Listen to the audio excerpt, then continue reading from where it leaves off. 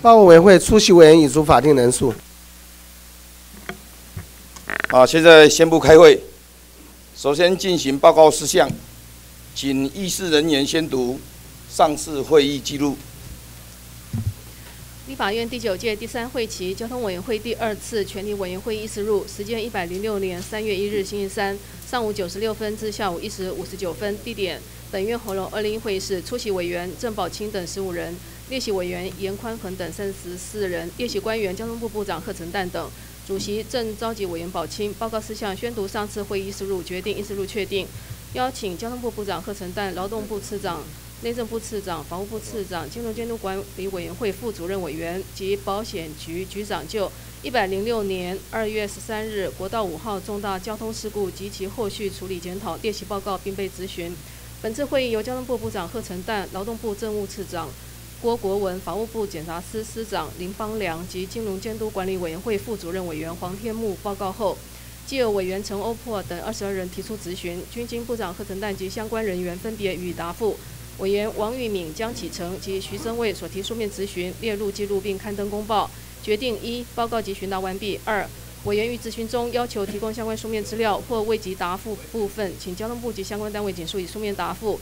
通过临时提案十六项，散会宣读完毕。请问各位委员对议事录有没有意见？有没有意见？没有意见，议事录确定。现在介绍在场的几位委员。首先介绍郑宝清委员、赵振宇委员。好，现在介绍列席人员：交通部贺成部长、路政司林继国司长、邮电司王挺俊司长、航政司陈进生司长、总务司吴顺龙司长。会计处张信一处长，统计处辜炳珍处长，政风处许习仪处长，人事处蔡英良处长，管理咨询中心王木恒啊兼科技顾问室主任，大陆事务处理小组执行秘书陈斌全秘书。大陆交通安全督导委员会谢介田秘书，交通事业管理小组李明慧执行秘书，公路总局陈彦博局长，民用航空局林国选局长，桃园国际机场股份有限公司曾大人董事长，总经理肖登科总经理，中央气象局。新在勤局长、观光局周永辉局长、运输研究所吴玉珍局长、国道高速公路局赵新华局长、国道新建工程局也是赵新华局长兼代、铁路改建工程局胡湘林局长。兼我们高速铁路工程局局长、台湾铁路管理局。陆杰生局长，航港局谢卫新、谢卫军局长，台湾港务股份有限公司吴蒙芬董事长，中华邮政股份有限公司翁文启董事长，台湾高铁江耀忠董事长，中华航空公司资深副总罗雅美啊副总啊董董事长跟总经理。啊，因为有重重要事务呢，先行请假。阳明海运董事长谢志坚，中华电信股份有限公司董事长郑优，总经理谢继茂，以及我们内政部航空警察局魏替坤局长，台北市政府交通局林淑琴专员，台北市检验局。郑陈耀为副局长，好，谢谢。台北大众捷运股份有限公司副处长黄雅芬副处长，新北市交通局朱建全专门委员，新北市捷运工程局李正安副局长，台北市政府交通、桃园市政市政府交通局刘庆峰局长以及主任秘书熊启忠，台中市交通局冯辉生副局长，台南市交通局吴胜坤专门委员，高雄市交通局黄万发副局长，高雄市捷运工程局周德利副局长。啊，以上。啊，我们交通会、交通委员会呢，依照啊委员的建议呢，我们都邀请董事长务必要列席。啊，除了有事先请假之外呢，我们希望各关股公司的呃啊董事长呢务必要列席哈。那现在请我们交通部贺成部长报告业务概况。那因为部长要以简报的方式说明，所以请到右边发言。发言台的报告，那这个是我们部长的创举哈，我们一致可以肯定。哦，那时间尽量缩短，谢谢。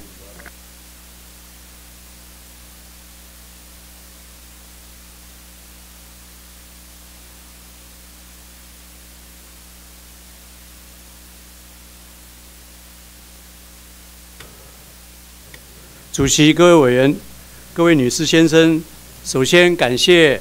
招委会各位委员能够让我来站在各位平常给我们指教的台前，来向各位报告，希望能够更拉近我们在中间大家对于专业上的一些看法，以及给我们更贴切的指导。我们今天相关的呃，不管是部里的局处，以及我们相关的呃所属事业单位，乃至地方政府的交通主管都已经来列席，希望在今天的报告后，我们能够大家在。交通部相关的政策方向下，能够更努力的往前走。我们下一章。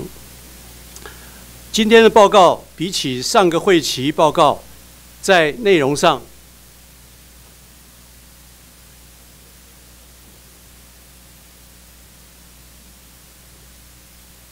对不起，我们上个会期的报告大概是主题一样，这个太淡了，可不可以换一支笔好吗？我们是四个大项目。那么今天的项目里面增加了行动宽频和邮轮产业发展。那比起上个会期，我们有一些在今天的内容上面更加的增添。例如说，我们最最应该关切的交通安全，在这个会期里面，我们向行政行政院报告过过以后，也到委员会这边来报告我们今后要努力的目标方向。谢谢。在公共运输还是很淡哈。公共运输的部分呢，除了是我们要结合这个我们现在的相关资讯以外呢，这个会期也值得向各位委员来报呃各位委员报告，也是在立法院要赢得希望争取支持的呢，就是我们的呃用建设的方式呢，会有许多的项目啊，邀请各位委员来给我们指导。下一张，首先我们在安全的部分呢，还是不敢打折扣，因为确实我们在台湾的这个。道路，我们的道路安全实在是不能再等。那么右边的数字看出来就是上个会期跟各位报告了，大概我们一年受伤人数大概四十一万。那么现在新的一百零五年年度呢，稍微有下降到三十九万，但仍然是相当高。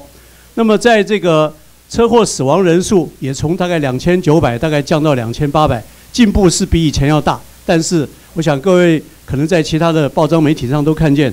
我们离我们真正要做的进步还差很远。下一章，这个就是一些刚才报告的说，由于我们有这么样高的这个死亡的人数呢，所以我们希望能够在二月九号啊，去去年十二月九号向行政院提报以后呢，也到委员会这边来向各位呃做这样的一个承诺，我们共同所有的单位共同来努力。首先就是对于死亡人数，我们希望能够在三年之内降到两千五百，大约是以。降百分之十五为我们的目标。进一步，对于年轻族群，现在我们每年差不多有四百人都在这个车祸而死亡。我们希望这个更要加强，所以我们希望在三年之内能够降百分之三十五，能够减少一百五十人。那么酒驾的部分呢？现在已经有相当努力，但是仍然要朝一个零容忍方式来来方向来进步。我们看下一章就知道，我们还有点距离。这一章是显现出我们大致上跟相邻国家。在酒驾部分的死伤人数看得出来，我们虽然有进步，但实际上，呃，比起别的国家还有一段距离。例如说，资料比较完整的，像日本，他们在五年以前就已经是大概每十万人呢都只有零点二一人呃因为酒驾而死亡，我们当时是将近五个人，所以我们虽然进步到现在已经二点六五人呢，比起日本现在零点一六呢，我们仍然大概是它的十六倍。那么，可是更让我们觉得该警惕的是说，难道是他们警察抓的特别严吗？除了是他们的纪律之外，实际上如果说是酒驾真正有去取缔的件数，我们的同仁时代警察同仁非常辛苦。相较来讲的话，你看日本这么大的一个国家，它的这个酒驾的取缔件数只有两万六千件，而我们是差不多十万件，所以也是差不多四倍。所以我们的这个取缔这么样的勤劳，但是我们仍然还有这么高的酒驾的死亡，这件事情就表示它不是完全可以靠执法，而必须是国民自己的纪律，或者是大家饮食文化里面互相的提醒。下一章，所以在今年度，我们除了上个会期有些事情及持续办理以外呢，值得向各位报告的大概就是第一，我们是在这个各级学校的交通安全教育上面呢，最近和教育部已经在。不管是大专或者是我们的呃高中，乃至于说是小学，都已经有具体的一些教材的合作计划，希望能够在这个呃今年年底呢，能够有一批新的教材，能够来提供更活泼的，但是更能够足以警惕的一些这个安全教育。那么后面还有两件事情，我们分等一下会在其他的这个呃资料里面再说说明。一个就是关于我们的呃在加强驾驶训练上面，因为必须从一开始。就让大家要有正确的用路观念，以及我们对于现在让人担心的一些大型车辆它的这个安全设备。看下一张，驾驶行为部分呢，当然有很多，比如说我们对于这个驾训班的这个师资的强化。那么，但是最重要，我们今年要挑战我们自己，也请各地方政府共同来配合的，就是今年五月起，我们希望全国来实施实际的道路考验。另外，我们在七月份开始，我们对于高龄的驾驶人，除了是关怀他的体能状态以外呢，我们也希望能够用一些比较更能够贴近他身心状态的测试项目，来了解他们的这个体能跟他的是不是可以再发这个执照呢？呃，再发驾照。那么用这种方式，我们来全国性来做检讨。也许不能说所有的高龄人他的身心状态都要用这种所谓的重新再。呃，考验的方式，但是对于部分年龄层的，我们有很多的这个相关资料呢，再请地方政府来给我们留意，大家共同来把这个关拔起来。下一张，大型车辆的部分，首先就是我们呃最近大家关切的这个游览车的部分。那游览车的问题就是，它一方面有可能是他自己在这个身心状态上面让人担心；第二，有可能是他的车辆其实是不适合到某些地方去行驶。所以这些属于它的工时以及它的这个呃它的所谓流程的安排呢，我们觉得都希望能够透过比较科技的设备来安来帮助。所以我们从呃上个礼拜开始，我们就有三个月的时间呢，是用鼓励的方式，让现在还没有安装 GPS 设备的游览车能够赶快安装。那么过了三个月以后，鼓励期完了，我们还有三个月的时间是一个叫做辅导期。但再过三个月。对不起，我们就觉得说，六年六个月期满呢，他必须要让他自己能够被管理到。那么相关的这个资讯，除了他们要有这个设备之外呢，我们也要求，也透过修法的方式呢，来要求我们的这个呃游览车个别公司跟工会呢，都必须要把它安装上去的设备跟我们的公路总局的动态资讯管理同步来做行车上的管理。那么另外就是我们在呃去年。我们开始就已经有了这个关于这个大车、大客车的大车辆的这些补助系统，包括说我们在去年十月一号开始，呃十月二十七号的这个不幸事件以后呢，我们对于这个呃后面的这个视野的补助这个摄影系统呢，我们也希望分批的用这个不同车辆来安装。下一张，以下这是第二个主题，第二个主题在我们呃贵会给我们的这个支持之下呢，我们已经在。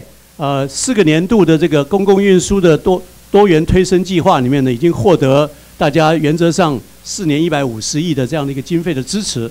那去年啊，就是今年度，差约差不多三十九亿的经费呢，会朝这个七个大方向的这个多元整合呢，来加强我们的相关的行动工作。下一张，整体性来讲是刚才的上这个图像，但是比较重点性就是刚才我所谈到的，一定要针对某一些比较让人担心的环节，例如说我们在年轻人，特别是一些大学生，他们在呃到了校园里面，常常会觉得当地的公共交通工具不够方便的话。就马上要求要买机车，这个可能马上就让他暴露在比较危险的这个使用状态下，尤其他如果自己对这个上面警觉不够的话，所以我们就针对凡是在校园里面的空间以及人数上比较适合的，我们都尽量的来鼓吹他们愿意接纳我们把我们的这个公车进入校园。那么这个就是我们这个最近有两波来推动这个公车入校这个安排。那么这些。它的这个呃数字在这个地方，大概我们现在已经有差不多三十二个学校来做这件事情，希望这件事情还继续的能够更推广。下一章。那么除了是这个呃年轻人以外呢，我们普遍的在去年七月一号以后呢，我们可以说现在除了呃高铁还没有办法完全的纳入到我们公共运输，也希望是今年六月能够来完成之外呢，我们所有的公共运输现在都可以用。我们的所谓多卡通，使用各各样的这个电子票证，来鼓励大家去做比较有效的一些转乘优惠啦，或者是更多的需求分析，来对于我们刚才所谈到贵会所支持我们的一百五十亿的预算，能够花在刀口上面。下一张，接下来就是比较我们在科技上面另外一个应用呢，就是希望能够用通讯来使我们有一些比较偏乡的地方，它能够得到比较准确而且及时的服务。那么首先就是我们在这个所谓的需求反应式啊，也就是说我们希望能够是对于偏乡地方，它只要是预约或者是它能够用网上面来这个登记的话呢，我们都立刻可以来调度车子。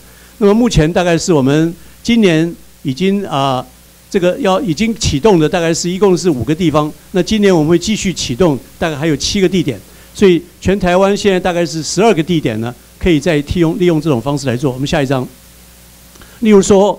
我们在呃这个台东县，我们在这个过去有一个四维站，它来服务大概相邻的几个部落。那么这个右边的图可以显现出来，它的实际上的这个路径跟它的班次，以及在每个地方它的这个将来我们在资料上面都会显现出他怎么样的来呃叫车，同时能够来呃申诉，如果有这个这个营业营业不良的样子。下一张，那么再来就是我们这个在这个呃新竹这个地方也是另外一个例子。新竹是新推出来的，我们希望能够针对在尖石乡这一带呢，它的这个，因为它有一些部落在这个山的隔阻之下呢，比较过去的服务不良好，我们现在希望能够整体的把它和这个尖石乡和复兴乡呢都能够做结合，那这个是它的路线的服务以及它的这个班距的情形。下一张，这个除了是呃多元呃这个我们的呃所谓回应式以外呢，另外就是我们从去年十二月开始。推出的多元化的计程车的方案，那多元化计程车方案基本上除了是在我们的呃比较是都会区，我们采取这个精致化，也就是说透过精致化和客制化呢，它不一定需要是用现在的这个外装或者是它的这个费率，它其实可以走比较高档的，希望能够对于有一些已经习惯于比如说类似像 Uber 这样的一种比较呃隐性的这样的一个服务，那么我们也可以在这个上面来鼓励他们的车队去开发。那么，可是更重要的，我们要希望，希望所有的这个多元化计程车方案，它通通过网络化呢，来让他们变成是，我们可以有真正的追踪。尤其在这个智慧化的方向下呢，我们希望这些不管是今天的车资，或者是它的路径，乃至于说是更进一步可以做行动支付这些事情，都不断的能够在将来的这个多元化计程车方案开始。我们下一章，我们在这个多元化计程车方案里面，呃，刚才可能没有特别强调。首先，非常感谢高雄市政府已经在去年十二月，他们已经开动啊。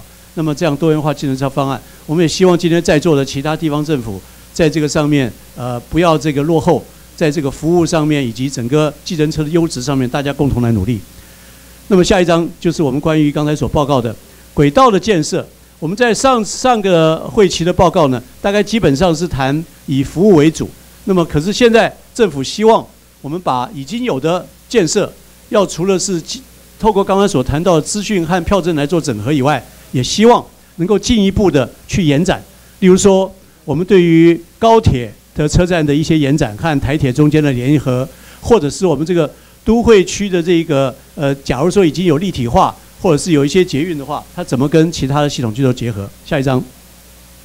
所以我们在这个办理的项目里面，大概已经施工中的有一些就是铁路立体化的一些项目，这分别有一些这个已经有的城镇。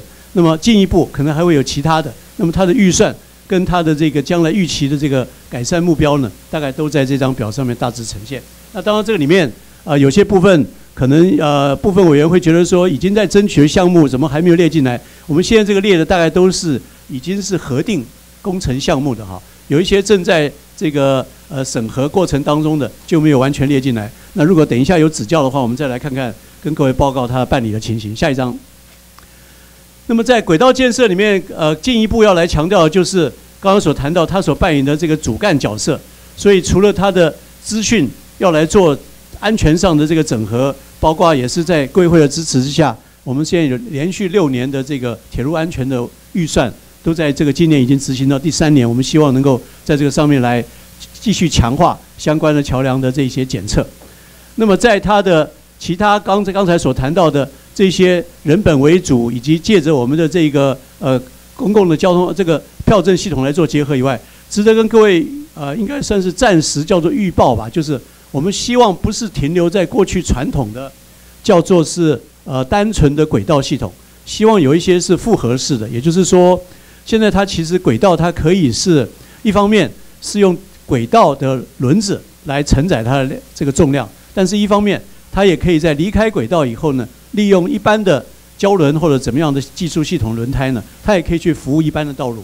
这样的话就可以使密度不高的这一些啊地区呢，它可以像一般公车一样去做这个所谓的集散到我们的这个轨道系统上面来产生速度更快。同时，服务品质更稳定的这样的一个轨道服务，所谓的这个欧洲是欧洲讲的这个 tram train 啊，就是说它让它的当地的公路用运输和它的轨道运输能够做结合。这部分的技术，我们会希望来斟酌我们各地方的密度跟地方政府的配合，我们愿意把这样的一个技术系统呢，透过现在的资讯，能够做更好的结合管理。下一章，第三个不大的部分呢，就是观光。那观光，我想我们。呃，基本上还是这个五个大面向，我分别跟大家做报告。第一，当然就是我们还是要去多元开拓。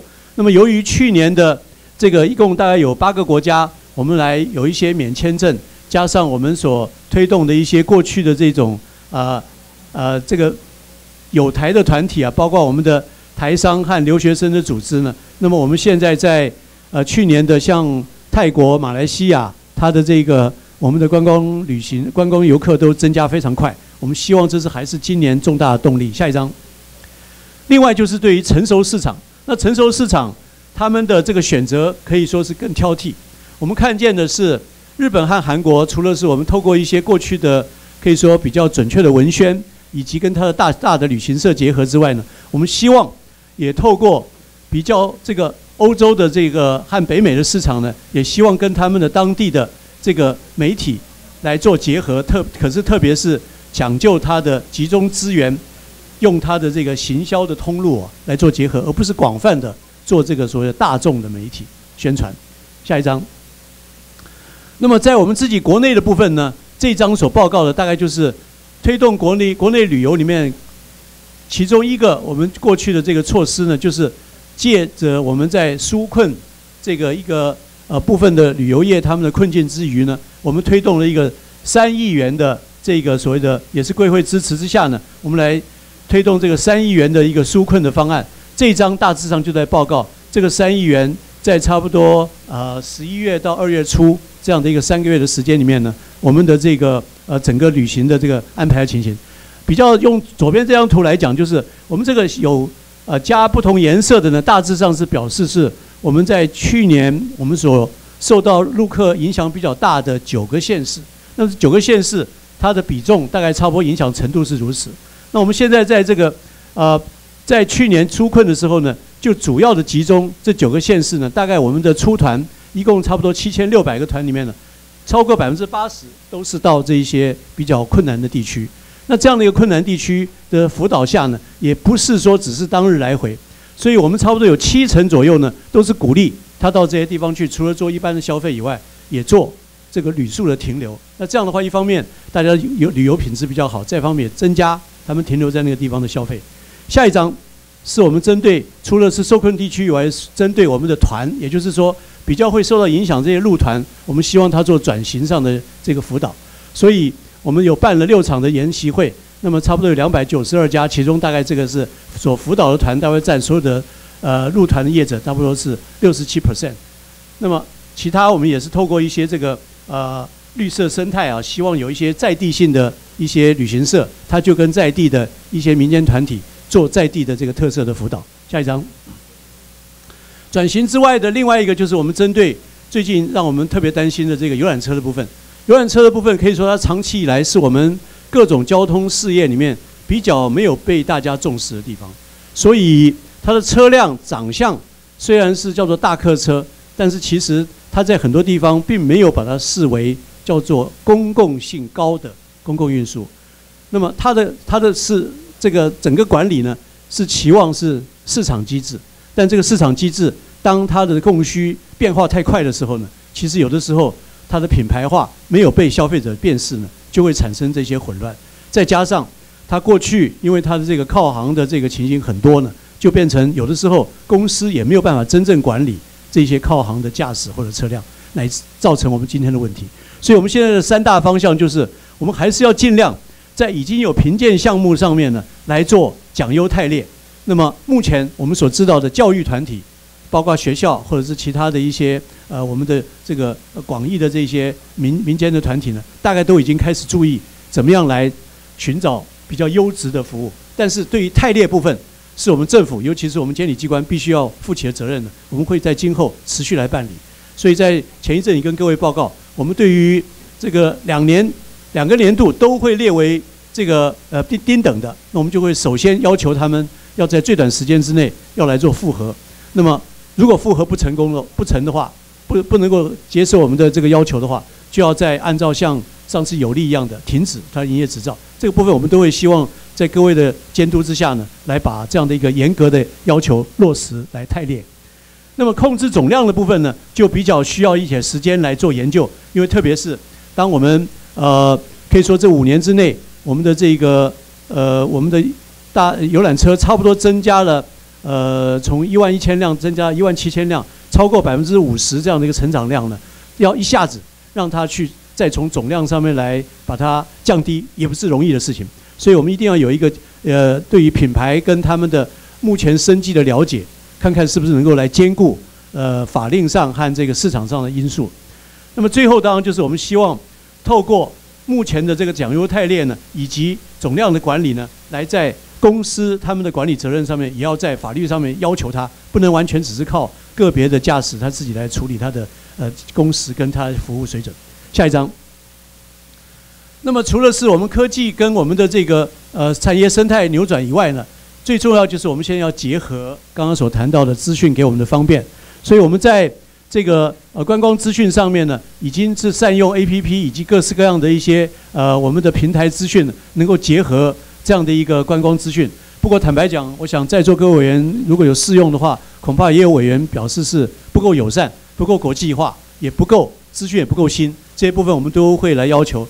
那么观光局周局长说，七月份会改版，我希望我们改版的不只是版面的友善而已，而是资讯上面同步要提升。这个上面还请各位继续给我们鞭策。下一张。那么智慧观光的这个另外一个呢，就是刚刚我们所谈到已经有的这些路线，特别是。我们从三月份开始，我们的所谓的国旅三点零里面，就是要把这些已经有的路线，它在网站上面必须是更有效的来结合，使得我们的这一个呃观光可以变成说是对于有没有车子啦，或者是他的这个旅行时间呐，都能够有事先的了解，不会变成是空跑一空跑一趟。下一张，除了是资讯资讯之外呢，就是我们旅游已经越来越变成是一种体验。它不是说用这个所谓的便宜，或者是说要用一个什么，好像要一天要跑好多站来表示它的旅游，它必须有体验。体验就是在地，那要在地的部分就是这些有特性的这一些活动，不管是属于现在正在这个萤火虫的季节，所以今年我们的这个萤火虫的这个生态旅游年呢、这个是全世界有在我们的这个台北市啊大安公园这边要办研讨会，我们也希望透过这一些部分地区富裕萤火虫重新回到当地这样的一种在地的一种喜悦呢，能够变成说大家共同来关切什么叫做你在地的旅游资源。那其他这些，我想我们就没有时间一一的做报告，请各位来再继续给我们指导。下一章。第四个、第五呃，对第五个项目呢，呃，第四个项目呢，就是我们的游轮。游轮除了结合我们的观光是值得是一个新的项目之外呢，特别是我们要强调的就是，由于台湾在东亚地区的这个地缘关系呢，我们居中的位置使得南来北往，或者是说在我们本地，在台湾的几个这个港的这些特色呢，我们其实台湾的这个游轮的这个市场里面，台湾居于第二啊。虽然中国大陆人口比较多，但是我们在其他的国家来讲，我们相对的还是一个非常被看好的一个市场。下一张。那么这个看好市场里面，它除了是旅游本身以外呢，它也可以结合这个城市来作为不管是一些产业啦，或者是在地的一些就业，那这个部分都会使我们游轮它不只是带来客人，也带来产业的升级机会。下一张。所以我们希望在这个我们游轮的发展里面呢，除了是它有一些这个呃呃它的这个烧次跟它的这个客数增加以外呢，我们也希望能够用 Fly Cruise 来结合，使得我们可以扩大服务，同时在简化签证以及跟地方结合之下呢，来发展。至少我们会变成几个国际港，包括基隆、花莲和高雄呢，都有机会来善用不同形式的邮轮母港的产业机会。下一章。那么今天的第五个报告项目呢，是我们的宽频的这个建设。那这个去去年十一月的时候呢，那么呃政府推出我们的这个叫做呃，对不起，在这在这，我们的这个叫做呃数位国家创新经济方案。那么这个就是在基本上要要求我们对于呃全国的这个宽频的建设，要整体的提高到一个相当的水准，不落后于国际的标准。那么为什么交通部要来报告这件事情呢？跟下一章有关。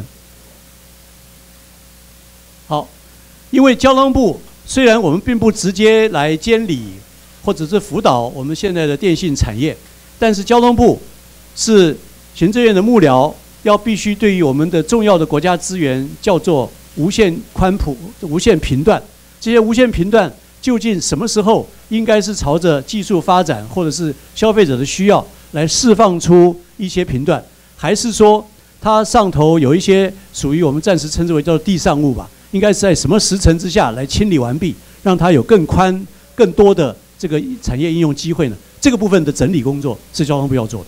所以交通部在做这件事情上面，我们在这个项目就是说，我们希望今年度我们试机的第三次的频谱试出当中呢，对于得标业者，我们希望他要对于偏远地区的行动宽频建设要负担一部分的义务。换句话说，并不是说他得了标以后，我们再来跟他商量看看说用什么奖励的做法，他来针对哪个地方去改善服务，或者是说他要不要把他的改善服务里面，除了是提供最起码的到达，也就是说有这么一个宽频的这个供给，但是并没有跟应用去结合的话，也不是我们希望的。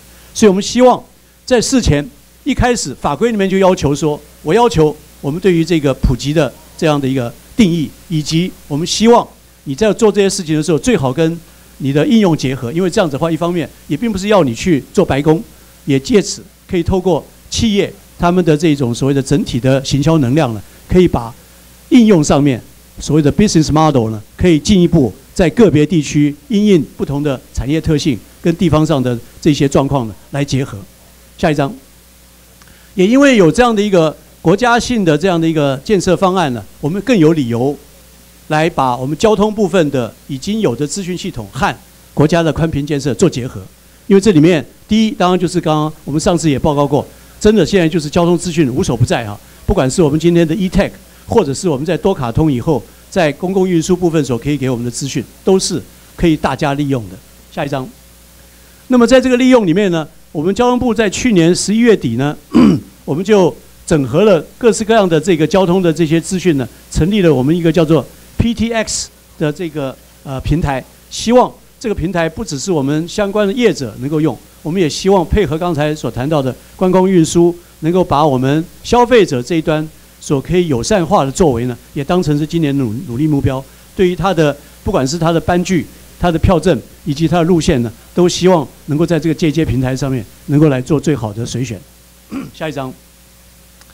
第三个呢，就是我们啊，除了是大的这些建设的平台之外呢，现在的这一些感测技术啊，也使得我们对于路口部分也都能够来做一些所谓的路和车中间的结合。车子本身，各位可能也都清楚，最近有一些呃电动机车，他们所发展的，在它车上装了很多的 sensor，除了是帮助它的使用人以外，也对于假如车子有发生事故的时候，它的这个行车的这些状况都可以有一些呃记录哦，做这些事情。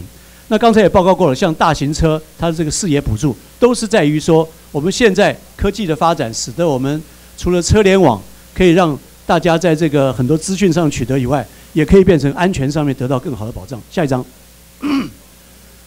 其次，我们在也可以说是最重要的，就是大家手边都有手机的情况下，除了让你在我们所谓的这个整合性的资讯可以能够来掌握，甚至于可以知道你的一些特性之外呢，我们也可以针对一些困难地区，比如说，呃，特别跟呃赵伟、陈欧博、陈伟也报告，我们在宜兰地区就会当成是我们今年预算里面的首先要来提供的一个，可以说是一个先驱性的一个基一个一个呃结合的整合的厂。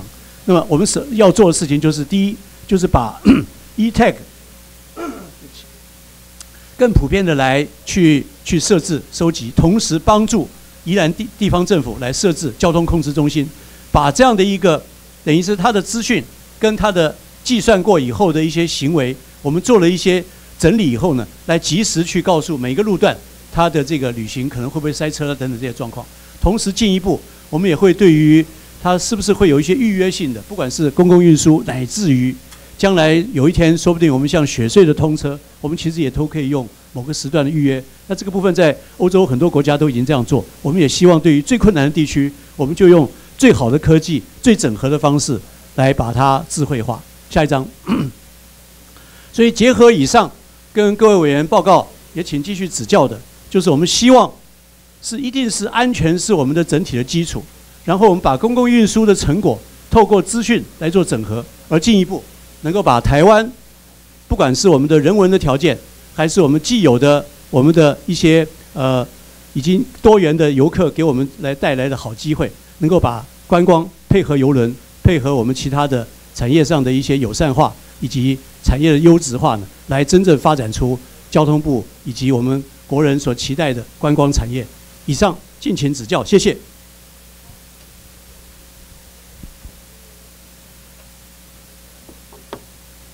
谢谢，谢谢贺成部长的简报哈。交通部另提书面报告的部分列入公报记录，如附件哈。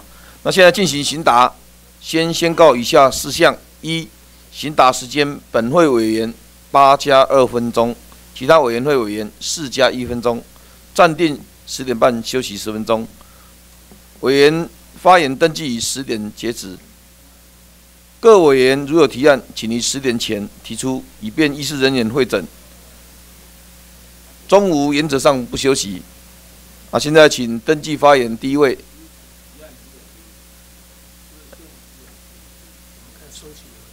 我们先收起页，看看大概几件，我们再做出再这啊再讨论啊。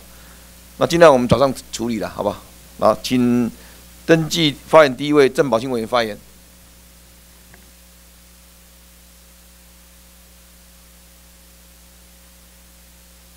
部长，来出席，请部长。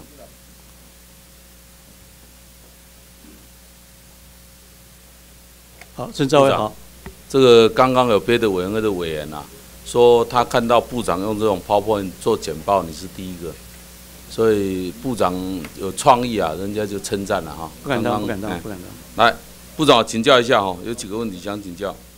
这个我们可以知道啊，这个我们知道机场捷运啊。花了二十年时间才让它开始通车哈，也开始营运。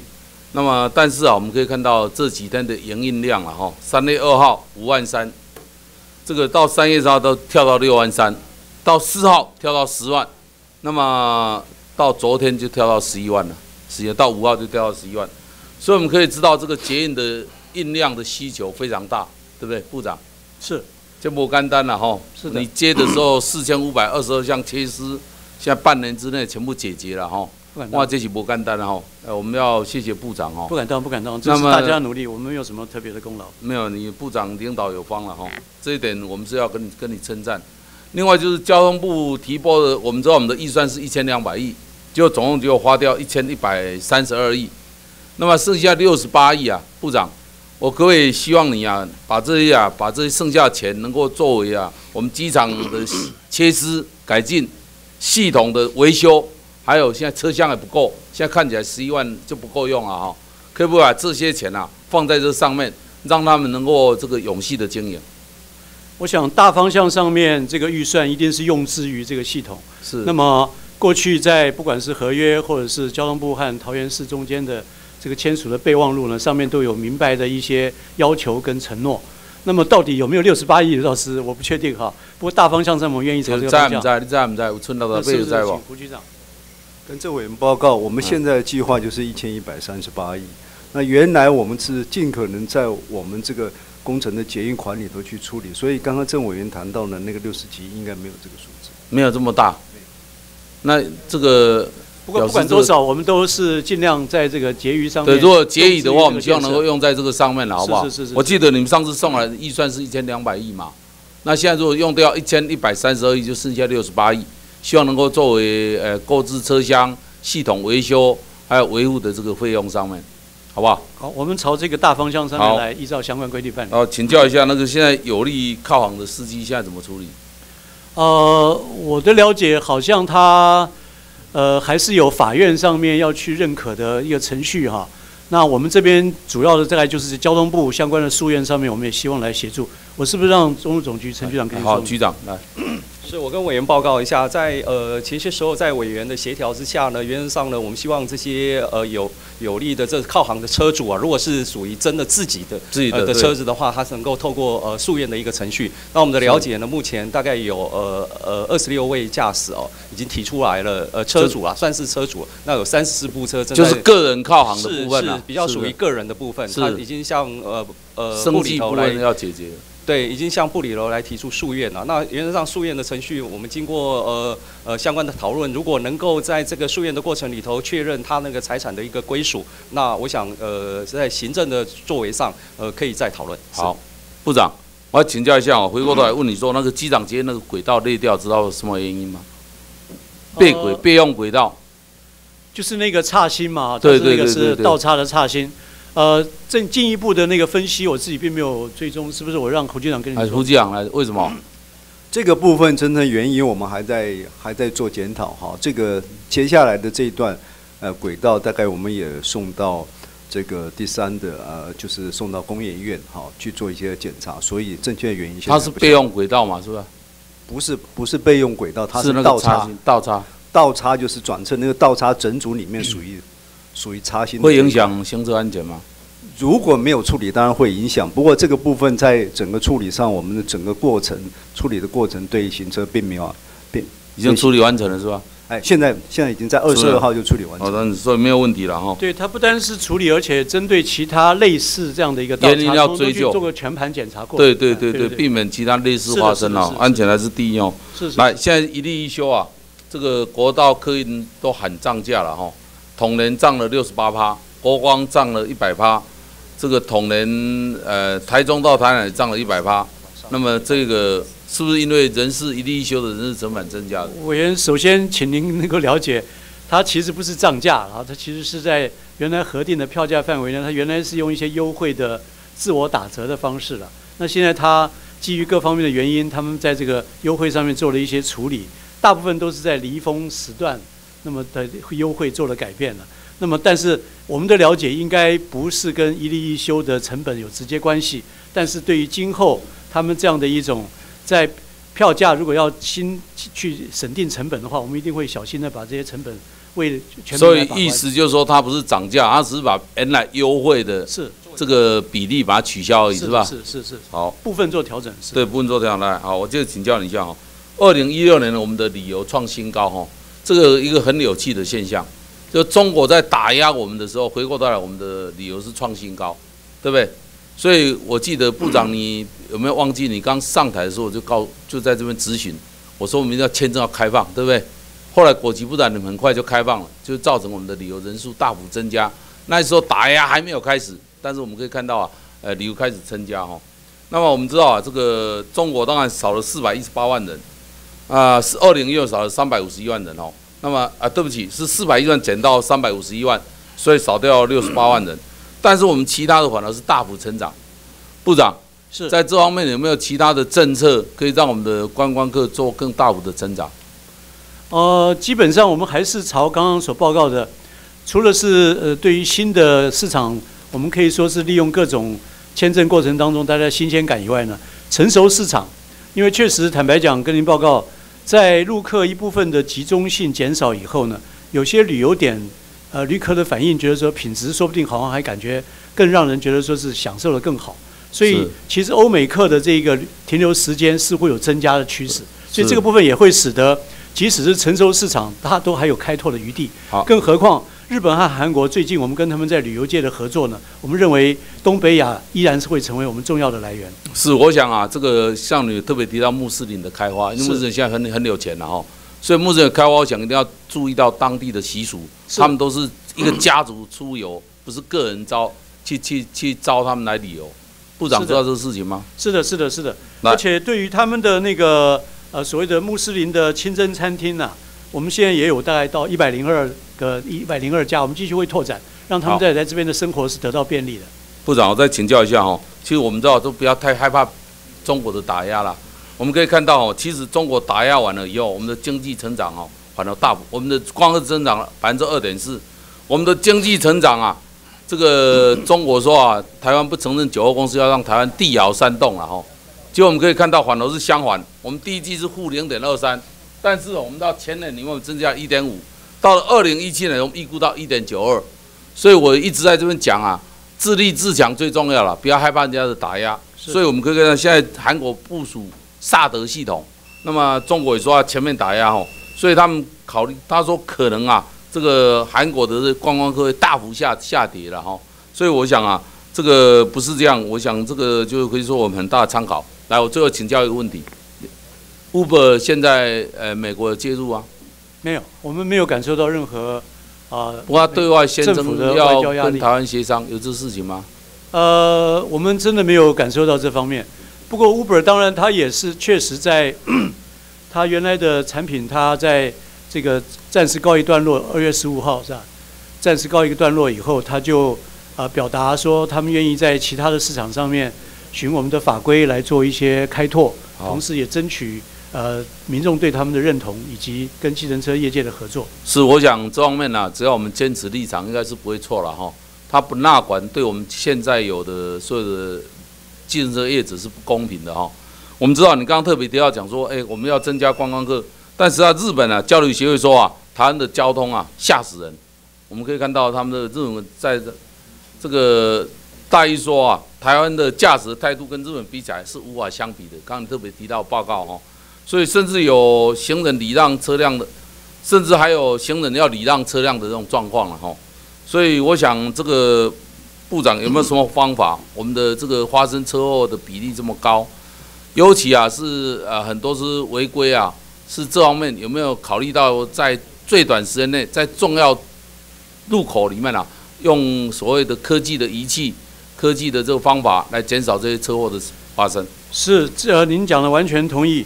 呃，长期来讲，当然是一定是教育来改变我们对于这些所谓的行车的这个次序，但是短期之内只有靠执法。那执法的部分，我们一定挑重点的地区，不管是过去车祸比较高的，或者是说行人比较多的地方，大概装这些多久时？间？多久时间会完成？我们在这个呃简报上面的第三十四页这边有一个智慧路口全计划，是这里面有定时程，我我们回去查一下它的相关的时程，再给委员做大概最短时间重要路口都第一第一批什么时候会完成？呃，我想比较最急的，像我们在高雄上次发生事故，那个就已经都完成了。那么比较进一步，可能我们就要跟地方政府共同来过滤哈，是不是给我们差不多半年的时间，我我们来过滤跟加装这些。好，我们希望半年时间重要路口能够装装设这些呃电子设备啊，能够减少车祸的发生。对，帮助安全的是一些设施好。是的，谢谢。好，谢谢，谢谢部长。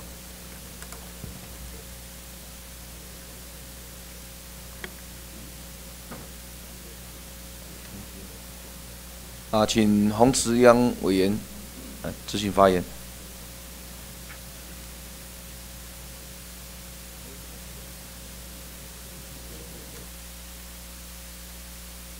请贺正部长。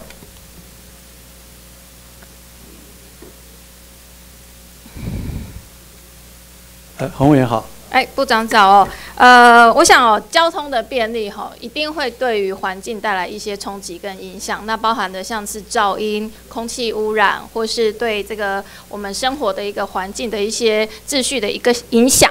好，那、呃我去年呢，其实在卫环委员会一直关注就是空气污染的问题哦。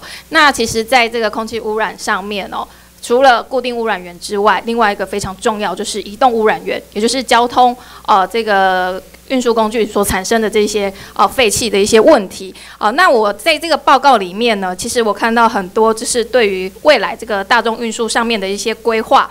好，那当中你有提到说，在一百零六年到一百零九年，呃，这个交通部要来推动的一个公路公共运输多元推升计划。哦，那这个计划啊，刚刚部长有讲，也编了一百五十亿的预算，哦，在这几年内要来做。好，来部长，我想先请问一下哦，这个计划它最重要的目标是什么？最重要的目标就是要提升公共运输的服务跟它的运量，那么来减少大家依赖交私人交通工具的这种惯性。对，好，来国发会在讲这个计划的时候，他还有讲到一个很重要的重点，就是他要协助运输部门来做节能减碳。好，那这件事情，我相信应该大家也都能够理解这件事情。好，从这个计划跟交通部的报告里面哦，其实都在鼓励民众要来利用这个公路的这个大众运输。好，那台中市呢，现在还没有捷运哦，还有好几年哦。那呃，目前的这个乡亲呢，它的一个运输大部分好、都是用这个台铁的这个轨道系统。那再加上公路的一个运输，好，那我现在就要问说哦，现在台北的通勤呢，呃，是靠着这个捷运跟公车的一个转乘，那这个转乘之间也有一些补助哦。那我想问一下部长哦，那您在看台中的时候，台中尤其我刚刚讲的这个空污哦，非常的严重哦，它是呃这个台湾哦。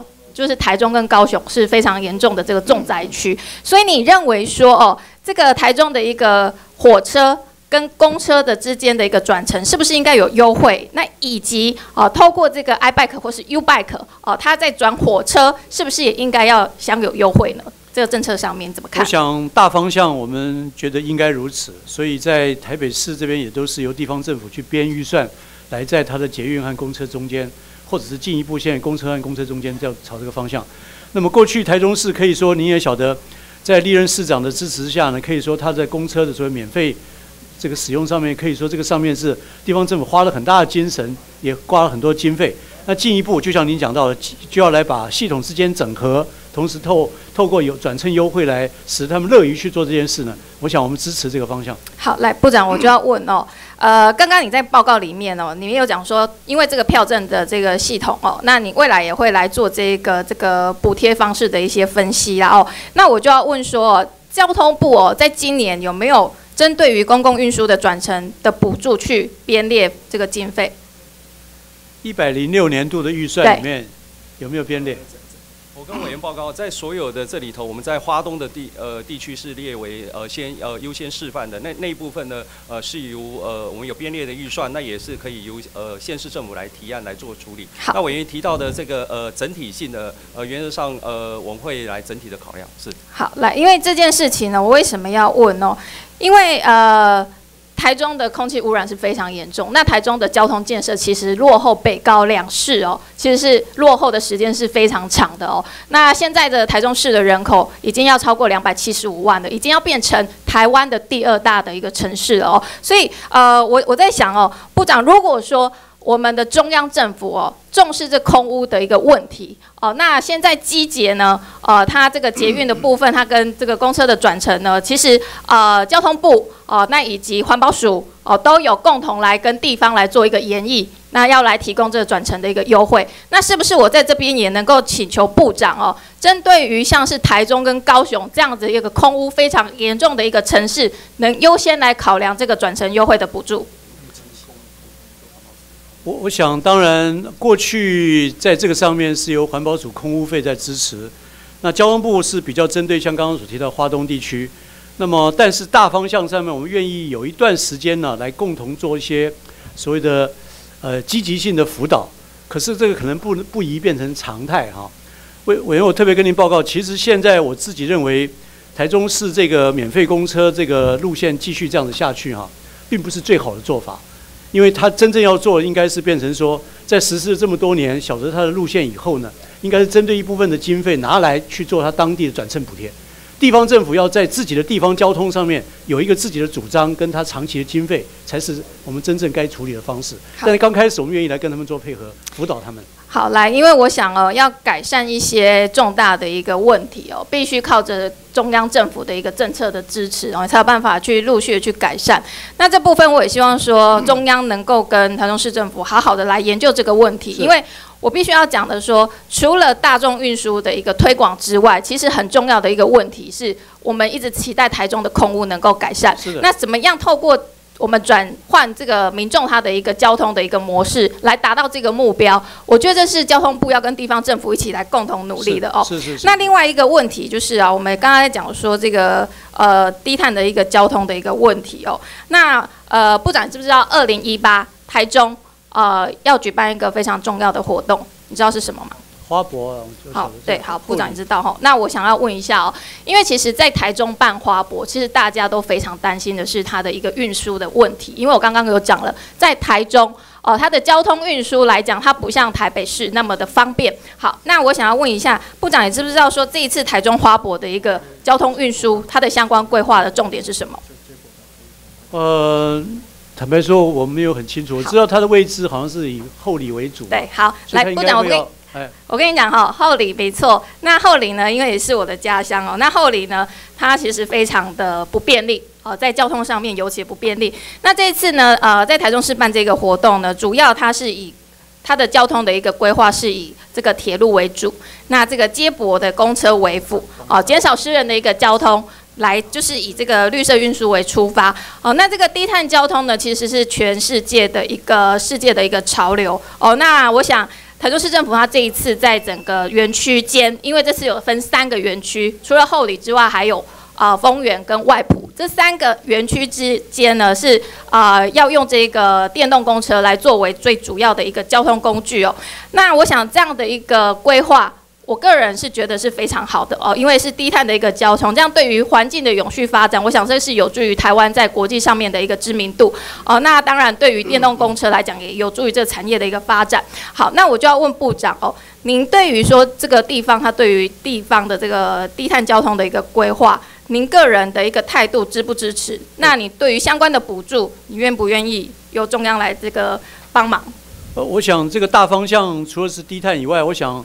这一些任何重要的节庆，我们在一些专案上面的协助，我们都乐于来配合。好，来部长，因为哈这个台中市之前已经有跟公路总局来申请这个刚刚我们讲的公路公共运输提升计划里面的二零一八花博期间的电动公车的接驳计划啊，那这个部分的话，是不是能够尽快核定来办理？因为二零一八其实很快哦，明年就到了。是这个是不是真实的情形？让公路总局跟您做说明。来，呃，委员报告一下，原则上是分两块，一块是属于呃电动车辆购置的部分。那呃整个电动车辆购置的部分，整个在这个呃的窗口是属于呃经济部的工业局啊。那这一部分呢，我们也请这个呃台中市政府向他提出申请，申请了以后，他会会同我们共同来审查这个案子。那原则上呢，呃如果没有什么特别的，我们原则上会支持。那委员在提到的是说，花博期间恐怕要要想要租用这个电呃台中市政府想要说要租用电动呃公车这件事情，那我们的了解，呃，如果要电呃租用大概一百多部，目前国内大概也没有这么多的一个车辆，所以后续如何来做处理，呃，这一部分呢，我想我们也会来协助。至于说相关的呃租用的一个经费啦，或者是接驳的经费，刚才部长已经说了，呃，原则上呃部里头会呃来呃大力的支持。好，来，那希望这个速度能够加快，因为现在已经三月份了，那明年我想很快花博就到了哦。那相关的规划，我们都希望能够加速哦。那再来问到呃部长，你去年有到台中来参加这个铁路高架化的这个这个通车典礼哦，从去年十月到现在三月吧哦。那本来哈，因为它高架之后就产生了很多噪音的问题。那这噪音的问题呢，其实附近的居民反映都一直都持续有哦。那呃，我我在想一个问题了哦，因为。呃，这个部分其实上礼拜我们也跟铁工局这边有来做一个协调哦。那因为他本来是承诺在今年四月要做相关的改善，要完成哦，针对这噪音的问题。好，但是呢，因为呃包商的一些问题，要重新招标的一个问题，要延到今年的八月哦，这才有办法来做一个改善。那这个问题哦，因为从十月通车到八月，其实这样的中间已经隔了将近十个月的时间。那部长，这个问题哦。我我想我也没有办法说要阻止我们的这个我们的交通部他要重新招标这件事情，但是呢，我是要问的是说这个高价化的时候，我们在这做整个设计跟工法规划的时候都没有想到说它高价化之后它不在平面，它对于这个噪音的问题不会有一个严重恶化的一个影响，而去做事先的一个防范嘛？应该这个都是在工程师他们的专业里面都有考虑。只是说，有的时候会不会是，呃，因为大家这个居民关心的那个强那个噪音的安全程度啊，那个安静程度哈，大概还是有落差。我们应该做进一步的这个测量跟了解。好，部长，我这我今天要跟你讲这件事，是因为还有其他区域在做高价化的这些工程。那怎么样在事先去做好预防？那不要让民众。他高价化之后，等了十个月，他才去解决他这么严重的一个噪音的问题。这是我要再跟您说的哦。那这个速度的部分呢，我也希望就是部长能够请这个哦铁工局这边来加强后续的工程。那会后请那个交通部再跟洪委员做说明哈。谢谢洪委员。好，谢谢谢谢。接着请赵振宇委员发言。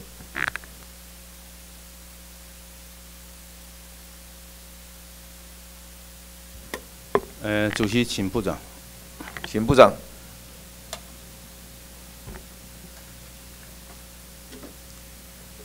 哎，赵委员好。哎，部长早哈。那个部长，你从去年五二零到现在已经九个多月了哈，就职哈。那你对你自己本身这个部长的位置，你觉得你胜任吗？呃，胜任做的不够好。哦，那你打几分？自己？没有，没有打过分数。这个事情应该是。由别的人来衡量，哎，不是自己打分，是不是啊？不敢。那某个部长说他一百分了，哦，那您是几分？没有关系，他他有他自己的评价，我也有我自己的这个看法。谢谢。那我个人认为啊，你也很认真啊，哈，但是有一些速度还是要快一点。是。啊，你的团队哈，这个回报的系统啊，或者说明的能力不足。好，我想说会刊啊。这个会议记录啊，做的也不是很好，而且也没有回回复的非常快速哈。是，这个要多加强一下哈。这比各县市哦，那个政府的各单位的行政能力、行政效率还差哈。另外一个，我们政保金委员刚才有讲到。我们机结嘛哈，这个有结余款哈，是。现在结余款还有多少钱还不知道嘛哈，因为还有罚款的问题，的种种问题哈。对对对。那您知不知道我们机结下面有一个变道，在做这个施工的时候，下面有个变道，您知道不知道？应该有些路段有了是吧？有些路段有嘛哈，从哪里开始？哎，局长是从哪里开始？这个变道我们去看这个部分，在过去处理上面我们。曾经谈过的是从 A 九到 A 十一，嗯，然后另外有从十五到十七，好，就谈过这啊，这个这个变道是所有权谁的？路权？就这个土地的部分，土地的部分，土地的部分是季节计划，啊，是你们的嘛？哈，好，那这个你有没有觉得我们这个结余款可以再利用一下？这个刚好通到桃园啊，从台北新北市到桃桃园哦，这个变道把它修好一点。好，利用我们这个结余款，把这个道路做好，是不是我们有新的一个道路，而且更方便、更快速？局长认不认同？基本上就原来我们的土地在土地的范围之内，我们就来做维修变道的方式，再提供给一般交通方面，这个我基本上是赞成的。而在过去处理上面，大概在这个结余款里面，我们对于十五到十七的部分，大概也补助了三千六百万给桃园市政府去办理。那在原来的程序上，从 A 九到 A 十，我的意思说，你做好，你拨交给地方政府来保那个管理嘛，来维护嘛，是不是是哈？是交给那地方政政府它会用的更好，为什么？这个是对我们交通改善的一个分流的一个特别好的一个地方，不要浪费了。既然花了钱，也土地也征收了，我们就把它做成道路，有没有？物尽其用，有没有有没有问题？报告没报告委员有问题，。基本上在路权宽度里头，我们可以做变道，但是真的要作为市区道路的话，还必须要有其他的配套的措施。好，那你赶快加强哈，速度快一点哈。好，谢谢部长。那我们最近啊，一个基础前瞻性的计那个计划有没有国花费弄的哈？是那这有包括包括四个，呃，一个就是绿绿能的发展嘛哈，第二个就是水环境的建设，第三个就是数位科技，第四个是轨道建设。轨道建设就是我们交通部的嘛，对不对？是不是哈？是的，那我们既然我们税收有比较有多，然后我们的借贷啊又可以提高到多达八千亿哈，那我们这个前瞻性，我们想前瞻性以前在我的观念里就是扩大内需嘛，是不是？像我以前认为扩大内需就是，诶，我们这一次跟以前不一样，为什么？以前大部分都快选举的时候，选举前半年或者是一年，执政党一定会用这个扩大内需的方式补助地方政府去做一些事情哈。那我现在讲了一样，这一次我们一开始上任还不到一年，就推出了这个前瞻性的这个基础建设的一个经费哈，尤其是在轨道建设部分哈，夏燕。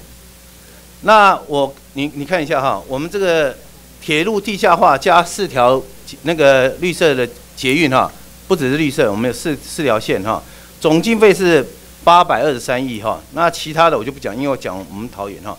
那这个前瞻性的计划钱花到哪里去？那我们桃园铁路地下化的经费有都是包含这个这个前瞻性的计划里面吗？您刚对不起，您刚刚说我这前瞻性对啊，呃，全部都包含这里面吗？八百二十三亿就这次的铁那个这里这个轨道建设里面，这几个项目是都是说是四年之内可以启动，才或者是完成的才就国花会里面包含这些嘛，对不对对？对对对对。哎，那我们现在当然有部长现在讲一个在规划当中就没有列进去。我们一百零五年一月九号，我们交通部复审通过嘛，对不对？你很记得嘛哈？那一百零五年十二月二十六号，我们交通部审议通过嘛。那今年的一月十八号，行政院国发会也通过嘛。这个我们还有去开会，哦，我跟市长他们都有去，我们几个委员，桃园的委员都有去国发会开会哈。那我的意思说，那你今天这些钱就是前瞻性，我们编了很多预算，是不是？好、这些预算到底总共是多少钱？我想还没有一个正确的出示。那今天我们这个刚才讲的哈，我们的铁路地下化，还有我们的四条的捷运，都包括包括在这里面的话，这我们是早前面通过的嘛。你现在有这一笔钱，你通过了，那我们其他以后就没有了吗？还是四年还有另外的钱给我们呃桃园市？对，它应该基本上是一个滚动型的啦。那我们现在这边所列的是四年之内会启动或者完成的。那么，所以有一些还正在这个核定当中的就没有列进去，但是一旦是核定及时赶上的话，就会把它列进去。这样子蛮好。我想不一定说只有只有这些钱给我们而已。是的，是的，是的。到时候真的有拨下来的时候，哦，我桃园我给你啦，哦，铁路地下化，哦我们四条捷运我已经给你八百多亿啦，你不能再跟我要，不对哦，这个是我们之前的好，下一页所以说啊，这个补助地方公共建设哦，这非常重要的哈，尤其是我们在我们交通部分哈。那扩以前扩大内需的时候，我们常讲哈，这个大家很紧凑，为什么？赶快报，为什么？你乡镇市也要报报报我们的县市政府，县市政府要报中央。好，相应。那这些经费，我我来看哈，五我们上次拨那个拨了五百八十三亿哦，总共有八千八八千八百件的标案哈。那第一个执行率它非常低的哈，第二个被人家笑哈是善财童子。我为什么讲善财童子？我讲个例子给给部长听哦。这个我们人行步道哈，这个当初在这个扩大内需的时候，叫地方政府报上来的时候，哎呀，他没报。真正要修的道路，比如说我们的中华路，中华路就是我们省道嘛，哈，对不对？他那个人走的人比较多，他哪去修哪里？修从化区，从化区才刚从化完两三年，还没有人住进，也没有开始开发，那边被人家弄坏了，他去修那个东西。该修的不修，不该修的就在消化预算嘛。所以执行力非常低啊。所以说我们要求我们铁路地下化的经费啊，它不能独立出来，所以说还是要另外要给我们哈，好不好？有没有问题？然后这些钱也不能做一些哈蚊子馆哈，为了要花钱有没有？要花刀口上。部长这个没有问题吧哈？对，我想我们钱一定是让他是在执行率上面必须要考虑才敢列进。啊，像我们桃园最重要就是我们机场捷运哈，对不对？是不是部长哈？是是是。那我们倒插轨有没有？倒插那个轨道刚刚讲哈，对，就是出现裂缝哈，还有多个场障淹漏水。这个漏水它是因为设计这种风雨的嘛哈，就露天式的，所以当初没有想到说，诶，可是我们试营运的时候，我们初审复审的时候，怎么没有发现这些问题呢？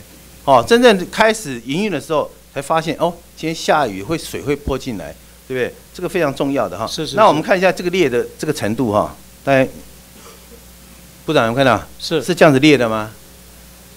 我跟你讲啦，我看过很多资料，我昨天上网看了，我看过那个最铁路做最大、最远、最长就是澳洲嘛，对不对？澳洲倒插铁轨也没有这样损坏过的，这样断裂过，它只有上面的磨损。哦，或者崩，有没有钢铁崩掉一点？它没有像我们这个图片，它是整个断的。局长，你说明一下，这是真的是不是很危险？这个部分如果没有去处理，当然会很危险。不过这部分发现之后，我们实际上你有看过这样断裂过吗？哎，这样的一个断裂的形状确实不是很正常，不是一般断裂的这样的一个。只有我们这个地方有。我跟你讲，我们在之前讲我们机节的时候。特别，我要跟你讲，我们的铁轨非常有问题。我想啊，这个每天呢，这么多人行驶这个我们的那个逃那个机节啊，是非常危险的事情。而且我上网自我自己上网啊，发现没有人这样断裂过。我刚才说，你自己去看一下我们澳洲的那个铁铁路，它是最长、最频繁使用的。它这个澳洲大陆这么大，它这个倒插也没有这样这样啊。那机场又淹水，然后国家形象又没有，那你现在这个机节也是漏水，有没有泼水泼进来？我想，部长，我们还是要想一个办法，把这个事情解决了哈。再下一页，所以要彻底解决。还有我们那个垫片有没有？上次七千多个，那六月份有两百多个，这个垫片我在想还是会断裂。局长，是这次不会断裂了吗？你说垫片的部分？对，垫片部分。垫片我们现在还在处理之中。哦，那我想请教你哦，刚才断裂的问题，这个铁轨这个问题啊，你确定这一次都全一定没有问题吗？你敢保证吗？这个部分我刚才讲断裂的部分，我们已经送去检验了。那其他同时间有，因为它发生在倒插，我们全线有九十，其他有九十一个倒插，我们全其他倒插地点都没有问题嘛？没有，我们有全面在做检查。那个局长特别要加强这个，这这一出事啊，部长，这不是。蝶恋花也不是大陆火烧车的事情了，这可能是更大的事情。部长，预防胜于治疗，预防要做好哈。谢谢。是的，谢谢您指教。好，谢谢赵委员的发言。接着请李坤哲委员发言。啊，谢谢主席，请一下部长。请部长，请高铁局长、台铁局长。好，请高铁跟台铁局长。好，李委员好。部长你好，在二零一二年的时候啊，我们全国总共有七百二十万辆的小客车，到二零一六年的时候，成长到七百八十五万辆，成长了六十五万辆。那小客车大家都买车，成长非常快速，但是我们的公共运输的成长啊，却是非常的低缓，就代表着大家使用公共运输的使用率啊，并不高。那按照我们目前交通部的统计资料，我们的公共运输的使用率大概只有十六趴左右而已。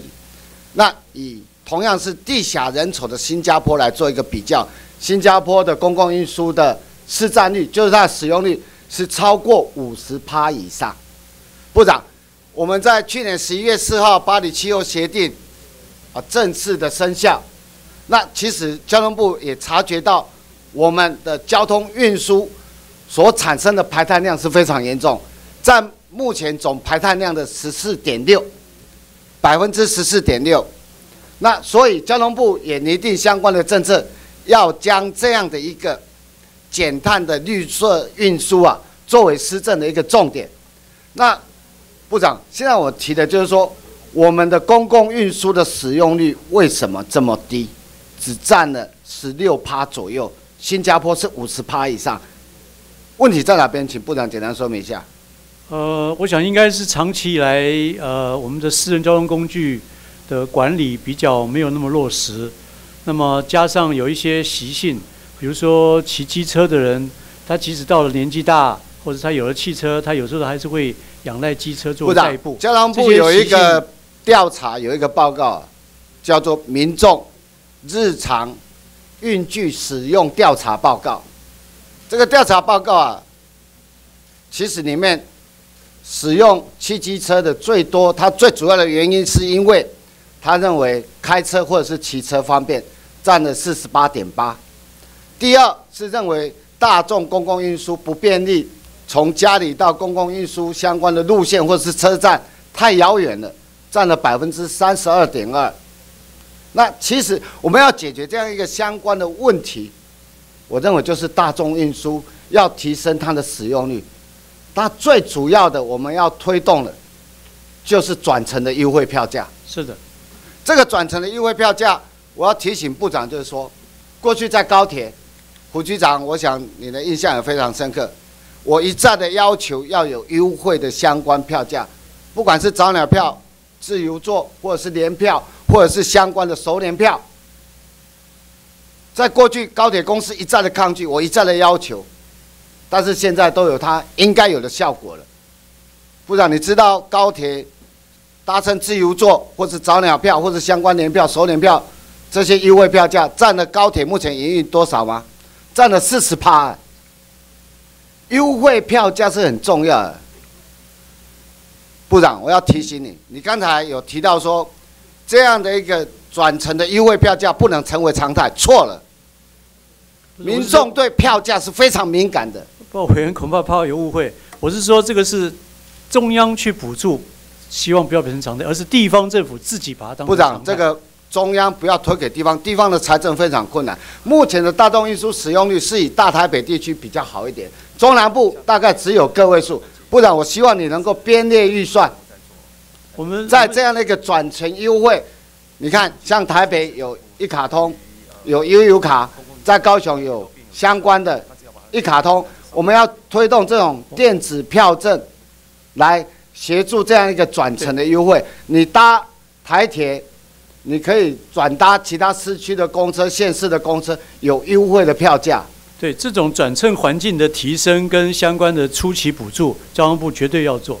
那么，但是我们也希望地方政府把它地方交通的整合这件事情当成是他自己。分内的事，大家一起来做。部长要协助，因为我们花了很多钱盖了很多的公路，盖了很多的铁路，我们花很多钱买车厢，台铁十年要花千亿买新的车厢。部长也在推动交通的智慧运输系统，也花了很多钱去补助人家买客运巴士，或者是在站牌换新的站牌。但是我还是要提醒你的，重点在于民众对票价是敏感的。了解，了解，了解。这个必须由政府去编列预算。我再具体的要求一次，不然有没有问题？呃，您刚刚所提到，也就是说，我们过去是从车子的改善嘛，确实现在路车人呐，应该到人身上，消费者来选择。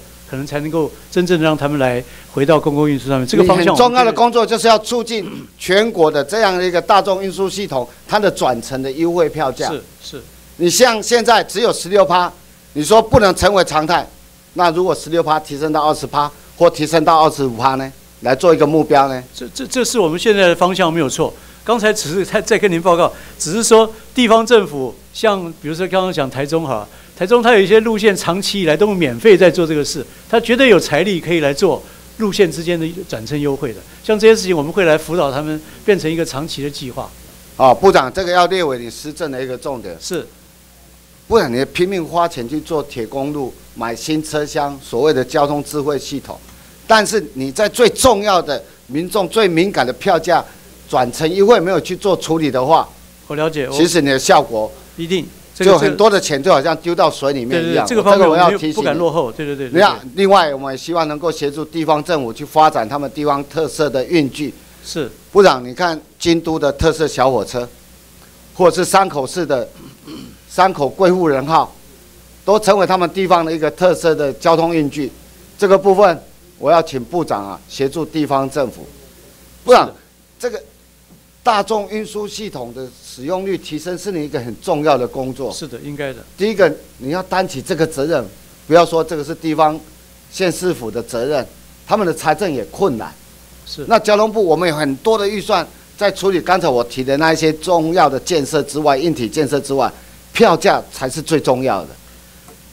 这个请部长啊要好好的处对，理。我们也非常非常愿意大家在建设上面稍微减少一点，能够来在这一部分真正加惠于民众，这个方向我们觉得。不然，另外我还要跟你讨论到有关于交通运输的安全，尤其是是平交道。是那台铁的营运里程呢是达到一千零八十五公里，但是呢，我们的高架化或者是地下化大概只占了这是一千零八十五公里，大概五趴不到而已。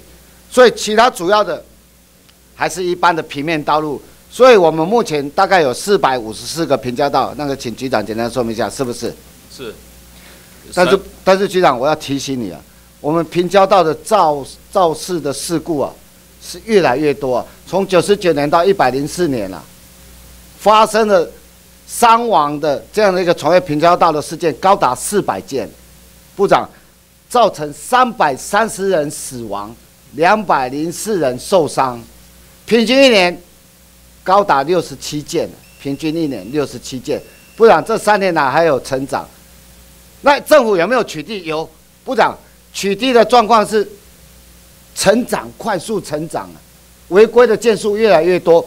在一百零四年的时候，平交道违规是六百八十九件，到一百零五年成长到一千一百七十二件，它成长了四百八十三件。床位平交道越来越严重，部长。是我们有什么具体的政策？我们是宣传不周吗？做的不够吗？简单说明一下。呃，我想这个除了我们宣传以外，可能就是现场的那个监视系统啊，还有我们台铁这个这些跟它做一些联动，这个上面的一些科技的连线，我想可能会有助于减少伤亡。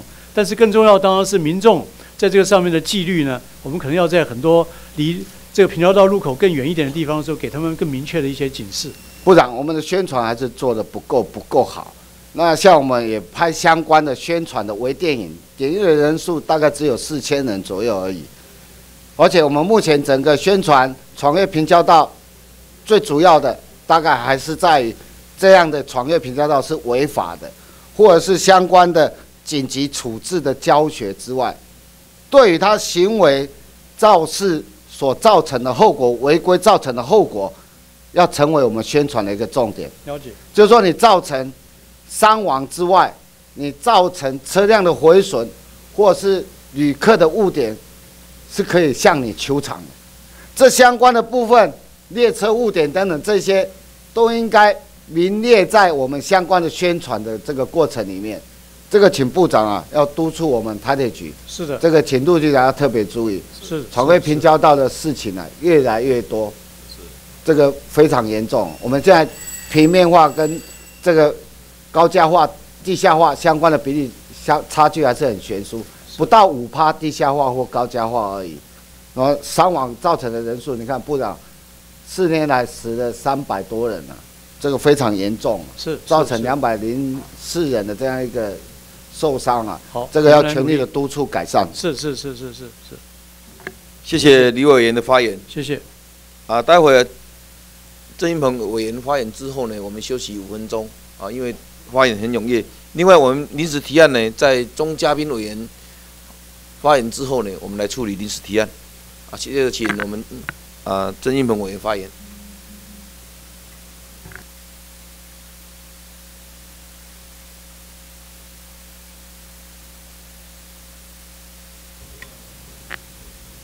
哎，主席、各位首长、各位同仁，大家好。那是不是可以麻烦部长辛苦了？请部长。那个我们直接进入下一页哈。呃，如果相关的首长有需要，就要麻烦你们一下哈。好高郑委员好哎，部长好，辛苦了。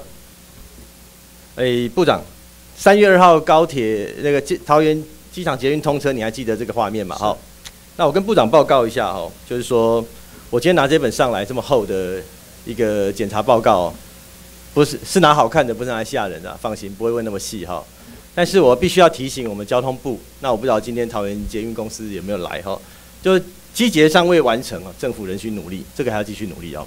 等下我分几个项目跟部长您讨论一下。那部长知道刚这句话是谁讲的吧？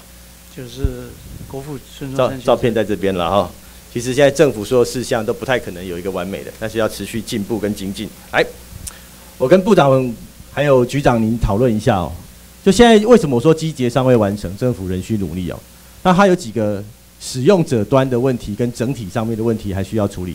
那第一个最容易，大家如果上网根据问一下使用者，他们直达车跟普通车非常容易混淆，即使它分月台。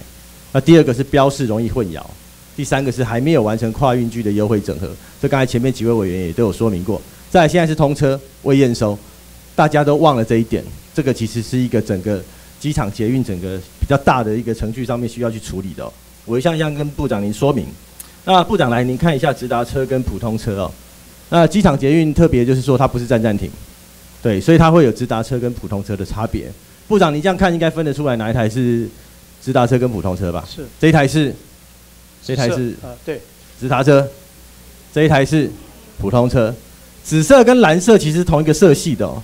那它的来由原原为什么这样设计？部长你知道吗？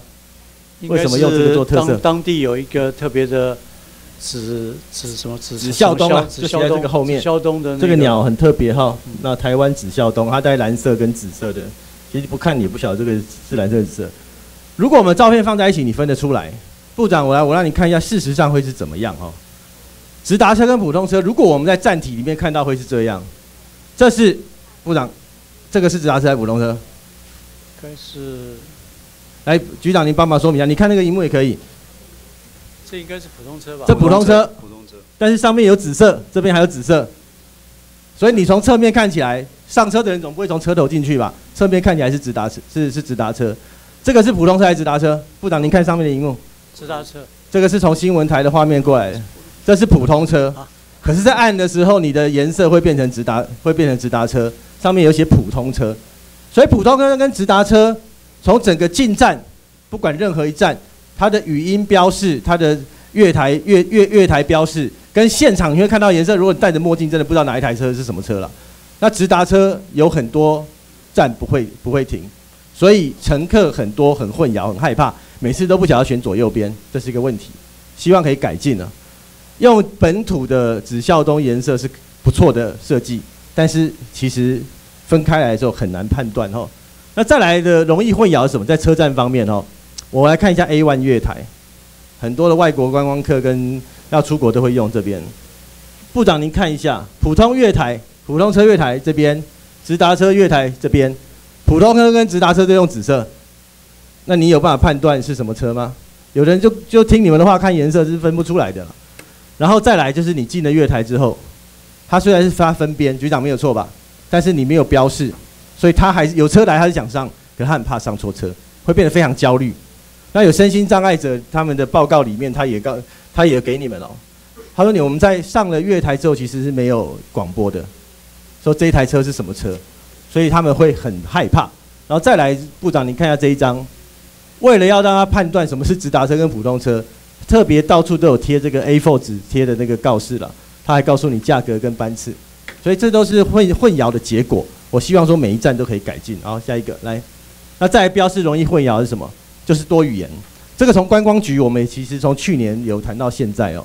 那如果我们以去今年一月的来台观光人数来看的话，那三大是中国、日本跟韩国。那如果以在台的外籍移工来看的话，印尼、越南跟菲律宾，其实有这么多人。那其实以机场捷运的路线来看，部长您看一下它机场捷运周边的工业区哦，这就是我们的外籍移工会最常、最最常出现好跟工作的地方，有三重、新北的产业园区、泰林工业区、林口工业区、华雅科学园区、龟山工业区、坑口工业区等，好大园之后的还没有，所以这些移工其实他们没有车子，他们我看到在我选区里面都骑脚踏车，甚至还不太有机车。其实我们的机场捷运最常使用的，未来五年内可能不是台湾我们本国人，说不定是移工。可是你我们没有照顾他们语言，甚至我们现在推的新南向他们来台湾观光，这些语言我们直觉上都会认为说他会用英语，其实不一定啊。移工可能会，你还有某些核定是要考考试，但是观光客不一定。所以我们现在整个机场的系统，我们都是台北观点、本国人观点跟英语观点，这一点真要赶快改进，好不好？部长，你觉得这个部分可以做到吧？呃，我了解，但是大概嗯，有的地方也没有办法说每一种语言都照顾到了。当然了，尽量我们尽量来。尽量照顾。那看观光局你们怎么思考？七月要管那个 A P P 要官网改版，对不对？这些一定一一并纳进去，不要到时候翻译名称有成名称有不一样。来下一个，那再来标示容易混淆的地方，部长您看一下哈。是，这是机场捷运它的标示，然后普通车跟直达车您刚好看到。那下面这个黄色的是地板上面的标示，上面写 Airport MRT，下面写桃园 Airport MRT。那其实，然后然后这边的其他标示，它甚至还只写站名哈，然后其他都是百货公司可能有下广告吧。这标示很容易混淆，我跟部长报告一下为什么容易混淆。第一个，刚刚讲的语语系上面它只有英语跟中文，他们不一定看得懂。哦，然后再下一个，部长，桃园哦，桃园 Airport 到底是指桃园还是指松山？松山也是国际机场，对不对？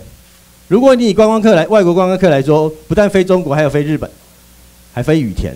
所以如果你写你写桃园 Airport，下面这个是机场捷运的 Airport MRT，他有可能他要去松山的人会会非常的混淆，走错边的那个差好几百公尺，甚至差一公里啊，在台北车站的话，所以这个部分也改进了，要往桃园到台北。那我再给您看一下桃园跟台北的差别在哪里啊？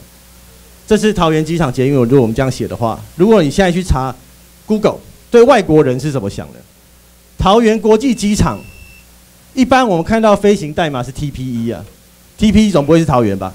是台北，国际上他们看到是这个，所以你去看那个 airport，他会以为你如果写那个桃桃园 airport，他会不晓得是哪一个，他会混淆。然后再是 RCTP 这个代码比较少见了，大概专业者在用的。所以其实，在台北 A one 站看的话，有松山，有桃园。你写，所以他们会不晓得那个 MRT 到底是往松山机场还是往桃园机场。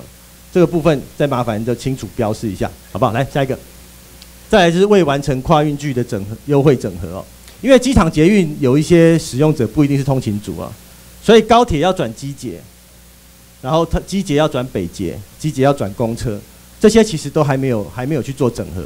我相信这个是我们推动大众运具的目的，所以没有去整合的话，会变成大家觉得很不方便。尤其机场捷运很多站，其实现在下面还在放牛的。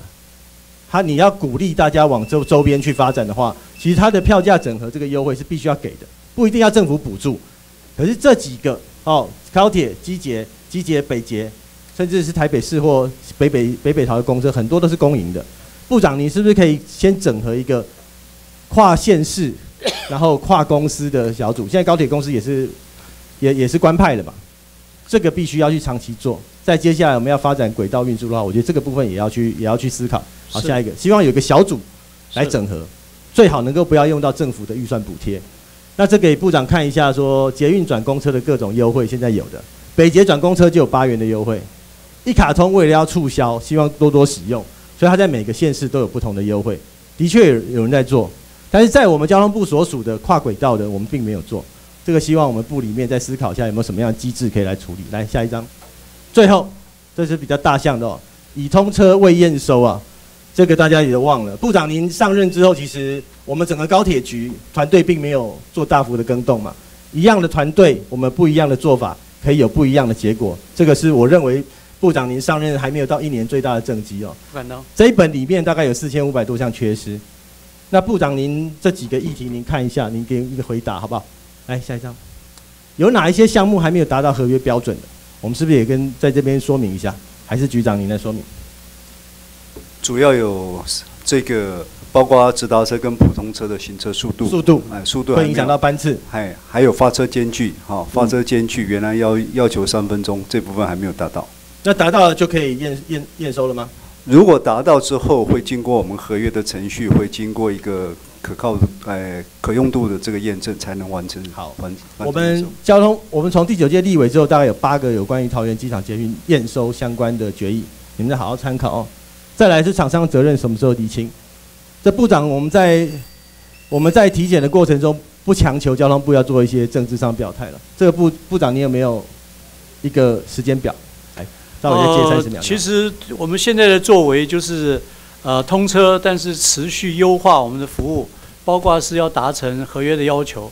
那在这个过程当中，过去有的一些呃，对于责任上的厘清，我们会一一的按照相关程序来办理。我们并没有一个急迫的时间表，那么对这件事情会按程序来处理。部长，这个还是要给立法院跟给国人一个交代，好不好？是那在验收的时间，最后了，部长，我希望您跟那个高铁局还有桃园捷运公司都要保证通车后验收前是不能够发生营运端的任何安全事故。是我想这个是在我们去年的时候，那各委员都一再要求的。部长，这个可以保证吧？是的，这个就是我们必须努力的方向。是的，谢谢。好，谢谢部长，谢谢局长。啊，谢谢郑委员的发言，休息五分钟。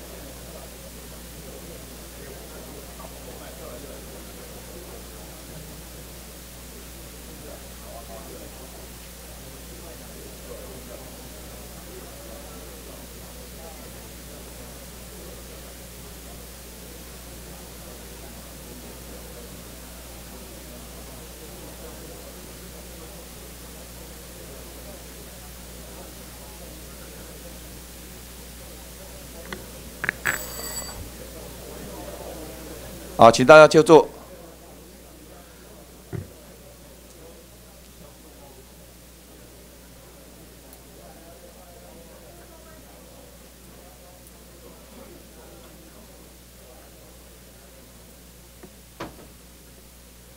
好，现在请陈雪生委员发言。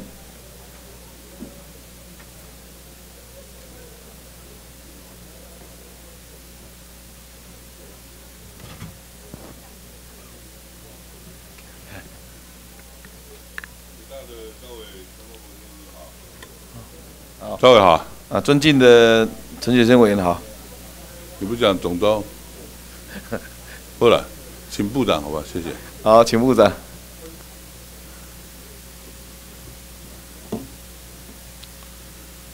好，陈委员好。部长辛苦了。哪里不会，谢谢。上个礼拜来这边咨询了，我听他们讲说，你听说我来你就跑了，对？是呃，您您的威名远播。啊，这样子，是是是。辛苦了，头发都干白了，你看。哪里不敢当？今天穿西装打领还蛮正式的哈。啊，是是是，应该。那个，哎，我请问你一下，我很好奇哈，那个公安局局长跟那个公路总局局长啊，请辞你不会准吧？呃，现在还在呃整个事件调查当中，我自己也在这个呃工作上也是在列入这个看守，所以我想部长，我跟你讲这个上面没有做进一步。你不要为了一点事情啊，这个这个这个这个局长就要调走啊，什么请辞啊，什么就获准啊，不要这个了。我上礼拜你没有来啊，我是讲哦，部长很有个性啊，我讲人都有优缺点嘛，对不对？能够调整一下哈。尽管反对党现在也希望你下台，但是本席不希望你下台哈，谢谢。因为有个性啊，你这是我欣赏的地方，好不好？不敢当。我今天这个这个这个，除了这个这个公安局局长、总局还有公路总局啊，不要不要叫他们随便离职了。刚刚才上任没多久，你上任多久了？嗯，九个多月吧。九个多月哈。不过那天一月二十六号，我陪蔡总统到马祖去，他也说你蛮有个性的哈，你蛮有个性的。我说也蛮好的啦哈，也不错啦。呃，不管怎么样，秉公处理事情正确的哈。不敢当。我最近看你在忙忙的桃园机捷的事吧哈。是。机捷那个总预算多少？花了多少钱啊？呃，一千。好，我告诉你，一千一百三十八亿。是。五羊呢？五羊那个赵局长你知道吗？五羊花了多少钱？五百多亿哈，没关系，没关系，没没关系，你休息哈。五百多亿，那我今天要跟部长探讨的是什么？你知道吗？探讨那个现在马祖有两个机场嘛哈，所以很多委员在说马祖小小一个地方有两座机场，两座机场每座机场啊都要改善改善改善，但你不改善好嘞，那飞机降落确实很危险。是。那我觉得这成本真的花的太高了哈。没错。所以在一月二十六号我陪蔡总统去的时候，我跟他分析这里面的道理啊。蔡总统是满头答应的哦。是。但是他还是很尊重幕僚，他说要跟院长啊，要跟林权院长啊要商量一下，尤其他说要跟贺成部长啊，啊不敢哦，他要跟你说明，让你了解。但我又怕你的个性人家不了解哈，你这个方面个性应该会好一点吧？碰到我吧哈，啊。呃，那是呃威名之下啊。哦，是是不敢。我要跟你说明一下这个这个南北干跨海大桥啊。南北干跨海大桥大概全长是三三三千零二十五好公尺，大概三三里了。现在澎湖离岛啊，澎湖离岛大概从他们澎湖从马公到西屿吧，哈，已经建了大桥了。那金门呢？从大金到小金啊，到烈屿岛哈，也建了大桥了。我想不管哪一任的总统，都一直强调啊，这个我们各县市均衡发展嘛。所以南部为什么在叫呢？因为很多的建设都着重在北部，所以花东啊，包括我们陈欧博、招伟哈，也叫宜兰啊，建设落后。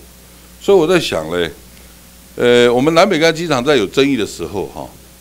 如果做一个南北干跨海大桥，好，把南干跟北干把它连接在一起，这里面还不止人的通行、车的通行，还有电力公司现在南电北送啊，也是从地下海缆过去，那么也可以借着桥啊共构，还有中华电信的电缆线也是这样从海底过去，也可以做一些共构，哈，都可以出一点钱，还有营建署也有一些营建基金嘛，哈，那么这个桥大概。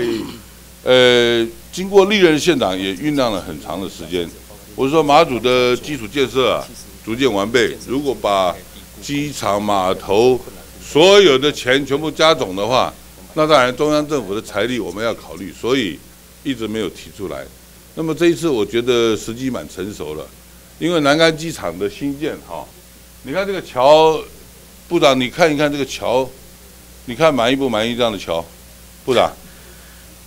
这个海里面的桥，这个恐怕有时候不是完全从外形啊，它恐怕是要做很多工程上的探讨。我不敢说满意不满意，我还不够深入。是的，你下一张，再下一张来。好，这个等一下哈。这个桥啊，我们目前分析呢，这个南北干机场啊，南干机场的改善大概需要一百一十八亿，北干的机场改善也是要一百多亿哈。然后呢？这里面加总的话，要做桥的话，这加总，我们去核算的话，成本哈，如果这个桥如果能够开国际标的话，概六十亿就够了，啊，六十亿就够了。部长，你对这个南北干大桥这样的一个倡议有没有什么看法？没有？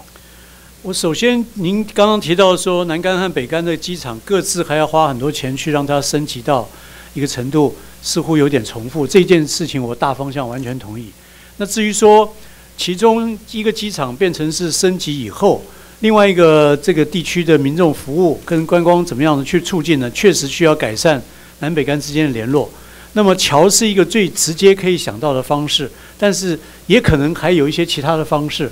所以我觉得最好是我们都来综合评估哈，是用陆运呢，还是海运呢？还是在陆运的条件下，那么我们在各个岛的，包括南竿、北竿，它其他的车辆管理上，还有相关道路的配合上，是不是一并都考虑？恐怕应该完整的规划这件事情。呃，您上次提出，总统也关切以后呢，我们已经请我们运研所啊，针对陆海空上面在做一个整体的运输计划，应该在两个月之内就会有初步的答案。那同时，公路总局这边也把。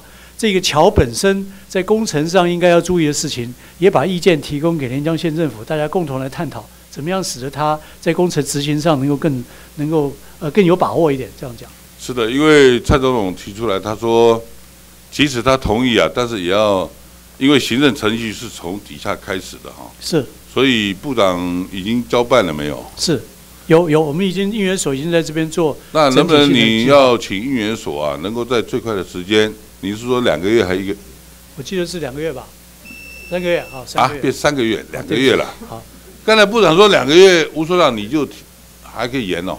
啊，是是我记错了，对不起，不是他们的问题，是我记错了。部长好像交代是两个月，你就两个月嘛，好不好？啊，你可以抗命哦，啊，两个月都好，好三个月哈，三个月做出来，我拜托部长啊，是在这一方面给学生支持一下。也给马总马总民众支持一下哈，我觉得这个对马祖未来的历史也好，好对一个整整体后续的发展，你两座机场，你看你要改善要花多少钱？是的，是了解了解了解。那我们剩下一座机场，大概有有蛮多的土地哦，大概我这里面算很像是七十几公顷的土地吧，还多少？这个这个土地啊，将来可以作为观光用途。了解。好，也可以作为观光用途。那这里面的钱呢？呃，我刚才讲过了，可以从中华电信呐，嗯，还有电力公司啊，好，这里面都可以处理了，好不好？是是是，了解。那这个这个这个这个南美干机场改善的事情，拜托部长哈。好，好。那第二个就是这个台马轮啊，再过两年大概有三十一年的哈，三十一年了，三十一年呢的高龄啊。那么现在是作为什么呢？转而做东引的交通使用哈。东引啊，是做东引的交通使用，但是他总是要退休啊。那我们大概有一个评估计划，评估计划，当然顾问公司那边提出四百九十五吨的、两千吨的、三千吨的哈，我看都没办法替代哈，都没办法替代。但是我想未雨绸缪啊，未雨绸缪这个有必要。最近做的台马之星啊，是我们因为。是扩大内需啊，所以他定的规定的标准要在国内国内来制造这个船，国内高顶公司他没有这样的一个造船经验哦，所以国内的客轮客货两用的轮是国内第一第一艘啊生产的，所以现在问题很大哦，问题很大，将来这条台马之音如果碰到重大状况的话，我我看无法替代，还有台马轮这个届龄退休以后啊。台马之间的交通也好，南竿到东引的交通也好，我我看都会面临困境跟考验，所以这个 RORO 啊，RORO 就是史上史下嘛，哈，这个船呢，新的建设计划，呃，有其必要，是不是请部长能够给予支持？呃，我想这个不管是过去造船的检讨，以及现在的呃后续的这个需要呢，我们非常愿意。让它朝着能够在客货双用之下的方向来去做啊预算或者是相关的这个采购上的准备。部长，我在总咨询的时候跟院长好几位院长曾经聊到哈，我每次总咨询呐，然后都没有答案，哦都没有答案。呃，过去四年咨询老半天，哎还是老样子。我拜托部长哈，我们我们做一个政务官呢，啊在咨询台上面答复。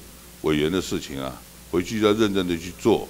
是希望给我们答复哈。是是是是是。呃，还有就是白白沙码头跟那个黄旗黄旗啊，通航以后啊，呃，黄旗那边的，哎，张伟，请你坐下好不好？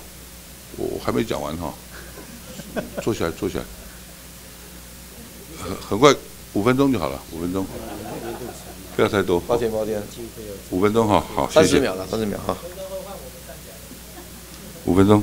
那个黄旗航线跟白沙通航以后啊，老共那边我最近去跟他谈，他也让步了哈，码头费现在靠靠泊全部都免费了，以前靠一趟就要六千块，哦，虽然台湾跟对面谈的不好，但是我跟对面谈的还可以哈，但是呢，我们的码头跟人家的，跟人家你看看这个这个，人家黄旗港啊，黄旗港是一个村呐、哦，是一个镇，他做这么大的那个，我们的我们的你看看。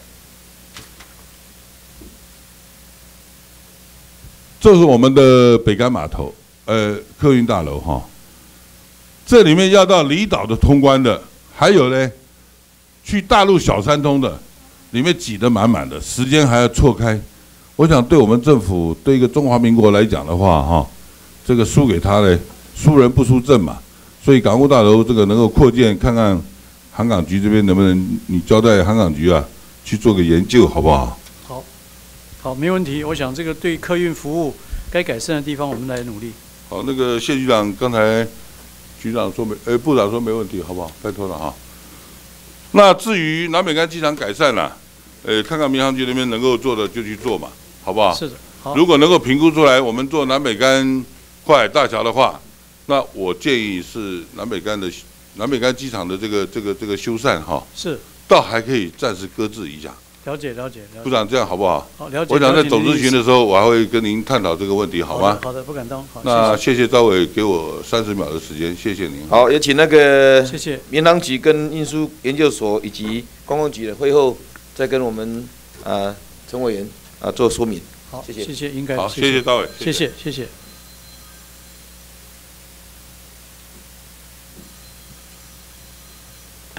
请林俊林俊县委员发言。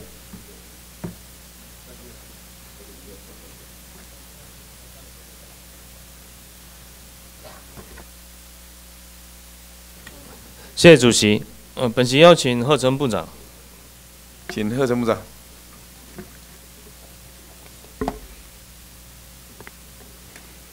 啊，林委员好。部长好。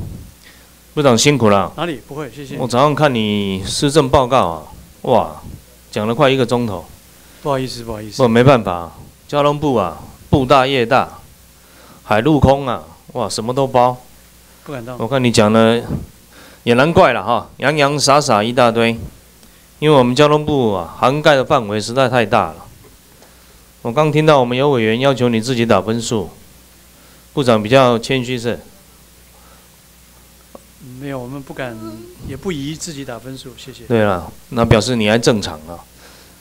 这个我们交通部啊，其实我觉得你你首先要要对要奋战的对象啊，应该是这些官僚了。因为啊，不是我们公务人员不好，而是大家待久了啊，难免会有一定的聊气了。做事情啊，有时候需要部长来帮忙推了，包括你的人事权呐、现在三级单位啊，你也没有人事权，也不能政务任用，所以这些啊，局局司长啊，你只能啊，大家调来调去啊，大风吹。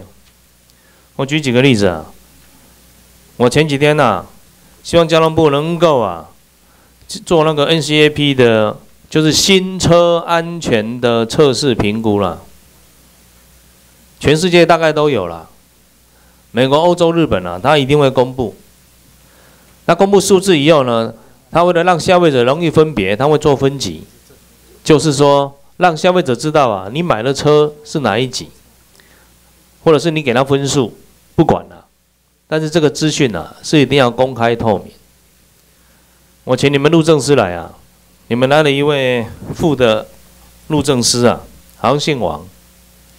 他说啊，那个公布数字啊，消费者也看不懂，所以过去没有公布了。你接受吗？我想不适当这样的说明。你们的副司路政司的副司长，那以后啊，食品的成分也不用公布啊，消费者也不一定看得懂。反正政府说可以吃就可以吃了，是不是这样？我想应该他的本意不是这样，那么我他本意就是这样，应该要更那他在完整的。在堂讲，他就这么讲。那为什么过去我们不敢公布？你们是受到车商的压力了。现在啊，我们到底你的你消费者买了车子安不安全，你自己不知道。政府啊，只公布说过或不过。那至于你哪一级，政府没有告诉你啦。那国外他为什么要分级？就让车商之间呐、不止及格，还可以彼此竞争。我是五星级，你是四星级，所以现在车商大概都讲好了，这个部分啊，只要我们大家及格就好啊，不避免恶性竞争啊。反正所以交通部只公布过，我们大家都过。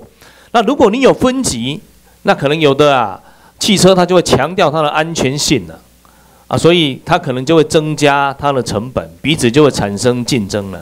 那基本上这个竞争是良性的，所以过去交通部不公布啊，顺从这些车商，所以台湾的车商哦的车子啊，只要过就好，不必投资在安全性了。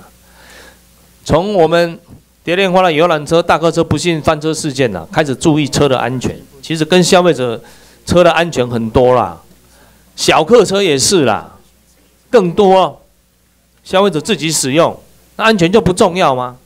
那为什么国外可以做到，台湾就做不到？像你们的官僚啦，啊，你们路政司还答复说，这个哦没有法源，没有没有司法性啊，不能公布，也没有也没有权责机关呐、那没有司法，我们就修法嘛。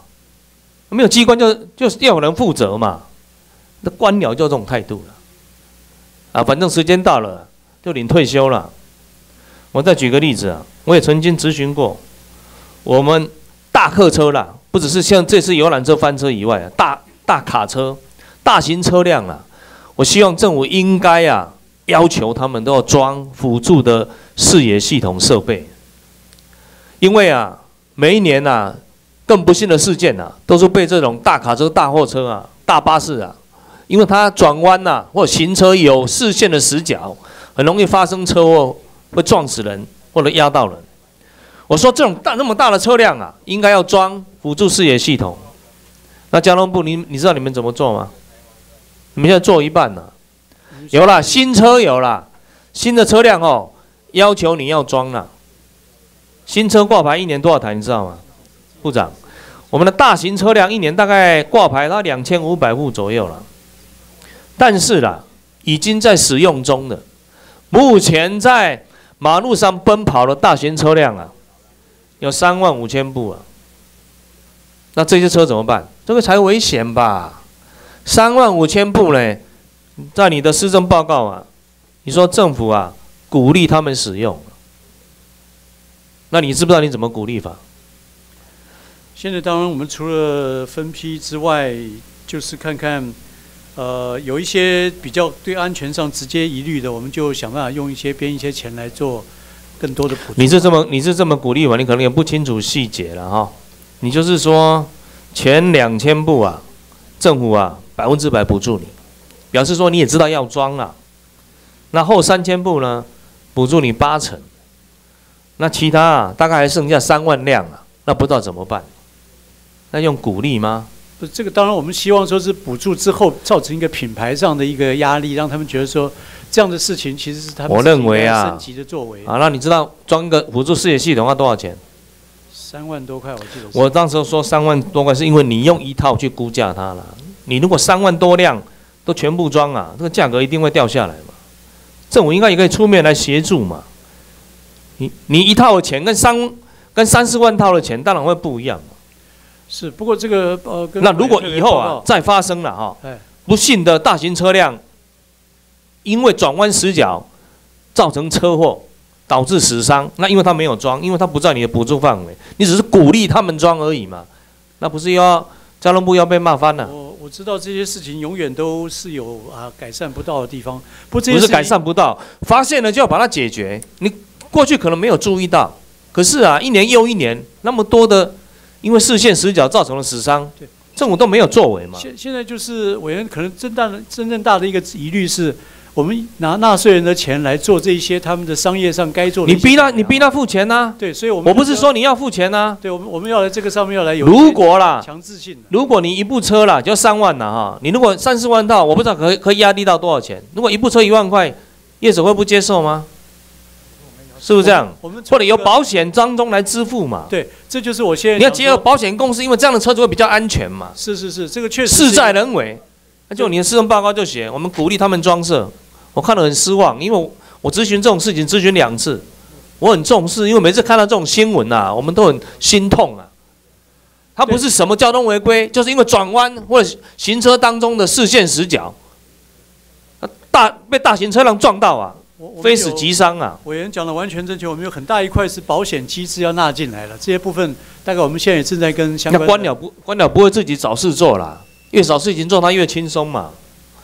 所以这个事情呢、我们我们应该督促他们业务啊，是是是要能够推动。是绝对应该的，谢谢您提醒。好，部长，台南市的铁路地下化工程啊，我讲一些我们地方建设的，是的，要开始来进行了。铁路地下化工程啊，其实是中央的工程，是交通部的工程啊。台南市政府啊，赖清德市长他要做的啊，只是都市计划啊，做都市计划的事情，征收土地嘛，用地取得，让交通部啊，铁工局可以来进行这个工程嘛。那我也要感谢部里面的努力啦。我们大概三月本月中啊，就可以来动工了，是不是？是啊，那邀请部长啊到台南来主持。应该的，好交委会大家一起都会去给我们这个是我们大概铁路地下化最代表性的、最重要的一个工程。是那对台南市未来的发展呢，也非常重要。那市政府的事情大概做做完了，接下来就轮到啊中央的事，部里面的事，也就是呢，交通部啊要好好的把这个工程给做好。当然这个大概做几年？这个工程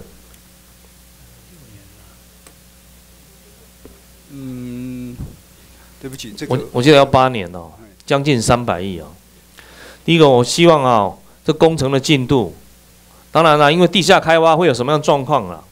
不过啦，我希望我们能够如期完工啊，在经费预算啊，也不要像过去重大工程最代表性的像机捷、机场捷运，民进党执政了，贺成大来当部长了，把它通车了，要不然一个机场捷运盖二十年。那丢脸呢！我那时候去想一想哈、那大概全世界啊，号称啊比较经济开发的国家，到他的机场以后没有捷运可以坐的吧，那只剩台湾了。那你现在你也把它通车了啊、啊所以希望我们台南市的铁路地下化工程，啊，部长是就轮到交通部了。市政府在那么辛苦那么多年，总算啊完成相关的申请都市计划，好、那市政府要未来这个在这个工程，当然也要配合我们交通部的施工。我希望中央地方一起努力，啊，我们把这个工程给做好。是啊应该的，请部长啊，那个全力来协助了，啊，是啊全力尽到啊交通部该有的责任和义务，好不好？是的好，谢谢啊，谢谢谢谢谢谢部长啊，谢谢好，谢谢我们 OPPO OPPO 主席，谢谢。好，谢谢林委员发言。接着请黄国书委员发言。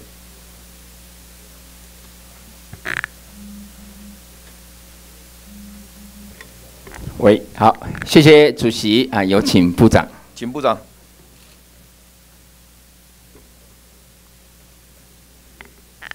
黄委员好，部长好，非常辛苦了。上个礼拜我们去共同参与了，呃，桃园机捷的开幕啊。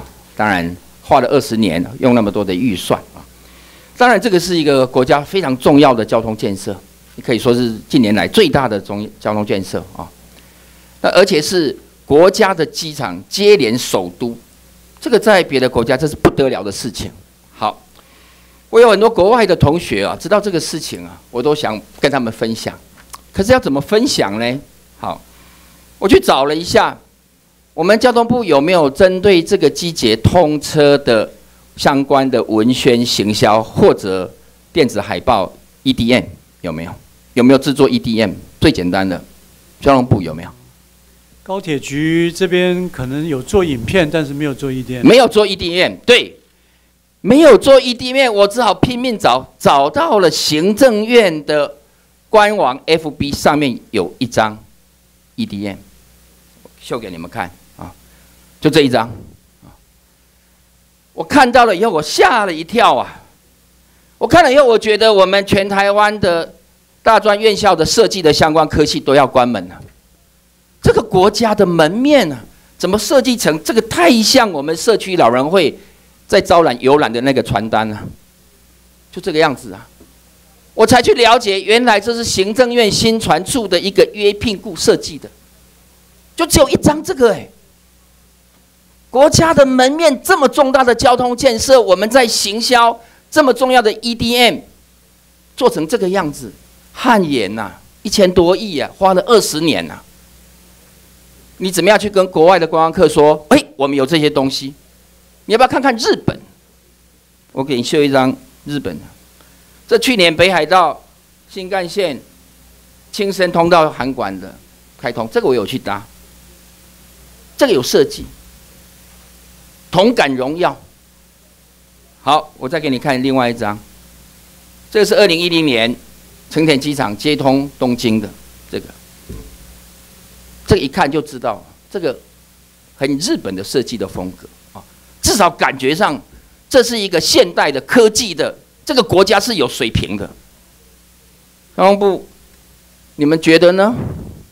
需不需要交通部去做一个像样的 EDM 啊？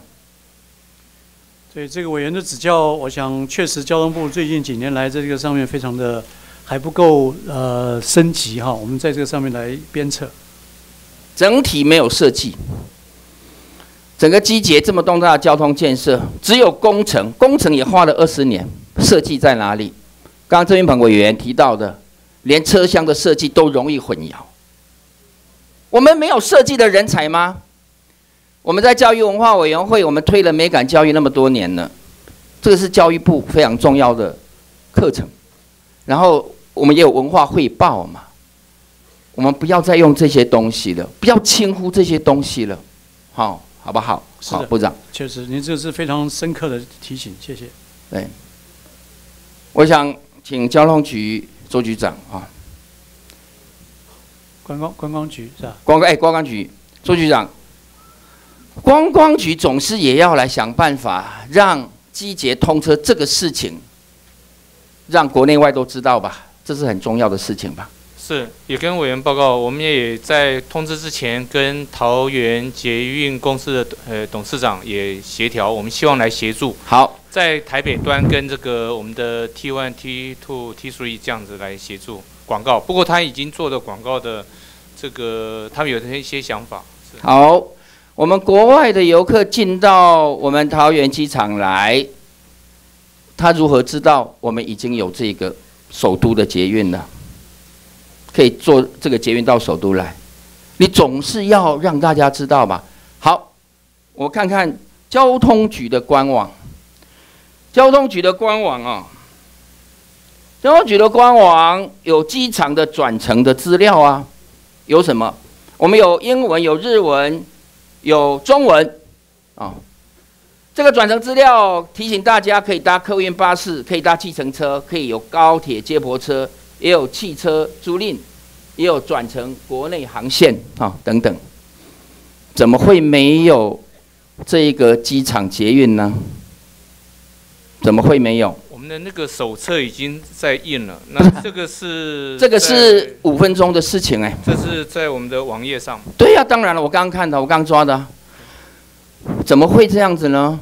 你说试营运二月的时候试营运，那也就算了。三月二号通车，今天已经三月六号了，一天不是有十万个人在搭了吗？怎么观光局这个事情还置身度外呢？好。国外的游客到台湾来，他要看台湾的旅游交通的资料，一定是看观光局。我们台湾游客到国外也是这个样子吧？那你观光局提供了这个资料，国外游客怎么会知道我们的机场捷运通车了呢？可以搭了呢？观光局是我们上个礼拜还在检讨这个部分，如果还在检讨什么？三月二号都正式开幕通知了，还要检讨什么呢？还在还要检讨什么呢？是，是我们立立刻马上。这个网页马上可以做的嘛？是，你们整体都没有去做思考这些事情。好，接下来啊，我们振兴观光啊，那个三亿，三亿多啊，钱已经花完了嘛，撒下去了，成效为何？有多少个旅行社受贿呀、从去年十一月到今年的一月，有多少旅行社？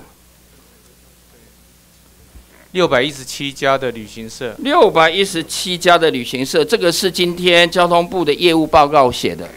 可是我们这个是今天部长的口头报告说的，可是你们的交通部业务报告那个书面报告是写六百二十一家，你们前几天给我的资料它申请是写数跟核销数有点出入。那那哪我要相信哪一个版本？那你们之前给我的是六百一十一家啊，那到底是多少家？我说啊，这机关唱的称口了，其中必有因果，这到底是有什么玄机藏在里头啊？啊，我们跟你们要了资料，到底有多少家旅行社？旅行社的明细有没有？你们给我的资料都是圈圈圈。不能公开，好，不能公开，我觉得奇怪。接受政府补助，总数是有，总数有啦，但是到底有多少旅行社你们不提供了，这也奇怪了。我们有政府资讯公开法，不是吗？他接受政府补助就应该要公开，这是你们的责任跟义务啊。资讯公开法的第九条，只要是支付或接受补助的，政府就有责任要去公开呀、你们为什么不公开？我觉得杞人疑窦啊。不会那好我就去查了你的补助的对象，你们有排序啦，最多的是青圈圈圈这一家了哈、我秀给你们看了。好，就是这样子。好，再下一张，好，再下一张啊。青什么样的旅行社跟这一家捷什么样的旅行社，其实同一家旅行社，可是他们却分别不同秦岭。这一家青圈圈圈请了六十二团，捷请了五十六团，这个不符合你们的规定啊，对不对？同一家旅行社，我只要同一家旅行社，我同一个负责人、同一个网页、同一个网站，可以判清楚判断他就是同一家旅行社。可是他用不同的名义，他们也去参加，用不同的名义去参加你们的讲习，所以他们就用各种名义去请了你们这些补助款。等于说，你这些大饼要撒钱的时候，你们的监督的机制在哪里呀、你们既然没有监督，好，那我们立法院、立法委员要来监督了。结果你们违反政府资讯公开法，不提供给我们详细资料。接下来我很想跟你们谈论啊，这样子撒钱的方式，就是急难救助，我可以理解。但是观光不是急难救助啊，是观光要有一定的策略啊。你这样钱撒了以后，那接下来呢？接下来要做什么？接下来振兴观光，那怎么处理？这些旅行业者，你还是要用这样的补助吗？还有没有下一次？都不知道。所以委员这个部分倒是我们很明确跟您说明，这次三一我们是定位为叫做纾困，就是当然嘛，纾困就是急难救助嘛，就是救急，所以并没有说下一次一定也会把朝您刚刚讲到结构性来做。当然，当然，当然。那您刚刚提到这个资讯，如果说有周为什么不能公开呢？我们会马上来办理，好不好？这个为什么不能公开？我想没有说不能公开，可能是我们在对嘛沟通沟通上面可能他们比较慢了一点，我们来马上办理。没有比较慢啦，你们说不行就不行啦。我还有这个圈圈圈呢，听说陈述委员哦，连给都不给，哎真的啊。好，接下来我想再问一个问题，好，我很简短的哈。这个是国家级的风景区吧？这交通局管的吧？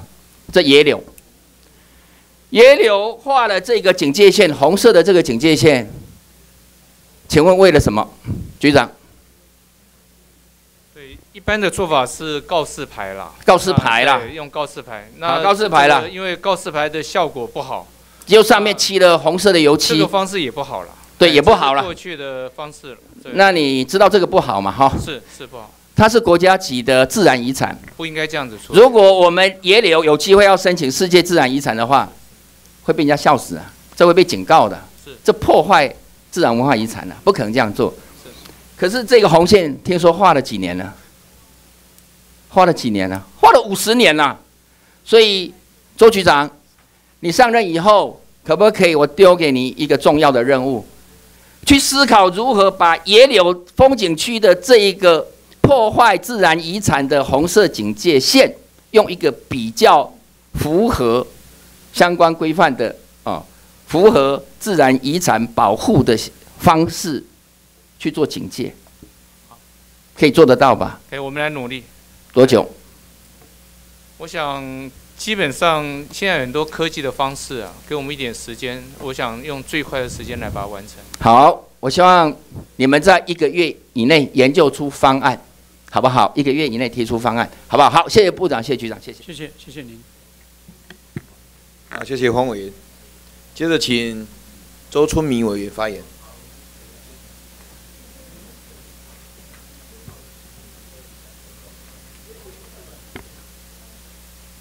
谢谢主席。那有请交通部贺成部长。请贺成部长。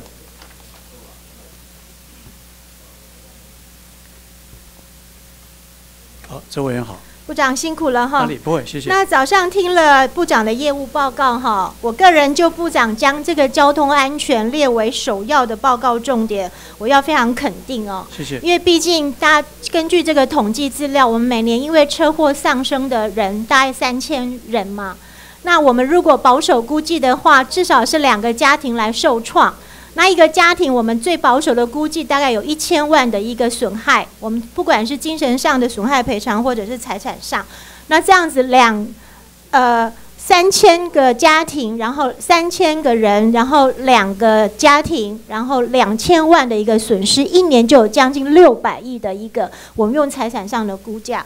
所以事实上，如果交通部能够在交通安全的教育上面，还有其他的防备的措施，来把这个风险、把这个危险降低，我想如果没有这样的一个配套，我们在怎样的交通建设的便利，在怎么样的先进，可能还是有这样的一个损害存在哈。是，好。但是呢，我呢听了部长早上的业务报告，也有很多的感慨了哈。我想，很交通部包山管山管海管天空，那当然也希望能够智慧电子服务，这些都是将来努力的重点。我们也期待也乐见哦。但是呢，要在这边跟部长讲的，我要跟你回到最基础的一个轨道建设，我要来跟你提提我们屏东的家乡，到现在。我们的铁路电气化还没有完成，到现在潮州访寮到台东这一段还没有铁路电气化。部长知道这样的情形吗？是的，我们知道这个南回这边是比较慢了一点，不过它有一些也确实是现在我们在发包上面不大顺利了。我们现在想争取一些专案。包括是外劳啦，或者这一些发包方式上面的这个弹性。那我们很乐见说部长愿意再让他的时程加快，但是我跟你讨论一个数据，这边我们到得到的资料是二零二二年在屏东这一段，潮州到访寮这一段到二零二二年才会完工。好，事实上从台东到访寮这个是在二零二零比较快，但是屏东这一段是二零二二。那个台铁局长有不同意见吗？呃，铁工局胡局长是胡局长，嘿。那个资料我们现在计划应该是到二零二零，全部吗？就是刚刚你谈的这个潮州到访寮，但是我们希望南回电气化现在能够完工的目标是到二零二零。所以现在就是可以修把时程提早到二零二零，是不是？好，谢谢。但是呢，我还希望有一个更。既然要做建设了，我们是不是可以一步到位？因为已经拖很久了，是不是可以考量高架，可以考量双轨？因为如果你现在到这个潮州到访寮这一段，常我们坐南回都要等嘛，要等错车嘛。那既然这个建设已经晚了，这个建设已经 delay 了，为什么不让它能够更进步，能够一步到位呢？我希望说，在这个部分可以考虑高架化，跟着或者是还还有这个双轨的问题。部长，就这部分可以请你进一步的一个指示吗？我们一定会在这个上面继续来追踪它的需求，同时做这样的调整以后，它的相对效益我们会来做评估。不能做评估啊！我就是把屏东最基本、最基层的声音跟交通部讲嘛。我们的铁路铁路电气化已经 delay 很久了，落后很久了。如果用二零二零年来算，我们也落后了四十一年呢。我们知道的很多邻边的朋友，他要到屏东市来，事实上要等一个半小时的车子，哎，所以我把最基层的声音，希望说交通部，你们在专业的那一端，我们在基层的这一端，我们希望我们能够通话，我们希望你们能够是是是了解重视。我想这个现在的单线，它其实在容量上面应该还可以提供更好的服务，这个部分我们也来加强。那事实上有一段，因为大家也知道说，将来要进入平南，肯定肯定这个部分，事实上在假日、在假期都是塞车的嘛，所以我希望交通部可以就这个部分高价化这个部分，确切确切严正的来考量，可以吗？好，我们朝这个上面来考量看看。好，谢谢部长。那接下来我想再谈一个基础的问题，公路，因为我们来自屏东，最基础的建设都是落后的。屏东哦，部长来过屏东吗？哦，当然。上次那个观光铁路支线宣布的时候，感谢你来哈。屏东大概南北狭长是一百一十二公里了。那事实上呢，我们现在的国道三号有这个快速公路的，大概只有呃四十四十四公呃四十四公里，大概只占屏东县南北长度的三十九点二八，三十九点二八。那县内的一条快道就是东西向，只有十一公里，根本没有办法应付平北、平中、平南的这样子一个东西向的一个交通。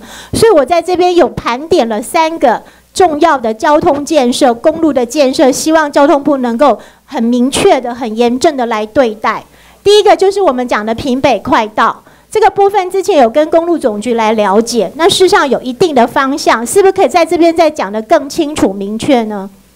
我是不是先请公路总局跟您报告？好，是我跟委员报告一下，委员大概这一条呃有关国时延伸的比较关切的，是不是可以延伸到这里讲的新威大桥？对那这一部分呢，呃，这一个现行的国时由离港交流道延伸到龙渡呢，呃，行政院大概在今年一月多的可行性呃研究已经通过了，所以呢，呃，原则上要再延伸到这个新威大桥这一部分呢，我们会放在后续的呃综合规划里头去做相关的研究。那大概时程要多久？呃，现在可行性评估已经确定了，但是只到龙渡这一段嘛，因为众说纷纭呐、希望这个交通部有一个明确的、明确方向的一个回复。是跟委员报告，因为后续要做综合规划等等的。那有关这一的到呃台二十八龙渡到这个新卫大桥，这个大概恐怕还要再有呃将近一年的时间去做可行性。还要再一年哦是，本席去年上任的时候就在讲这一条到现在还没有，还要再等一年。呃，可行性的研究还是需要呃一定时间去做相关的一个调查等等的。是。我拜托你们了，快一点，因为真的是落后太久了，好不好？我们来加速，看能不能加速来办理。是。好，好，那第二个就是屏中的快道这个部分，事实上地方在在反映也是反映很久，就是我们所谓的第二条东西向高频第二条东西向快速道路，但事实上也做很多的规划，很多的讨论。那现在具体的计划或者时程，是不是请交通部给我一个说明？是，那这一部分我也简单来做一个说明了。有关这个呃屏东第二快速道，其实牵涉到两个问题了。这个相关的一个可行性的一个期末报告其实已经出来了，但是在期末报告出来以后呢，呃各单位对于路线如何选择，如何呃从哪里起，呃然后经怎么样的一个路线，呃有不同的意见。那我简单的说明一下，呃一个是在呃有关这个往呃东侧的这一部分牵涉到机场的问题。那机场呃要从呃机场下面通过，呃恐怕有一些相关的这个呃呃水水保的问题要去做处理，所以呢，我们正在研究是不是可以往北来来路线往北来走。在屏东的那往东这个部分，对，那往东的呃方向的话呢，呃是呃呃往西，派抱歉，往西的方向呢要经过国十，甚至甚至国一等等，是不是可以到呃高铁的这一部分呢？因为这一部分呢，呃进入了这个高雄地区比较稠密的地段，它的路线如何选择，呃恐怕也有管线、高铁、高架或者是国道等等的呃的这个问题。这一条那这一部分呢？是我呃，我想我们呃也正在跟相关的单位共同再来看怎么样研究啊、如果呃路线定案了以后，那相关的可行性报告就可以提出来。那要多久啊？呃还要多久啊？呃，我我想委员是不是可以给我们一个三个月的时间来做一个三个月、两个月吧。呃，这个从去年就谈到现在啦。屏东这一部分的路线应该比较确定了、明确了嘛？好，如果是不是如如果委员有这个要求，那我们就尽呃尽快在两好个月内那就请你们相关单位来讨论。那部长听到了吗？部长听到了这个公路总局的说明了吗？我知道，那这个部分，呃两边县政地方政府的这个意见，我们尽量来拉近。好，谢谢那还是请部长可以就这个部分，我们已经落后很久的基础建设给我们补齐。那第三个就是平南快道了，就是我们讲的国三延伸到访寮这个区块。哦，事实上大家也在讨论说高铁要不要来屏东，但是有人就说这个国道三号延伸到访寮比较快。那这个部分，这个交通部的看法呢？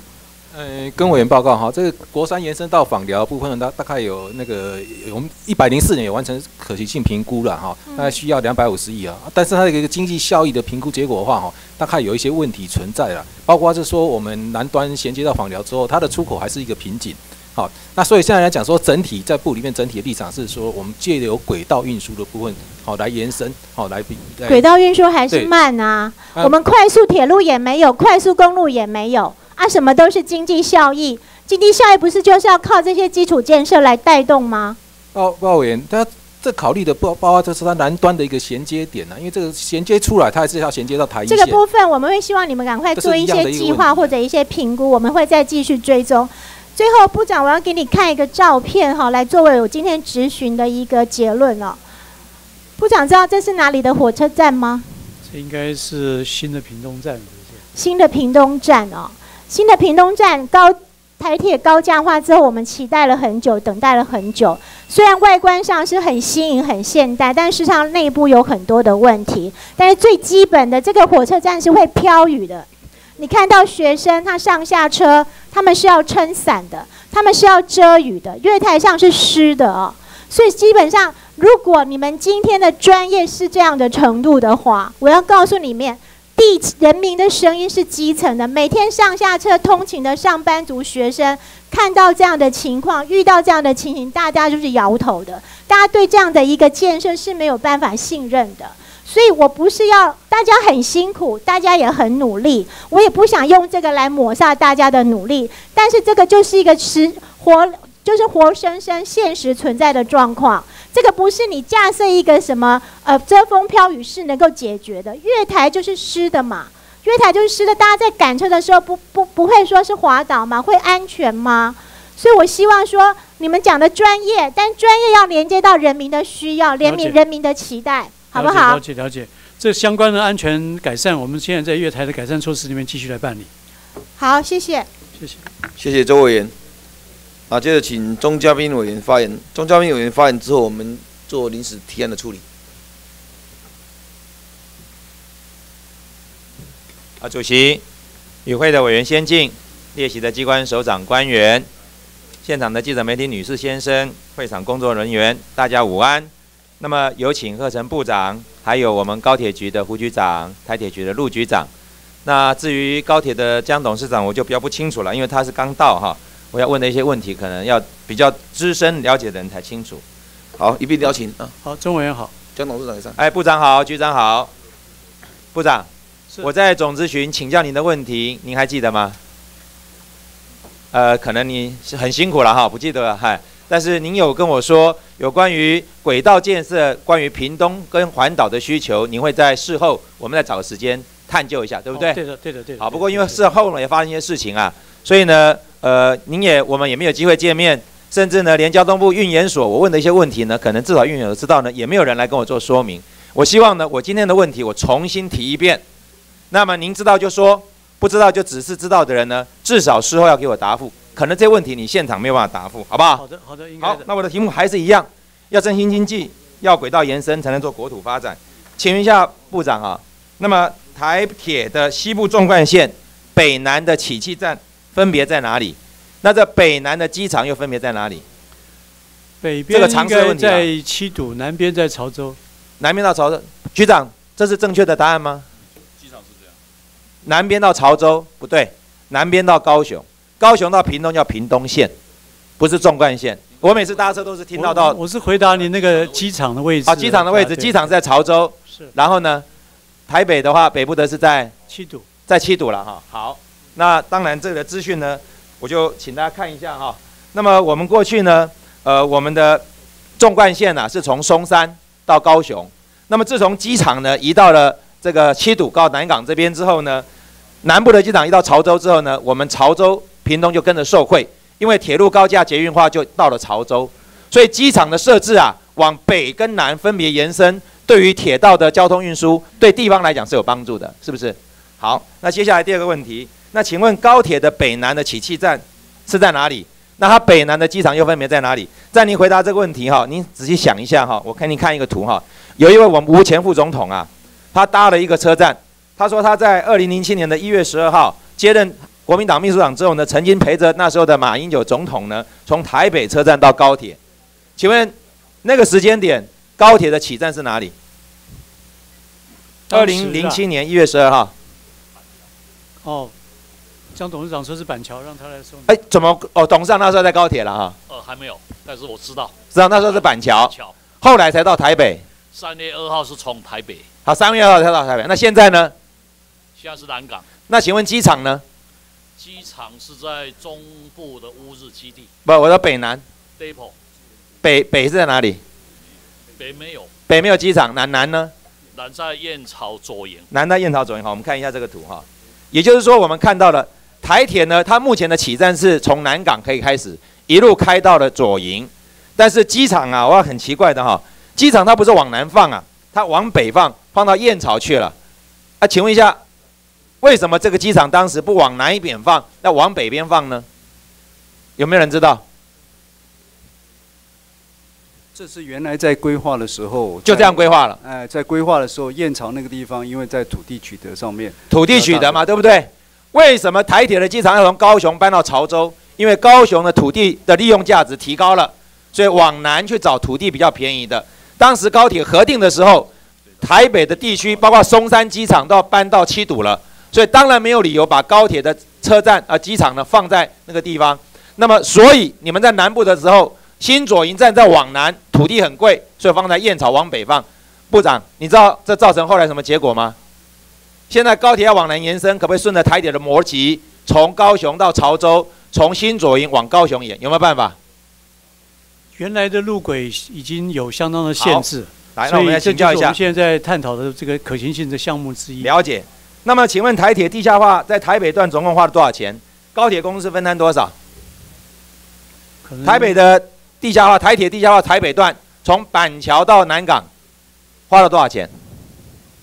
这个经费大概你好了，我直接讲了哈，工程就一千八百亿啦。是，请问台铁分呃高铁分摊了多少钱？应该是没有分摊，没有分摊嘛。可是高铁有没有在用？有在用嘛？现在高铁从南港到板桥就是用台铁的地下化嘛。好，我们来看一下。那请问一下，高铁计划什么时候核定的？那么这个核定的当时。高铁站怎么跟高雄火车站接驳？有没有规划？知不知道？部长，你们完全没有做功课嘛？我已经问过一次了，我在总咨询都问过。没有，这个其实我我好，我直接告诉你了。高铁核定在一九九零年核定，核定的时候只到新左营站。请问一下，从新左营到高雄火车站，你们让高雄市民怎么从新左营搭车到台北？就是有没有规划所以，不？是基本上就是捷运嘛。那时候那有捷运？请你看下一张。不是，它的规划里面就已经有捷运系统。那时候就有捷运了吗？好，我最后来算一下哈，台铁地下化高雄段花了多少钱？告诉你，九百九十八亿，快一千亿啦。那么高铁有没有分摊？也没有。高铁当然不分摊了，高铁根本不能用嘛。高雄铁路地下化的时候，根本没有办法让高铁使用嘛，所以高铁当然不用分摊了。这也是为什么我不断跟您提醒的。高铁今天没有到高雄，不止没有到屏东，它也没有到高雄。为什么？因为高雄铁路的地下化的核定晚于高铁。高铁打一根一开始就是从南港到新左营而已，连高雄市民要搭高铁都没有可以接驳。来，请看下一张，高铁花了多少钱？好，高铁花了一千八百多亿了。是。台北的铁路地下化花了一千八百亿，高雄捷运花了一千八百多亿。看起来对台北跟高雄都相当重视。我告诉你，来核定的时间哦，台北的地下化核定时间是在一九七九年，一九七九年就核定了。一九九零年高铁核定的时候，已经确定南港到板桥是可以地下化的，高铁不用花钱分摊，直接利用台铁的地下化，花了一千八百亿，国家中央政府帮台高铁分摊的。你先看下一张。但是高雄的地下化什么时候核定的？高雄地方两千零六年才核定的。高铁已经快完工通车了，两千零七年通车，高铁根本用不到，所以现在有没有办法高铁从新左营跑到高雄火车站？有没有办法？现在工程上有困难。当然没有办法嘛，因为没有规定嘛哈。来，我们来看一下哈，你说高雄的捷运、台铁地下化，一九八九年核定，高铁核定在一九九零年，高捷到一九九一年才核定哎。你们告诉我说，高铁核定的时候就已经预定从新左营到高雄火车站是走高捷，对吗？高捷到什么时候才核定？一九九一年才核定。所以今天如果后来没有高捷，高雄市民一样跟屏东人一样，要用台铁到新左营去换车啊。部长清楚我们的痛苦了没有？我我了解这个，但是这个意思并不是说你不用再讲了，来看现在看下去。忽略高雄市民，他其实当初在捷运的规划上面，就是把它当成是接驳。后来中央可以投资一千八百亿，弄了一个高捷，让高雄人可以从高雄火车站到新左营去搭高铁。那么现在好了，我们看到这个交通建设对人口的影响，这几年台北跟高雄没有成长，成长最多是桃园跟啊台中，好还有新北。我们来看下一张。这些建设经费，我们很清楚看到，重北轻南，一千八百亿做台铁铁路地下化，一千八百亿做高雄捷运。高雄捷运做了之后，解决了高雄市民可以去搭高铁的问题。最后，我几个问题请教您哈：屏东潮州道怎么衔接新左营？怎么改善？现在我们有一些优质化的作为，就是在哪些作为？它的班次和这个现在高铁班次把它做结合的更好。部长，我这里有三个选项，第一个。就跟高雄市民一样嘛，高雄捷运帮助高雄市民可以从高雄火车站到新左营搭高铁，高铁不用到高雄火车站，高铁在新左营就可以。高铁如果持续在新左营，可不可以高雄捷运延伸到屏东？可不可以？呃，认真来讲，现在还在做研究。我们要花多少钱？我们不便在这里做选择。要花多少钱？大概看他的方案，要不要一千八百亿？大概是八百亿上下。为了高雄人可以从高雄火车站到新左营搭高铁，高雄捷运可以花一千八百亿。我想可不可以花个八百亿，让屏东人也可以从屏东到新左营搭高铁？我想政府的投资并不是看说是在。我当然了解部长，我今天只要告诉你们，交通部从头到尾没有把这个前因后果跟社会交代清楚，只告诉社会大众说，屏东要搭高铁是一个奢侈的，是一个没有效益的浪费，是一个九分钟九百亿的浪费。我们部长。没有说这样的，你们没有说这样，媒体这样写的哈，你要澄清。好，那你说不能高捷暂时在考量评估高捷延到屏东之前，你台铁的班次有增加多少？陆局长，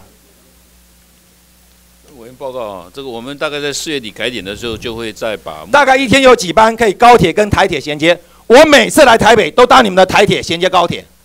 现在台高的话，上下行一共有一百四十八班呢。你告诉我可以准确衔接的十五分钟内的班次有几班？十五分钟内大概有差不多六呃六十班左右。六十班了哈。我每次都搭高雄到台北的，左营到台北的是五十五分的那一班，那一般是直达车，五十五分。好，从七点五十五、八点五十五、九点五十五。好，那么我可不可以请教一下，如果说台铁班次在增要一些情况，另外一个答案，台铁高铁可不可以共用柜台，共用月台？如果说你台铁高铁的五十分那个班次，另外一边的台铁可以在台月台的另一边停下来，是不是可以更有效的节省接驳时间？部长，没有时间了，我跟主席再拜托一点点哈，这个你不用现在答复。这三个问题，请交通部负责任的跟所有的人做一个报告。没有，至少您相关的问题可以在多久之内给我一个书面的资料？我们这个第一个研究，我的了解应该在今年的八月会完成。那第二个，我们在台铁班次在四月份就会实质上完成，共构的部分，呃，共同月台的部分，我想这个恐怕牵涉到很多轨道配置，这恐怕先让我们两个月的时间来做一些评估。两个月评估，好，谢谢。好，谢谢钟委员的发言。刚刚有关钟委员的执行所要求提供书面资料呢，请交通部会后提供。好，现在我们逐案来处理临时提案，请议事人员先读第一条第一案。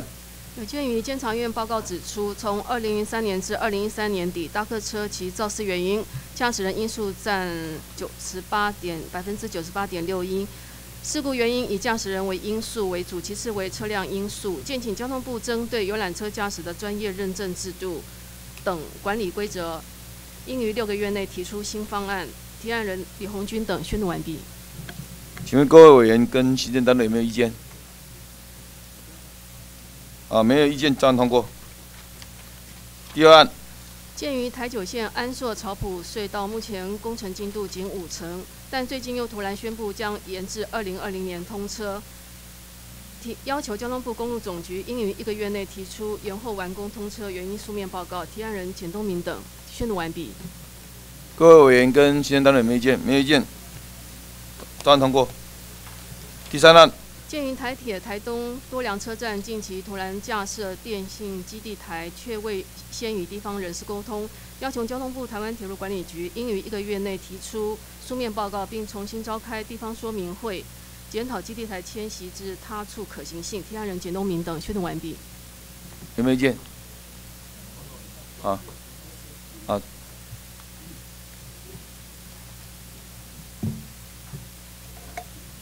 嗯，我报告一下，因为基地台是 NCC 主导的一个工一个做一个工作，那交通部是配合呃提供公有土地来架设，所以这个案子我们也跟提案委员报告过了，就是呃第四行那边改由本呃提案要求交通部改为 NCC，其他其他都不变，报告完毕。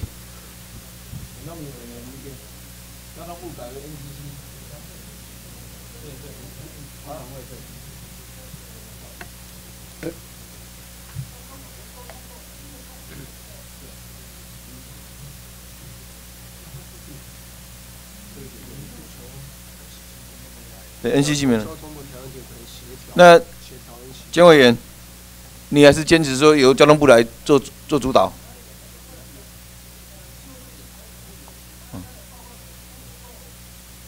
啊，对不起，他们，对不起，他们给我那个，哦，不能这么没有礼貌了。我想这要互相尊重。委员，他刚刚才来了是跟我的助理沟通了。哦，他没有跟我沟通，你刚才包跟委员。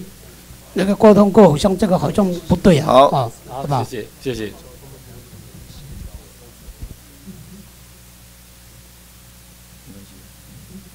好，好，没有意见的话，我们通过。第四案。为挽救入客不来不来台，交通部观光局先前颁布补助接待道路地区人民来台观光业务受冲击之旅行业办理国内旅游实施要点。补助成效如何？请交通部观光局两个月内提出书面报告。提案人简东明等。宣读完毕。有没有意见？好，照案通过。第五案。鉴于德安航空离岛航线新机之飞航品质不佳，导致离岛蓝屿航线停飞率大增，要求交通部民航局于六个月内提出解决方案书面报告。提案人简东明等。宣读完毕。有没有意见？好，照案通过。第六案，建议本院审查台台湾港务公司一百零五年度预算案主决议。台湾港务公司所辖各国际港港情拖船委外经营业务，对于收入性劳务采购，应依法采公开招标及缴交最近最高管理费办理，以符合公平原则及增加政府收入。台湾港务公司应就上述决议办理。提案人陈陈雪生等宣读完毕。吴董事长意见吗？好，文字收件。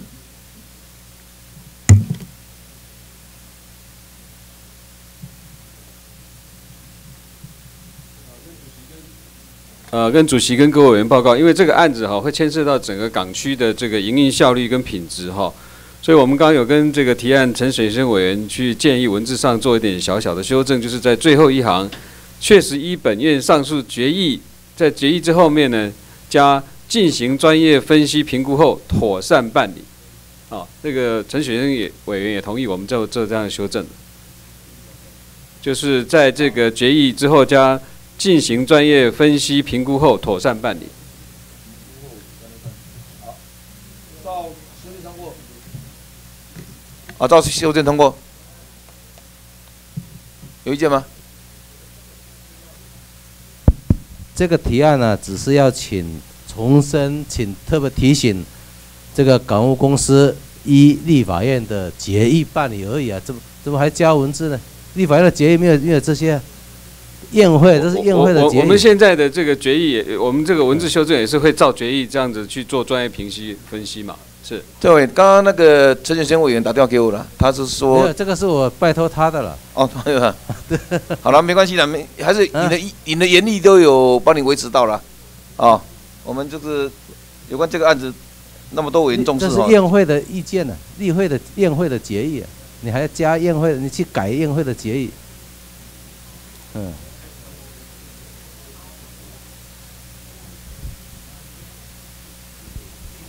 好，其他委员有没有意见？啊，好，那我们照照修正通过。接着第七案，建议我国因为地形之故，各县市均有山区道路部分双黄线路段未装设交通分隔杆，要求交通部应责成公路总局三个月内检视各山区危险路段，并严议于危险路段设置双黄线区域增设交通分隔杆。提案人陈淑月等宣读完毕。大家有没有意见？啊，没有意见，照案通过。第八案，建议屏东县境内高公高速公路只有国道三号，长约四十四公里，并集中于屏东北部。高屏第二东西快道路不但弥补屏北地区长达十三公里的跨河缺口，减少二十分钟车程。要求交通部所属两周内提新路线方案。提案人周春米等宣读完毕。好，陈局长。呃，跟委员呃会做一个呃建议啊，呃，这里两周是不是可以呃改成两个月？因为刚才在答询的时候已经承诺是两个月内提出呃新路线方案。周委员有意见吗？两周改成两月，两个月。周委员，这个案子两周改成两个月，你有意见吗？可以哈。好，那照修正通过。第九案，鉴于我国酒驾罚则年年提高，酒驾事件却居高不下。为保障全体国民生命安全，要求交通部于一个月内完成商定商用酒测标标准规范。提案人曾宝清等宣读完毕。有没有意见？好，谢主任。主席，这个案子有跟郑委报告过，那就是呃倒数第二行六个月改，呃一个月改三个月，最后面再加并向本委员会提出书面报告。好，这可以吗？一个月改成两个月，并然后最后那那另外交通部后面加一个会同经济部。会同经济部，对，并向这个交通委员会。并向交通委员会提出书面报告。啊，这样子。好，照修正通过。第十案，建议国道三号延伸至屏东访寮，将强化并改善屏东县的山海线地区整体公路网结构，缩短往来恒春报等东壁地区行车时间。要求交通部及所属单位一个月内完成国道三号延伸至屏东访寮之规划。提案人周春明等宣读完毕。好，有没有意见？啊，赵局长。呃，跟委员会报告哈，那因为国道一三号延伸到屏东访寮的部分的规划，在一百零四年可行性评估是被否决掉了哈。那这个基本上来讲是说，否决掉东西，大概可行性评估没有过，要进入规划也有一定的难难处了哈。所以我们是建议说，是不是一个月内哈来进行那个把规划改成那个需求评估，啊，这这个部分来做一个处理。那我们先就需求评估的部分呢，包括跟铁路的部分哦，那我们再再做一个横向的一个比较之之后再看看。好，周委员有没有意见？没有哈。那规划改成需求评估，啊，照修正通过。第十一案，目前台铁自强号屏东至新左营火车站列车平均只比区间车快约两分钟抵达，要求交通部及所属单位严议增加屏东直达新直达左营自强号班次。提案人周春明等宣读完毕。有没有意见？好，没有意见，照案通过。第十二案，建议屏东恒恒村每年近千万人次来此观光，却没有铁路运输可供利用。为此，交通部提出恒村观光铁路建设计划，规划共八站，总经费一百九十九亿元，预计一百一十四年完工。原要求除了环评必要的骑程外，其他作业骑程应该缩短，以期民国一百一十年前营运。提案人周川米等宣读完毕。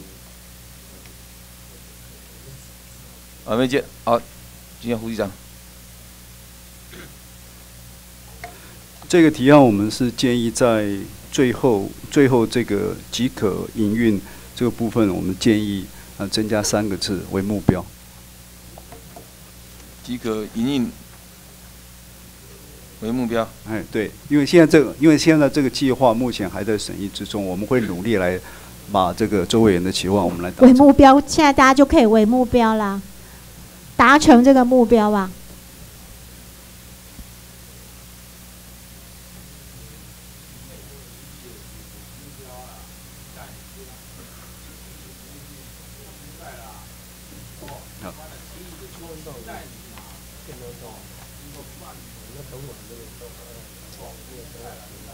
掩盖了哈。好，招案通过。第十三案，鉴于台湾铁路电气化现在只剩下南回线以及屏东县潮州至访寮段还没有完成，交通部所提台铁南回铁路台东潮州段电气化工程建设计划，拟于民国一百一十一年三月时能完工，要求交通部及所属相关单位应采高架与双轨方式，并尽速完成潮州至访寮段铁路电气化工程。提案人周春明等宣读完毕。啊，个人啊，胡局长。呃，报告委员，这边是原来是希望我们南回除了在电气化的时候，应一并把高铁跟双双轨化一并来办理，但是这两个其实是会有相互冲突的。然后我会建议是说，这个文字在倒数第三行这个部分，原要求交通部及所属单位应就高架及双轨方式进行评估。那后面后面的文字照列。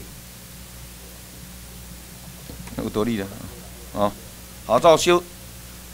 那个周委员，这样可以啊。好，照修正通过。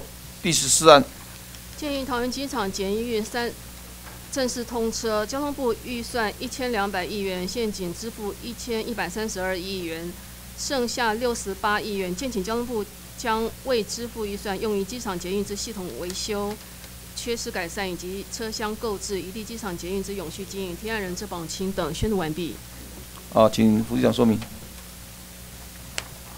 这部分我们在了解，因为刚刚这个郑郑委员一直问到说，我们有一千一千两百亿哈，实际上我们在机场捷运计划到 A 二十一站是确实是一千一百三十八点五亿哈，可能可能在这个里头提到延伸线的，就是到中立的这一段，那是另外一个计划，所以建议这个文字是在第四行交通部预算一一一二零零改成一一三八点五这个数字。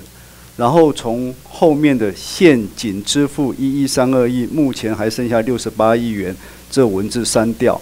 然后后面呢，就是原此建请交通部将这个未支付未支付之预算呢，把它改成说计划计划结余款。好，照修正通过。第十五案，鉴于我国银行存户申请网络银行手机 OTP 非约定转账功能，皆为免费申请，竟要收取一百元手续费，相当不合理。要求中华邮政于一个月内取消收取申请手续费。提案人郑宝清等宣读完毕。啊，那个陈总经理。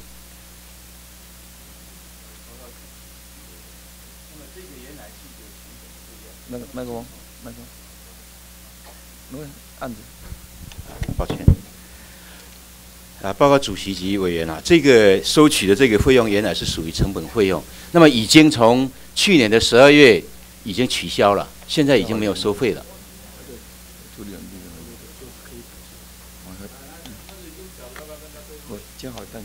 因为这个收的费用啊，一些这个成本费啊是交给交给这个厂家的，以以以前一些银行也有收。还是现在，现在现在大致上都已经取消，所以我们从去年的十二月就取消了。有有有有有有，那当然那当然，不会的不会。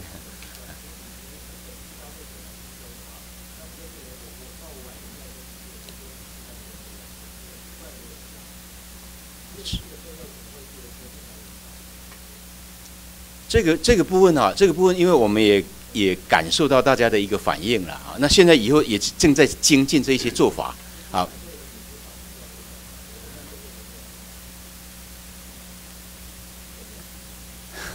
是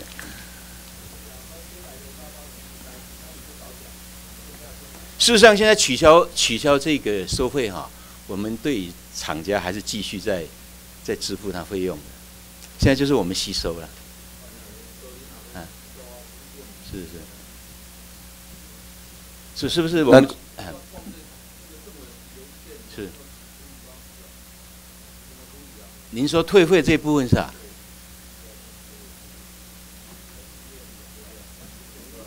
嗯是是，原原来这个案子里面是说一个月内取消收费了啊，哎，已经取消了，就从十二月。哎，我们会不会这这个部分呢？我们从网络还有各地，我们各地邮局，我们全呃全面公告。好，是是是是是，是。是是是是，好好好好，谢谢。那这个文字上做部分的修改啊，好，好好。就是延延迟要求中华邮政以哎取消收费，取消收取申请手续费后公告，好不好？是是改成这样子，是是是。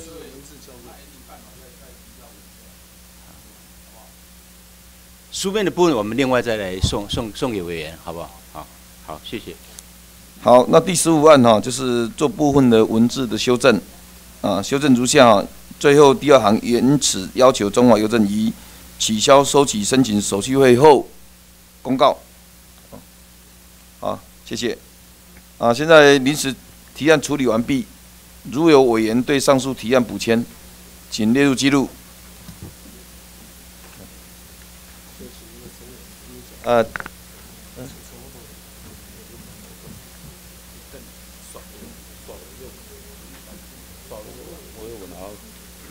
好，我们接着请啊陈昭伟 OPPO 咨询。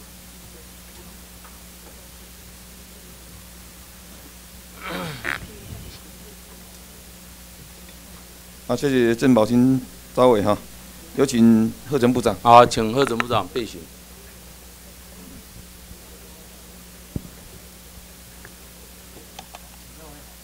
陈兆伟好，部长，就在今天早上十点多啊，啊，新北市万里又有陆客的游览车，呃，发生严重的车祸，当场司机呢命危哈，那紧急送到医院就医治哈，现在也不晓得状况怎么样。那车上有二十三位的陆客，听说啊啊没有很严重的一个啊受伤哈，这个是不幸当中的大幸了哈。但是这个交通部对于这个游览车连连出事哈，我想呃我们在这里哈，是不是也能够请部长哦啊在啊业务今天的业务报报告。你所呈现的资料里面呢，我们也来探讨一些问题了哈。因为这个交通部啊，这个啊主管的业务啊，实在是很庞大哈。啊，有些人为或者是意外的疏失，也不是我们啊可以完全掌控。这我了解。但是如果一而再再而三的一个大客车的一种事故的话哈，这也凸显出来我们在管理上，我们真的应该好好来研究了哈。尤其特别是。你在上任的时候呢，你将啊推动新交通的啊一个管理思维，啊将为交通呢带来变革，啊，那部长就任十个月了哈，将近十个月。去年底了哈，去年底应该有帮我们交通部的同仁打年终考绩吗？有没有？有没有打考绩？有，有哈。那现场在位都是你。你打了烤鸡的嘛哈？那个去年有没有被烤鸡被打打乙的？有没有？有有的话请举手好吗？没有哈，大家都烤鸡都烤假了哈。烤鸡烤假代表八十分以上哈，所以你给员工八十分以上哈。那当然，部长你刚刚也很谦虚了啊，不愿对自己的表现做一些评论哈。那是呃。呃，我也觉得说哈，呃，这个人生有三宝啊，啊，这个第一宝就是终身学习，第二宝是终身运动，第三宝哈，可能很多人做做不到，终身反省，啊，你就任十个月来哈，啊，是不是，呃，还是没有改变你的一些思维，因为你就任之前将打破这个造桥铺路、告慰选民的一个惯习哈。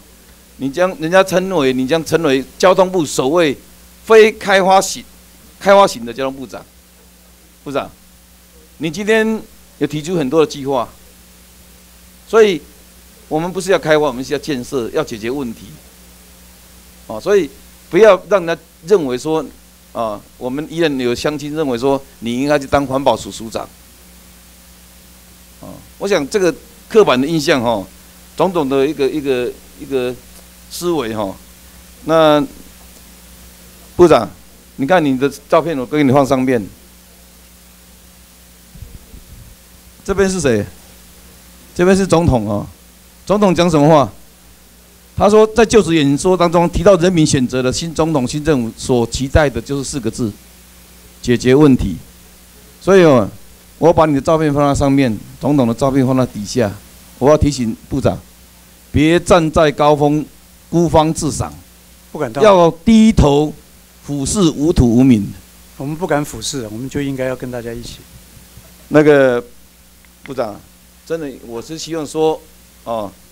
啊，你也有机会听听看我们的意见的哈，听听看我们的意见。我跟我执行了，我一定会提供建议的。我不是说提点出问题而已。是的，是的，谢谢。那部长在上任之前呢，在上任之前，哦，第一次的部会汇报里面呢，我把它调出来，你有提提到要推动五大重点工作。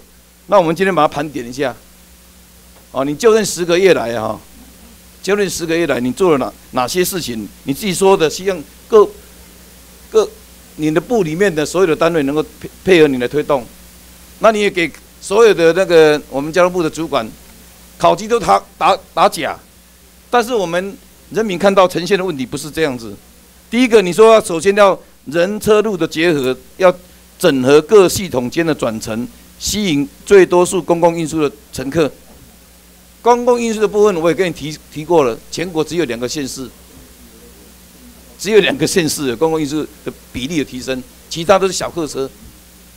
哦，第二点，你说要降低道路交通事故死伤人数，结果呢，死伤人数也没有明显下降，而且重大的一个车祸在七个月里面呢就发生两两次。今天早上这个不算的，哦，但是这个呢，这个也很醒目了，已经这个这个司机现在怎么样不晓得啊。第三点，你说开放资讯帮助交通管理哈，这一点哈，我觉得你有在努力，但是我们现在假日还是塞车连连，二二八的连续假期，宜兰县国道五号，哦，我都被骂惨了啊。第四点，你说整合观光资源带动地方发展，我想这个方面我请拜托我们周局长哈，观光局要推动哈，在你任内，我想。我们都有期待，我会提出很多的一个建议哦。我想是不是能够哦盘点一下啊？每个人都要盘点自己的工所作所所为了哈。最后一点，你说要深耕邮电气象服务哈，啊，我们委员会也提供，刚刚有提供一些建议哈。我想，我希望哦，我们现在今天中中华电信跟中华邮政哈，还有我们其他的一些关谷公司的董事长在这里。过去啊，本委员的建议，我个人都承受到很多事情。我们提出的建议，你们也不来解释，也不来报告，执行的怎么样？所以今天为什么说上次啊之前交通委员会决议说一定要请各位的董事长来列席，因为我们现在落实董事长制，你负责人都不来，啊，所以我想那个部长你也要要求这些董事长，啊，针对交通委员会的建议要追踪，要要要能够啊这个。回应，而且要能够改善。最后一点呢，我想说，那个部长哈，记得跟你第一次见面的时候呢，我一再强调，我们要互相尊重，要讲道理，要解决问题。哦，我就跟你讲这三句话，我就没再跟你多讲了哈。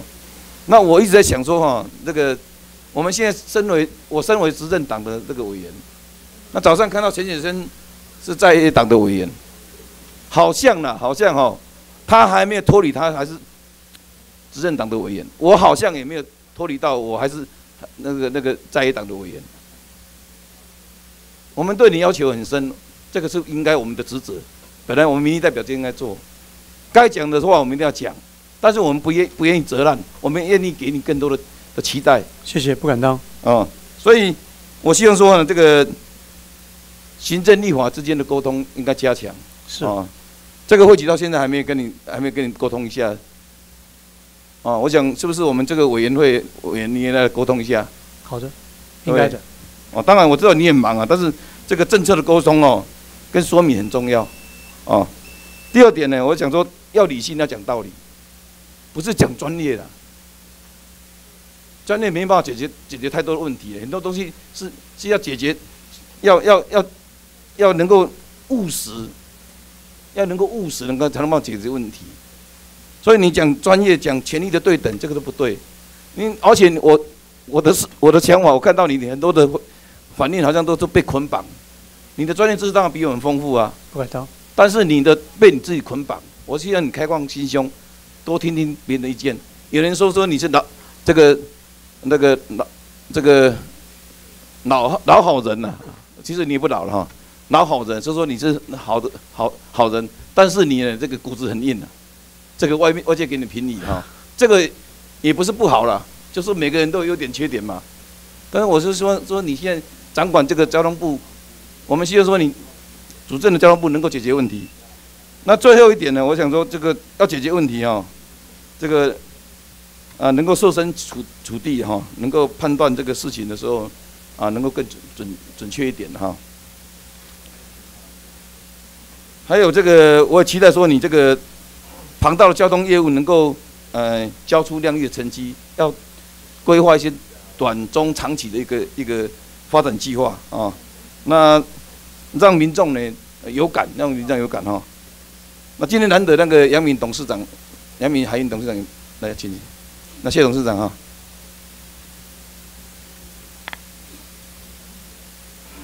那个部长哈，是跟董事长哈，我要公开跟那个谢董事长称赞哈，啊，因为你有心要改革，我绝对全力支持。阳明海运是国家的国营事业，重重大的一个一个一个一个一个啊，很大家瞩目的，所以我们没有一个人希望你这个阳明海运这个像以前这样烂下去，所以你要有心要整顿，我们绝对支持。那立法院其实就是要给你给你力量，给你后盾。但是我们对过去一些不应该的事情，我我一再要求部长啊，针对过去是不是有人谋不彰的部分，我们要检讨。哦，我希望说你能够承诺一下，多久能够提出来？呃，您提到的大概就是阳明海运最近在这个财务纾困的部分，不是亏损过去亏损对连连的部分。这个亏损连连的部分，我们一方面是财务上面想办法纾困，一方面我们有在部里面成立专案小组啊。那专案小组已经开过两次会议，呃，已经五次会议，所以我们希望最在最后最近两个月之内，来让它变成有一个专案性的结论报告。我希望说两个月嘛哈，好，我就等你两个月，好把那个过去是不是有人模，人模就是管理的问题，是，是不是不彰的，就是涉及到贪赃枉法的事情，你要查出来，是，好不好？我们给给这个这个啊杨敏哦有一个重生的机会，就是要把过去的能够能够处理掉。那未来来讲，我希望说那个董事长哦能够多鼓励哦有心在海运工作的人，对新进的员工要多多鼓励，对老的老的员工哦，我觉得应该都都好好的管理，甚至有些一些不好的应该把它淘汰掉。那谢谢委员的鼓励，谢谢，好我们一定会努力的。好，接着我们请陈师谢谢树叶委员咨询。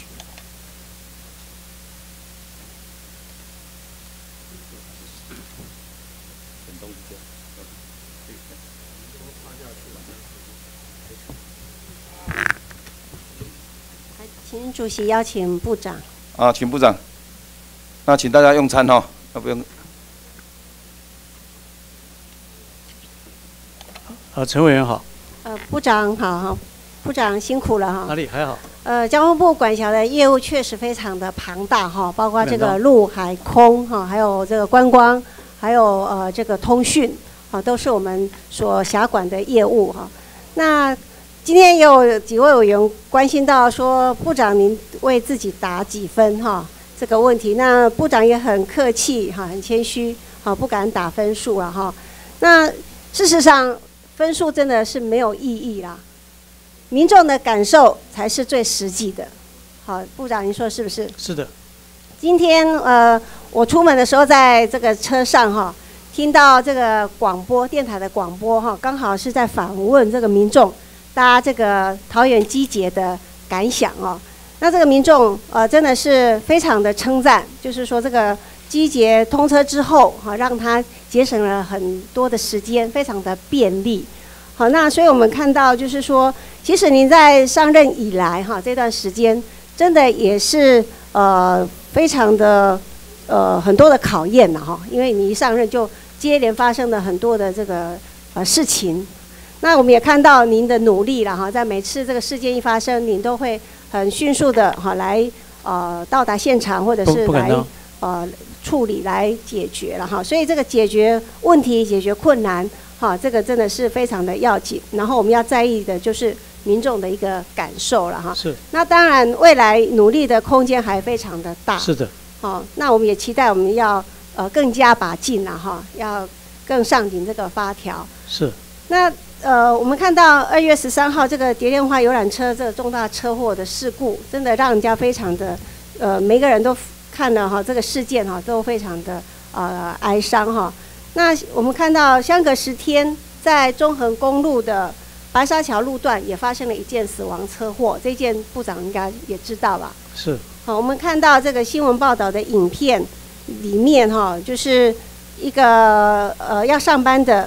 呃，这个先生哈，他骑机车，结果被对向的呃修理车迎面撞上了哈，所以我们都不希望这样子的呃事故发生哈，因为每一件事故都造成了这个家庭哈，每一个家就是说就是会有一个家庭的一个呃破碎哈。那我们也知道这个道路的交通安全非常的重要，那我们也看到您今天的业务的简报里面。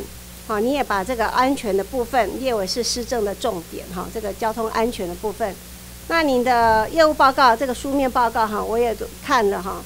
您在这个提升交通安设施安全部分，也是你的这个三大的呃施政重点的呃其中一项嘛哈。所以这个交通安全确实非常的重要。那有关这个交通安全，当然我上上个礼拜咨询的时候有提到人、车、啊路，好三大。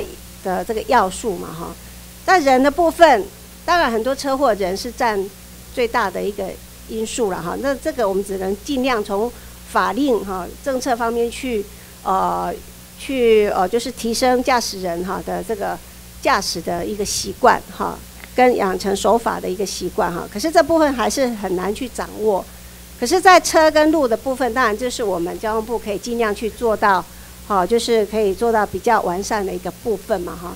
所以我刚刚提到了这个，嗯，中横公路这个白白沙桥路段这个车祸的事件，好，所以我们也希望就是说，是不是呃，针对这个危险的路段的部分，我们交通部可以去做一个呃清查哈，去做一个盘点。我不晓得这个部分我们做的怎么样。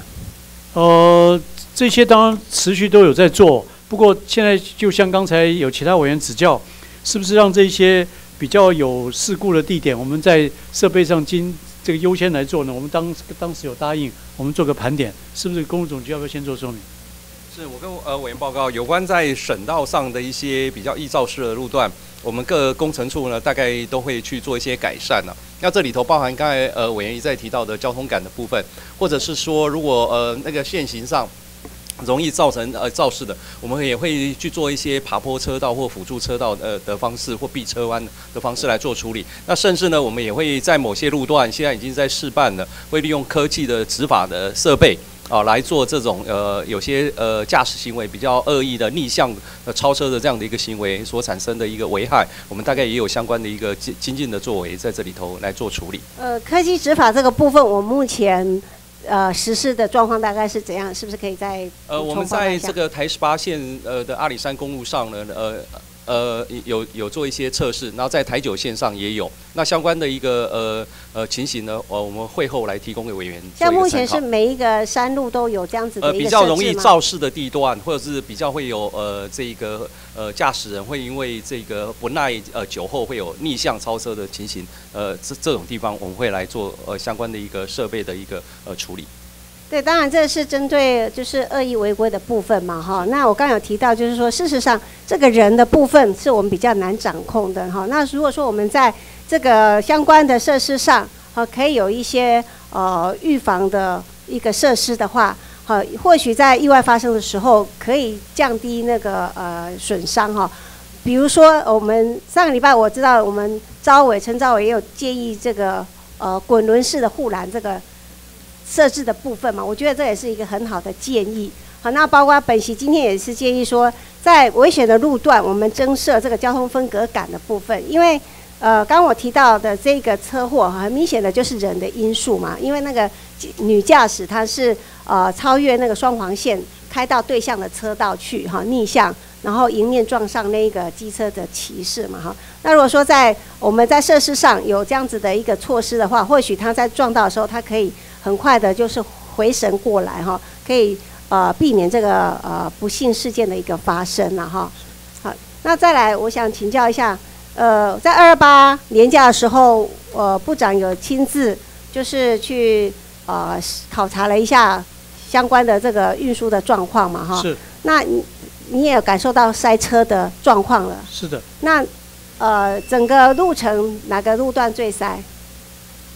那一天我自己当然也并没有走到特别南边的，只有到嘉义，比较严重的应该是在大概就是湖口前后了。那么包括那个工业区，还有到竹北这边。对，那那个彰化部分呢？彰化部分我走过的是是在国山这边，所以好像没有特别觉得。哦，你是走国三，所以你不是走国道一号了。对对对。那这个整个来讲，我想委员非常清楚。那天其实非常明显是天后有绝大的影响。苗栗以北雨比较大的时候，就非常明显塞得很厉害。那另外就是有一些地方，如果它有一些这个宗教性的活动，会比较连带会使那个交流道有一点塞。其他的地方应该在过了台中以后，看起来都还好。是。那其实这个国道一号塞塞车问题哈，真的也是老生常谈了了哈。是。那这个也是就是我们未来哈，应该就是要努力去改善的一个呃目标。当然这个是有呃多管齐下的了哈。是。包括呃就是说建构这个西滨快速道路为第三条这个纵贯南北快速呃这个干道的这个部分。那我想了解一下，目前西滨快速道路的进度怎么样？我们什么时候可以还有一些零星的段落还在施工当中，我让陈局长跟您说明。是跟委员报告一下，现在西滨呃原则上呃大概呃都都有在 在那个进行中，其中呃中部路段呃那个呃白沙屯到呃应该是呃大大安的，还有呃大大甲大安的那部分呃大概在呃今年今年年底之前可以可以做完。这个是彰化县境内嘛？那你说要建构它成为第三条纵贯南北快速干道，那我们可以预期几年内可以让它真的好完全全线这个呃连连贯。整个西滨的话，呃，目前在北呃北呃，整个大概在一百零八年左右吧。一百零八年就是可以。从北到南，到到应该是到呃台南，呃呃跨过那个什么呃，如果后续要做那个曾文溪桥那边进来进到台南，包括曾文溪桥这一段，在一百零八年可以呃，曾文溪桥恐怕还还要在，呃，在不在西滨，但是我们是希望尔后可以透过这样的方式呃把它串联起来。对，当然就是说有呃新的这样子的一个道路哈，对于未来的这个南北的交通运输。的改善应该会有很大的帮助了哈。是。那在彰化县内，当然就是说这个西滨呃的快速道路完成非常的重要。那另外一条就是呃沿着这个八卦山脉哈，呃就是跟一三七线并行的一条新的中东张快速道路的一个规划啊，也非常的重要哈。因为对于整个彰化县境内的一个交通的改善哈，呃帮助会非常的大了哈。所以在这个部分，我们也希望呃交通部好在就是说在未来的这个交通的规划跟推动上哈，在这个部分希望能够呃支持了哈啊能够来推动这样子，好好谢谢。谢谢谢谢委员。啊，谢谢陈委员的发言。接着，请徐正伟委员发言。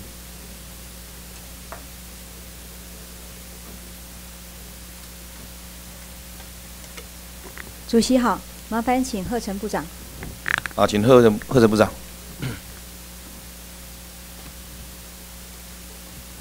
啊，徐委员好。哎，部长好，这个交通部啊是这个第一大部，陆海空通通都有，还涵盖了很多的观光哈。所以在这里，本席就我们现在延续的哈，现在政府一直以来延续的工程哈，我们来继续继续来监督，也希望无论是我们的苏花改的部分哈，以及我们的台九线的拓宽，还有花东铁路电气化的部分，双轨双轨的部分，好，这延续性的工程，我们希望不要延后。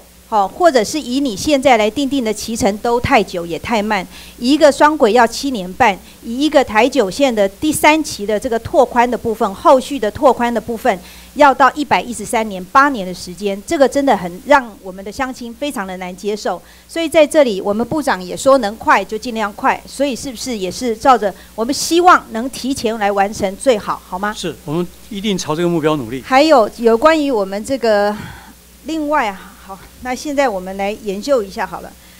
我们为了协助地方政府来提高我们推动公共运输的能量，所以呢，我们一百零四年有一个计划，结合在地的学界力量来成立有关于我们各区域的运研中心，是有这个方案嘛？哈，是。所以我们北中南东还有我们一共成立了几个区域中心？六个，六个区域中心。哈，是。那请问东部的区域中心成立在哪里？应该是东华大。东华大学应该是好，来来，我们看一下我们东部的区域中心成立在哪里？这个社社区的组织在台北市，哦，这个在台北市台北市士林区，请问这个是什么？是东华吗？东华在士林有校区吗？我都还不晓得哎。请问？我跟委员报告一下，这是呃，这应该是资料上更新，呃，还没有更新啊。今年的话是呃呃，是跟东华大学。今年跟东华大学，我想，我想局长您可能弄错了，这个是东吴大学。好，来我们看看我们现在，我们是东吴是去年的，是去年，是是。所以您觉得他的执行怎么样呢？今年今年会在我们看了六个区域中心、运研中心，它所有的所有的资料里面，东部的运研中心第一个又非设在花莲。而且它的内容又空洞，尤其他计划的主持人又是东吴的，我真的不晓得我们到底跟地方来结合，来解决地方特殊性的交通问题的时候，竟然我们委托的单位、研究单位，而且是我们幕僚单位在台北市，难怪我们整个交通部对于东部的运输交通完全没有掌握。让它不断的就停滞不前。呃呃，我跟委员报告一下，我就我的了解的部分，呃。去年呢是虽然是跟东吴大学，但是东吴大学在在相关的合作的时候，它其实也是跟东华大学一起一起在做的，所以呃相关对于东所以呢，您觉得执行的好吗？了解，呃，他们都有提出相关的。他只有做一些座谈，但是真正有跟地方的所有的地方政府行政单位来做所有的横向的沟通吗？既然是学界要来协助地方来改善我们的交通，还有我们的运输。那为什么没有跟地方所有的这个公部门来结合，以及地方的乡镇公所？委员，您的指导方向我们一定来照办了。不过刚才您提到的，像这个您图表上这位楚志宏先生就是东华大学，那么而且他现在因为确实就像您提醒的，应该跟地方更贴切一点，所以他今年就变成是进一步等于是跟东华大学更直接的来合作了。我们希望都是这个方向是朝着您这个方向来走。我我只对事不对人，所以您对专案的这个人员不是，我只是我只是以这个人民为例，表示说他的参与是越来越多。我们希望这个主持人是真的是交通的交通运输的专业，尤其真的跟我们地方的乡亲以及公部门来结合，才能听到嘛。否则闭门造车，一个所学术单位在做交通的规划。您看看，那现在花东的交通是怎么样？这个方向完全没改善嘛。我们一定来努力。好，那我们现在看您的智慧运输系统发展建设计划，一百零六年到一百零九年，四年要投入三十亿。请问这个计划在上个会期有很多的委员也提出提出了质疑，觉得有叠床架屋。请问现在西部计划在哪里呢？对于我们第三项东部及都会偏乡交通便捷、运输资源的整合共享，还有我们车联网的部分，这些请问对于花东两县可以做到怎么样的结合和协助吗？我我想我让这个专案的主任王王詹士跟您做说明好吗？您只要把这个西部的计划给本席办公室好吗？没问题因为实在没有那么多时间，好不好？不过东部的交通，请真的好好的改善，尤其是我们在各乡镇的连接的部分，除了给我们的公路和铁路，其实花东两线的幅员非常辽阔。真的是需要我们在西部来做整合好吗？尤其是运用到无论是我们计程车或是中巴以及我们的其他的这个链接起来，真的需要我们部里面能整合起来。是的，谢谢。还有就是刚才本席讲了延续性的工程呢、真的请多家人来用心，让他赶快催促，赶快这个进度赶快来进行。是。还有刚才本席有听到一则，就是有关于我们南回的电气化的部分，一直没有办法来完成，一直没有办法。您也说这个没有办法如期来发包，是不是？呃，现在正在赶办这方面的事情，确实在发包上有点不顺利。是不顺利。本席请教为什么不顺利？应该是施工还有成本的问题不顺利吧，以及人员的部分。所以在这里，花东两线一样，一样在交通的部分、基础的建设一样遇到这些障碍。所以我们在交通部里面，在对于花东的地方和基础建设的时候，您的预算的框列的时候，是不是可以把成本运输的部分也把它加进去？我们否则，如果我们所有的公共工程跟我们西部来比较，完全没有办法实做。对所以在这里是不是部长？是是是，嘿谢谢委员，我们确实现在就朝就要朝这个方向，等于是是专案性的，请行政院再给我们做一些支持。是用专案性的来支持哈。好，那另外是我们花莲车站的改建的进度延后落后的部分，严重落后。原来一百一零一年的七月已经动工了哈，原来要在一百零三年来完工，可是呢，现在到一百零六年呢还没有完工，而且我们的预算还提升将近百分之十三，我们的工程落后了百分之四十七。请问这是什么样的工程？为什么会落后那么久？另外，因为交通部来重视，所以花莲非常非常多的车站是改改建也改善的。可是地方的协调会都开了，为什么老百姓的声音通通没有办法做落实的改善呢？设计单位、执行单位还是依然故我。这个这我是不是让胡局长跟您做说明？跟徐委员报告，刚刚您问到花莲车站的部分，就是原来这个包商在施工的时候，因为他必须要夜间封锁，但是夜间封锁的时段大概跟原来的这个局长啊预期有一些差距。局长是，这个都在我们本身在规划发包的过发包的时候都已经要注意的。是这些工程都不是现在开始做，大家也都不是新生，都是工程界的了。这个好、老手了，也是都是师傅了，为什么还会发生这样的问题呢？所以这个部分是不是浪费公帑呢？尤其是增加了一成多的经费，所以在这里是不是严重的？这个我们来讨论一下花莲车站的问题。另外，花莲车站人性化的问题，我们同理的问题。花莲是我们台铁的第二大经济母，而且一天有一万多人次在那边上下，观光客这么多，尤其是我们部里现在这个铁道为主，公路为辅，在这个前提之下，是不是对于我们所有铁路的场站的部分，人性化以及这个贴心的友善的设施要不断的提升呢，才有办法嘛？是不是？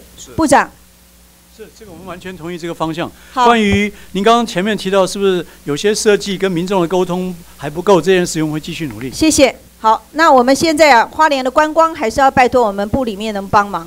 花莲哦，再度这个勇夺我们的世界新兴景点的殊荣啊。好，所以在这里，我们无论是泰鲁阁、七星潭、六十担山，都是我们韩国、日本、新加坡、印度都来这里取景，也让花莲的能见度不断不断的提升。好，但是我们看看日本的外日本的媒体啊，外媒来花莲实地采访，它的落标就是政权的交替，就是悲剧的开始。所以在这里，我们请部长还有我们局长，对于花东两县的观光的益助，是不是能加大力度呢？是不是？我们很高兴，之前去年将我们的这个纾困啊三亿，把它放在花莲，但是相信这个民间的业者是没有感受的。所以我们现在观光局，我们观光的亮点的规划的部分，有很多很多的计划，在我们的报告书里面，计划是非常非常的多，但是它到底落实在哪里呢？好，我们就我们这个新兴观光呃新兴计划来说，我们有一个部落观光来说，我们有什么建议呢？有什么推动呢？以及行政院观光亮点和规划的重点，去年十二月底定调的，现在三月了，请问这些观光亮点到底细则在哪里？计划在哪里？有吗？有跟地方来做观光座谈吗？现在我们从下而上的一些村落亮点计划，每个都跟地方政府去合作。那么相关的资讯，我们在会后再提供给委员。您跟地方政府合作好，那部长。本席是不是建议也邀请、也要求我们部里到花莲来开我们地方观光产业的座谈，让整个公部门还有地方的产业以及所有的产业的链接全部把它这个整合起来，我们来做一个座谈，好吗？是是委员，您曾经提过观光国事会议嘛？我晓得。哦，这份这方面我们来整体规划，好不好？好，以及我们港铺的观光的部分，我们先要提倡这个游轮观光嘛。但是游轮观光，我们有这个我们港铺的设施设备，还有我们观光局也要有相对应的配合，才有办法来做啊。在这个总执行与上次的本席的本席本席的咨询，我们提升我们花莲港为母港，而不是挂靠港。挂靠港和母港差异。有百分之有十五的差异啊，十五倍的差异啊，它的这个利益的收益是不是？了解了解。好，所以拜托部长。刚才在口头报告也已经特别提到了，我们朝花莲港也去努力，没有问题，你放心。好，谢谢谢谢部长。好，谢谢局长。好，谢谢徐委员发言。接着请简东明委员发言。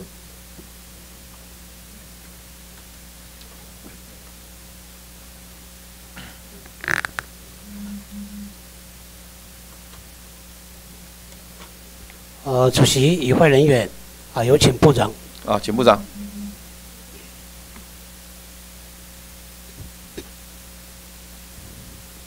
哎，简委员好。啊，部长你好。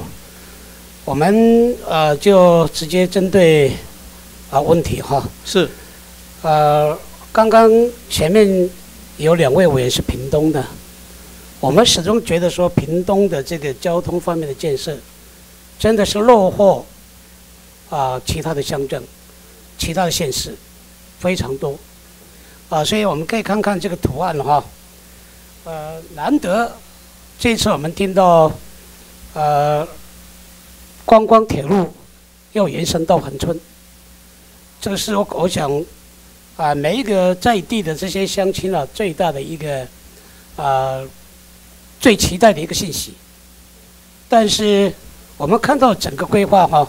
上一次已经提过了，啊，不晓得啊，我们交通部这个地方有怎么样的看法，啊，并没有做一个回应。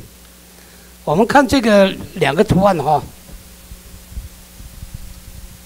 啊，这个是横冲半岛的一个图形，啊，大概啊，这个蓝色的这个啊，就显示是省道，啊，其他的线是在往上面的话，那个交通网站的话，啊，是相当的多。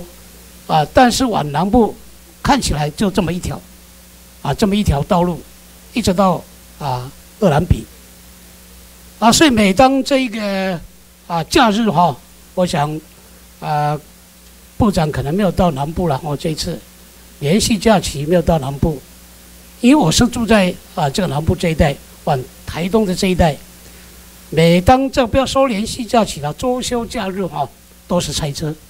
塞得非常的严重，因为大家也都知道，肯定是一个非常现在啊出名的国际的一个观光观光据点，啊，尤其是我们国内啊，几乎都是开车到那个地方。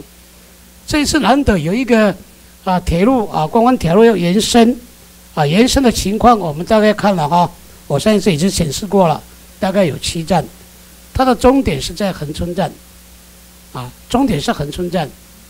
我上次建议就是说，既然要啊做这个铁路，是是不是一次就能够把它做好？啊，不要啊到横村，横村到这一个最最顶点这个厄厄兰比这个地方还有二十公里。厄兰比也是一个观光的景点哦，每次那个周休啊，包括啊这个连续假期，那边也是人山人海，啊，车子都非常拥塞。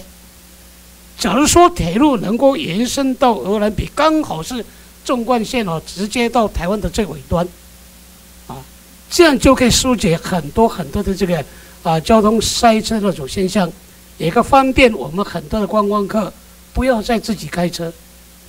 啊，是我具体建议哦，啊，你们现在是规划到恒春，啊，恒春，是不是能够再增加三个站，下来这个南湾，南湾这个地方也是。啊，观光热潮哈，啊，这个这个相当多的，啊，第二个能够到垦丁，啊，增加第二个站到垦丁，第三个就到鹅銮比，啊，这是终点，啊，现在目前我们这个增设到啊恒春这个站，啊的进度不晓得如何，啊，是不是能够说明一下？现在还在办理初期的研究，是不是？我让胡局长说明。现在这个可行性研究计划，我们已经报到院里面去了，哈，院里头转交到国发会，应该最近会开会来审议。但是你们这个已经啊，预期是三十七点七公里哈，经费大概也都概算出来了，你们完工的期间也都定出来了，啊，完工大概是一百一十四年嘛，完工，啊，距离啊今年再算一算，大概还有八年，是，还有八年嘛哈。啊，刚刚啊，周委员也希望说能够缩短，啊，契约一百一一十年就能够完工。对。啊，现在啊还不知道到底什么时候能够，现在还在评估中哦。不是，现在已经走到审议的这个程序。审议啊，环环评呢？哎，环环评在审议完了之后，后面我们会我们会再跟这个环评跟我们的综合规划一并来一并来处理。所以你们这个期间这样定哦，大概还是啊很没有办法确定的哈。所以在环评还没有实施嘛，哈，环评还没有实施嘛，是不是这样？没有实施的情况之下，是不是一并啊一并做一个考量，一并做一个考量呢？不要几年以后又想到说啊，就做到这个地方，啊，还是效果还是很差。那些中北部的观光客下来，看到要到鹅銮鼻到垦丁还有二十几公里，他横村一下来怎么办？所以我想，这个要往远一点去做一个思考。其他的公路系统，啊，你们多花个七七八百亿、一千多亿都都无所谓。啊，你们这个这条这条大概你们到横村啊，该过的经费是一百九十九亿，一百九十九亿嘛，啊，是不是再延伸到二人比，还有大概二十公里的这个这个这个路程哈？我想。啊，假如能够把它规划在里面的话，对整个啊这个啊横村地带的交通哦，还能够改善。对这些游客，我想对他们的这个对垦丁的这个向心应该更大。这是我个人的具体建议了。啊，部长不晓得有什么看法？我我想这个，因为这个是接下去从横村往下就是国家公园了。那么在这里面的一些地形地貌的变化，以及在那个比较窄的路廊里面，怎么样兼顾到附近的环境啊？这些事情确实是一个比较严肃的问题。不过您提到从乘客的呃这个旅客的需求来讲的话，我们愿意朝这个方向再来研究，希望能够啊把一并来做一个研究了。是啊，不要啊完全没有考虑的情况之下，以后又后悔了。了解。啊，另外啊刚刚啊我们那个徐委员提到花莲火车站已经建了很多年。啊，都没有办法啊完工。同样的，台东火车站也是这样啊。台东火车站也是这样嘛。这个是内内部内部在整修，外面呢，外面现在是围一个大大大大围篱啊，车子都是啊在外面，距离火车站还一段一段距离。经常到台东这个地方，人怨真是非常的大。为什么会？啊，施工这么久没有办法完工，这什么原因呢？好，请局长说明。跟委员报告，刚刚花莲是因为它在营运中，它有一个夜间要封锁才能施工的问题。那台东火车站是因为在中间过程之中，包商包商大概包商倒闭了，所以我们再重新发包，大概做了两个。我们就觉得很奇怪，你们火车和这个呃铁轨部分的，包括车站的这些发包，好像都有问题。啊，都有问题，所以一个一个这个，照理来讲，能够顺利的话，这个工程并不算是很大嘛。是。啊，气管要用好几年，停动这边好几年，造成多大的这个这个这个对对啊旅客的出入啊影响多大？啊，现在你们是怎么处理？目前现在在我们重新发包之后，现在比较比较能够稳定，现在新的包装在处理上会比较稳定一点哈。现在重新发包这什么时候可以可以完工啊？明年，明年，台东火车站。明年才完工，是一个火车站的修建哪里了哈？要要要用这么啊这么长的时间哈？啊，包括花莲也是有有这样的状况啊。我想啊，不单单这两件哦，你们很多的案件可能都是有这样的状况，所以往后这个这个工程方面的发包应该相当慎重嘛，哦。啊，最后一件事情就是，呃，最近看到这个报道哈。啊，这个铁道事故，今天才三月好像，才三月份的三月初，这个铁道的事故啊，不单单是月台也好，啊，或者是呃那个那个平交道也好，就已经造成了十三起的这种事故哦，啊，而且造成十十个人死亡，啊，两个重伤，啊，这才三月初，继续下去的话，这个是我们经经常非常重视安全的问题。呃，不晓得我们呃铁路局这个地方啊，有怎么样改善的方式？有什么防范的措施啊？是不是让陆局长跟您说明？跟委员报告啊，确实今年的情况比较特别一点啊。到目前为止已经发生十三件了啊。那这十三件里面有四件是闯越平交道，有这个五件是跨越路线的，那另外也有四件是从月台上掉落的。踩踩空啊？那他从月台有的是有采空啊有有些是有那种自杀行为的了啊。这个我我我们现在的做法，第一个除了加强宣导以外啊，对平交道我们现在也做了很多这些一些防范的一些设施设备哈。那路线的部分，我们已经开始在做全线了，要做围篱。这个算是蛮严重的，是是是，是才两个月就已经我们我们也是尽量三起的在呼吁民众要爱惜生命的。这个安安全的那种啊措施。我看看我们这个，我们是经常坐高铁，高铁现在都有改善了，月台部分改善的很好。啊，你们这铁路铁铁路部分月台的部分好像都没有没有那个安全措施不是很好。我们现在就刚刚跟委员报告的，第一个是路线，因为跨越路线的这个情况蛮严重的哈，所以我们现在在沿线开始施做这个围篱啊，大概今年的今年会大概把这一百公里把它完成，但明年的话就是整个为为施做的一百七十公里还会对。才才两个月啊，才就发生这么多的状况啊！只要一年造成继续下去的话，那不得了啊！应该有人负责啊，到时候要有人负责啊！啊，造成死伤这么多，怎么怎么怎么就这样呃平平白白的呃让这些呃生命冤枉的就这样过世呢？啊，所以我想呃我们有关于这安全方面的措施啊，一定要加强。是，谢谢。好，谢谢简东明委员发言。接着请叶玉金委员发言。在叶叶金委员发言之后，我们休息五分钟，因为好久没有时间了，没有休息了。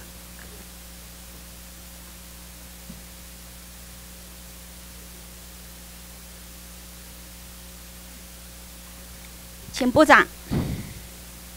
请部长。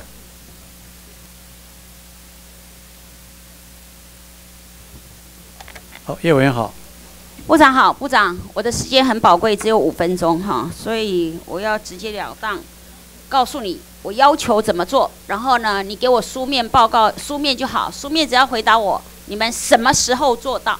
是。我要的是什么时候做到哈？是的。好，来，我们没有时间，每一次事故以后就说要检讨改进，检讨改进，没有时间了，这一次就是要直接要求你们。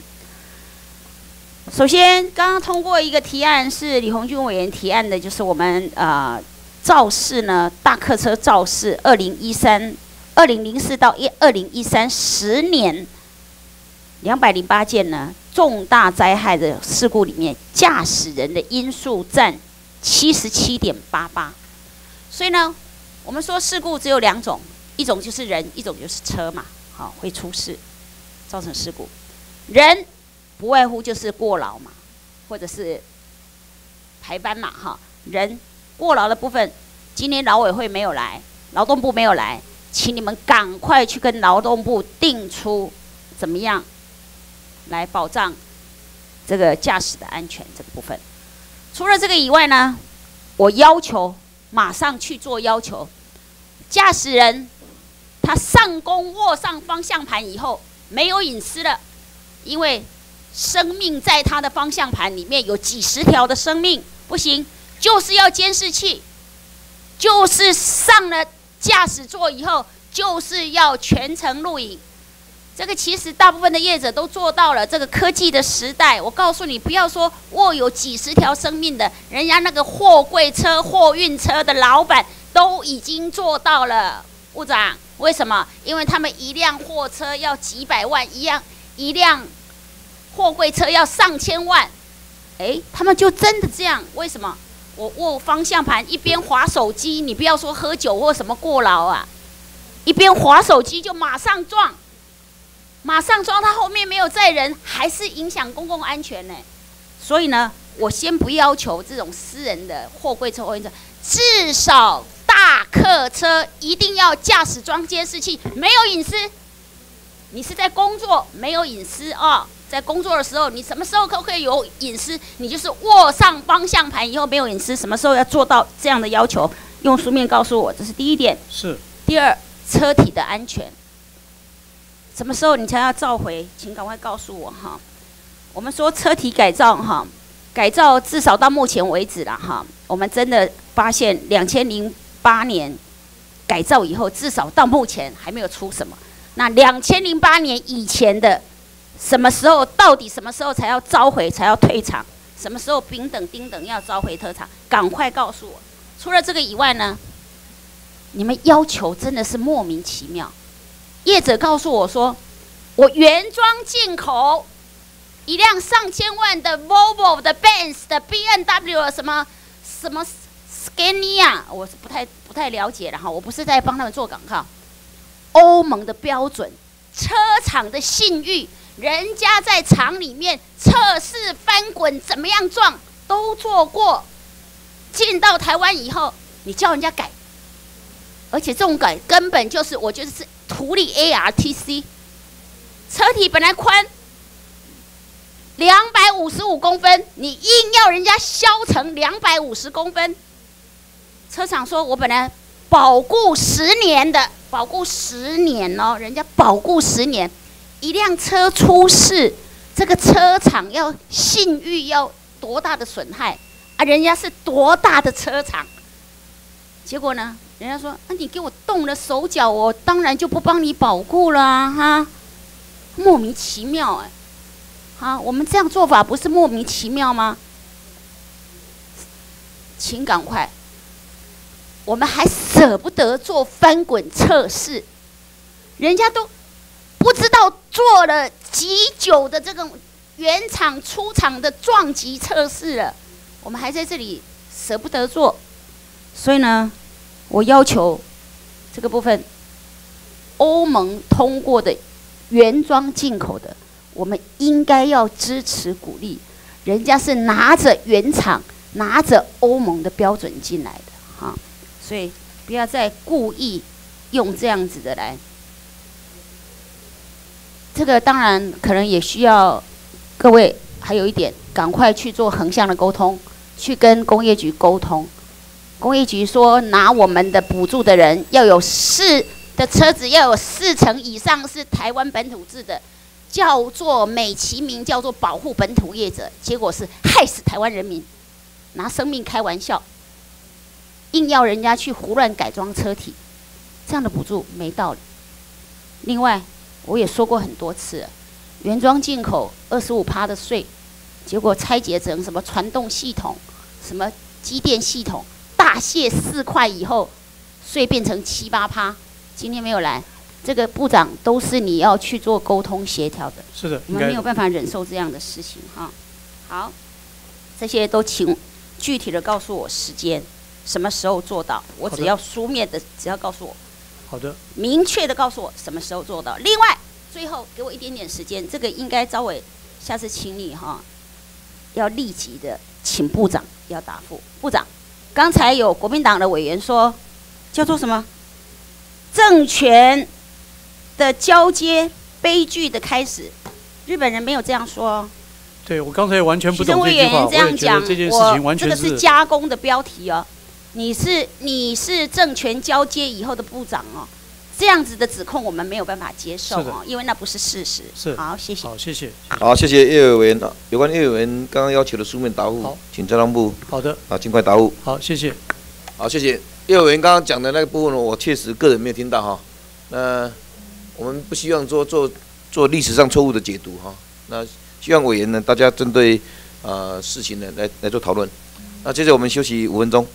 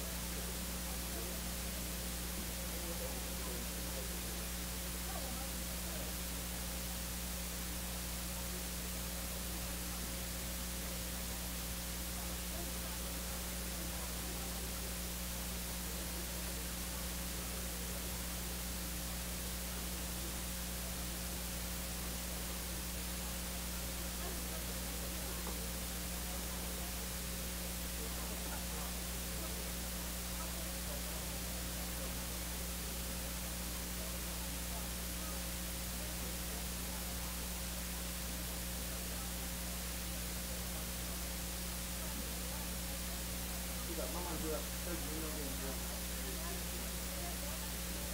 望还记得感谢人。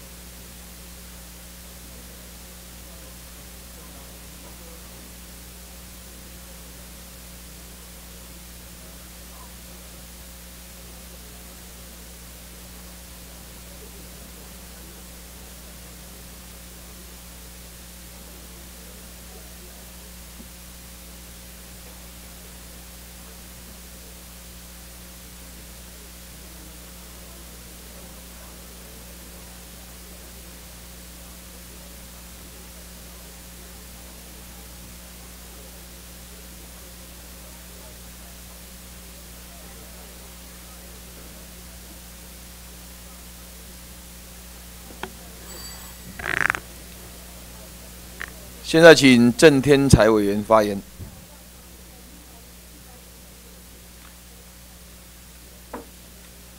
呃，主席、各位委员啊，有请部长。请部长。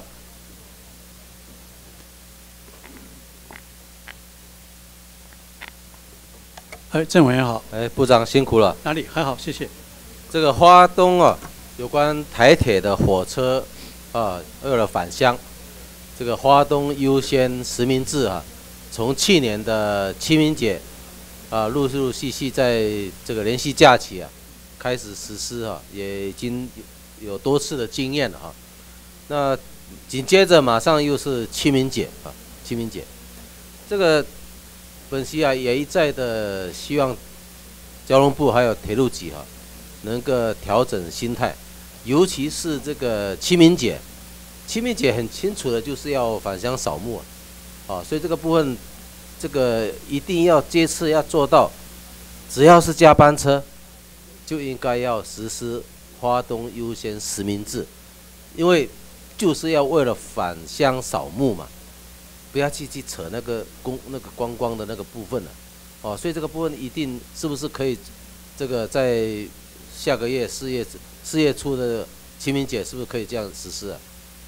呃，我请陆局长来跟您说明执行的问题。好，跟委员报告一下，因为实名制就是您刚刚讲，主要是为了花东呐，所以我们现在都用专开列车直达车的方式。如果要求所有的加班车啊，因为它每一个加班车中间停靠站等等啊，这个会有一些实物面上的困难。所以我们现在只要连续假期是三天以上连续假期，我们都会用加开专列的方式来实施这个实名制。我这个清明节是特殊了，部长，这个部分这个克服一下，这个不会那么困难了。一开始的时候啊，这个去年一开始的时候，铁路局也以为很困难了，哦，一直本来一开始，啊，前年之前呢，都一直认为要等这么第四代的那个系统啊，就后来也不用啊。不。哦，所以这个部分可以克服的，就是刚刚跟委员讲的，因为它主要是解决花莲台东，所以我们现在用加开都是直达的方式，中间都没有停靠其他站。如果要所有的加班车，因为加班车的话，就不是纯粹只为了宜兰花，呃，不是花莲台东了，你还有中间沿线各个站的停靠的。不，你应该是说你有什么困难才对。所以它全面性实施的时候，对加班车来讲，只不过是增加你的人力的一个作业而已嘛。这不是光人力作业，因为他因为直达车的话，它可以把所有的座位都交给要配给这个宜兰呃花莲跟台东，那么这样的话，针对它真正有需要的花东居民的话，就会有实质上的帮助。那至于所有加班车，因为它停靠站的问题哦，在系统上处理上是有困难的。我想委员，我跟您报告一下，应该我理解台铁的意思应该是说，既然是针对。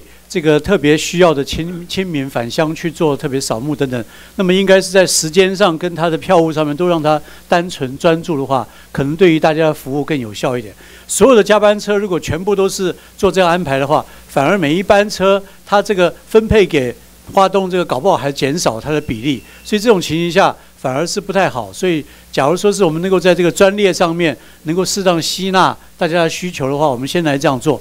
至于说您刚刚所反映这个状况，是不是表示我们专列车开的不够，才会变成说有所不足呢？这部分我们再我们再来我们再来协调了解。大家是买不到票。我们我们再来协调了解，看看它是不是我们在这个专列上面还可以再来增加，好不好？谢谢。好，接下来哈，这个晋普到义里。这个接驳的公车啊，目前这个从去年哈是一直处于试办的阶段，试办就客运的公车啊，从晋浦到经过义长公路到义里，这个来回哈，这个部分呢已经试办了好几个月了啊，试办又延长啊，我是建议这个公路总局这边哈，这个是不是直接就就开始给他固定的路线？对于业者客客运业者来讲，他要营运。宣传啊，对这个呃，无论是在地的呃民众，或者是呃自由行的游客啊，都好好好方好方方便处理啊。啊，这个部分是不是可以就把它变变成固固定的路线？好，我让公路总局跟您做说明。是我我请那个副总。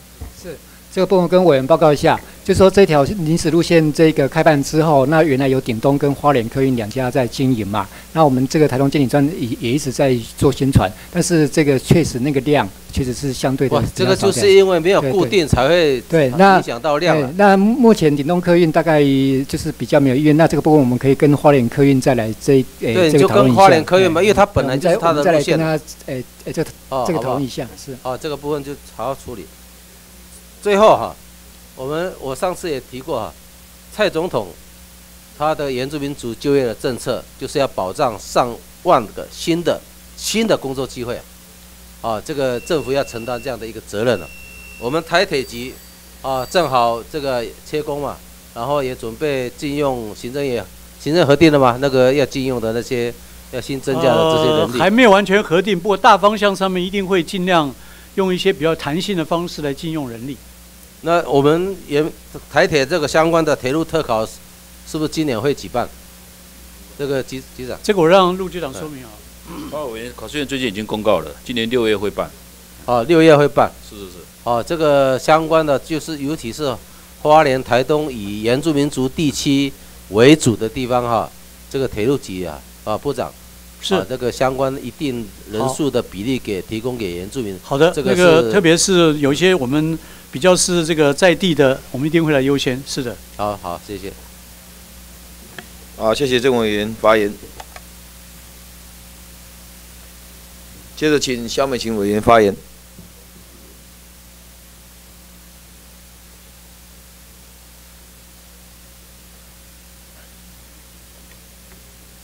好，谢谢主席啊，请部长。啊，请部长。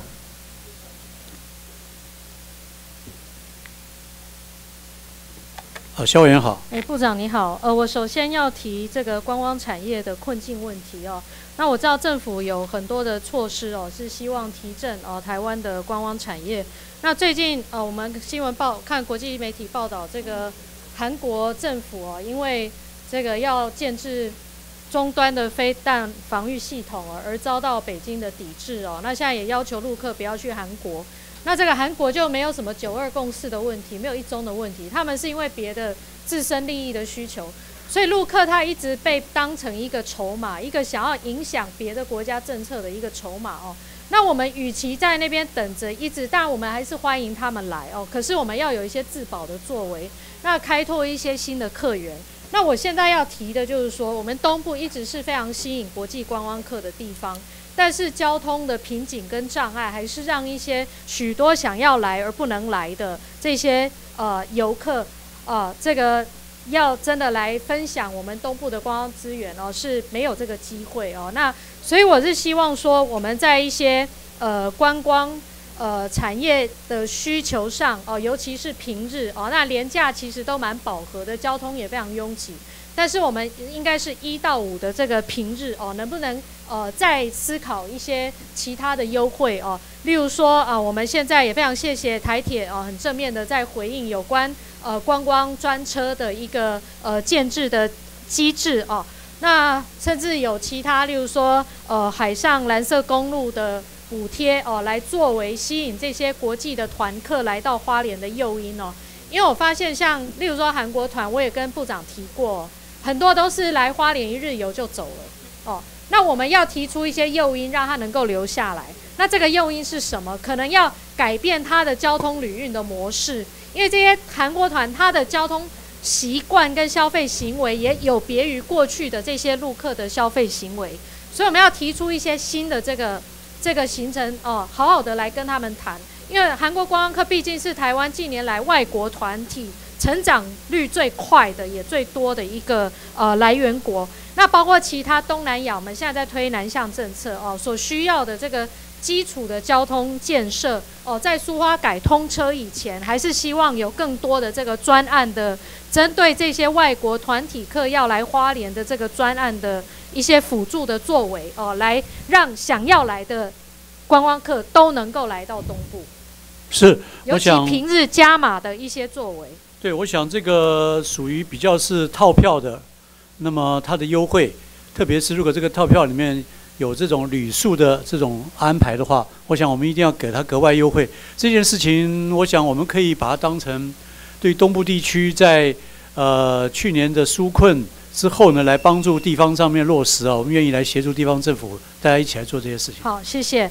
那另外哦，我们的观光客源多元化的一个重要的关键就是多国的语言资料的建制哦。那呃很多这个华东地区的，我们其实政府很多单位有纵管处、纵东管处有这个 泰管处、有玉山国家公园管理处，很多的单位有地方县市政府哦，这些资源其实没有一个很好的整合。让很多要来旅游的外籍的观光客哦，英文资料也许网络上还有一点哦，但是其他国家的哦比较完整的资料是没有的哦。那我觉得这个部分是不是我们啊交通部也可以协助哦地方来做建制呢？对，我想我们既然有这个东部风景区管理处哈，应该有这个责任来把这个地区性的来做一些整合，不管是在资讯上或者是多语言的这个。人才的培训上面，我们可以来协助大家来做这些事情。好，那我希望这个部分能够加速来进行哦，因为这个观光产业迫不及待哦，还是要有一些新的诱因跟更完整的配套。那接下来就是非常感谢我们呃行政院哦，我们国发会哦，在上个月也核定了呃花东铁路双轨化四百多亿的这项工程。那我相信这项工程虽然没有立即的效应哦，但是长期来讲。哦，是一个百年建设哦，也对华东地区的交通啊轨道运输是非常非常重要的，所以我在这边表达感谢哦。但是啊，这个建制的过程当中哦，我们有几个路段哦，因为已经造成交通的瓶颈，在双轨化之后恐怕会更严重，所以花莲市区的这个高架化的啊重新评估跟必要性啊，我觉得是存在着。那我看到交通部给我的一个地方政府所做的这个可行性研究哦，那这个研究成果不是很正面哦，看起来是比较保守哦，好像是往不可行的方向。但是有没有什么其他的弥补的做法？例如说交通部可不可以自行再去，哦做做不同的考量的这个评估？因为我看地方政府提出的这个评估还要更改路线，整个车站还要迁移哦，然后把。双轨的铁道从这个中央路中间穿越过去，中央路已经是一个地方的要道了哦。你上面再加个加个铁路上去，可能对地方交通冲击也是很大哦。那呃，过去我看你们有一个呃高架或铁路立体化的一个提出地方申请的一个要点哦，还是要地方政府发动的。可是过去在花东铁路有部分路段的高架化，像瑞穗啦、三明哦，这些其实都是。呃，台铁跟铁改局自行去啊，这个做考量跟做高价化的哦。那有什么样的别的条件跟方案是可以允许我们来克服目前这些啊地方交通上的瓶颈跟障碍呢？是，我想基本上这个呃立体化是并和都市的发展，所以才会有刚刚您提那个。但是也有一些例子，确实我们是在工程上。比如它的高差啦，或者是它的这个安全啦，这些的路线会拉直的话，怎么样取线型用高架？我想这些事情我们是有这些例子。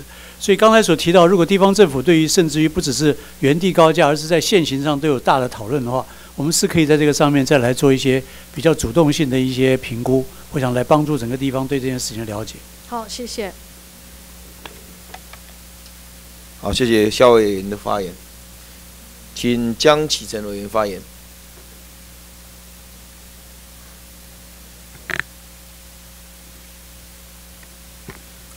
好，谢谢。啊，请主席邀请部长啊。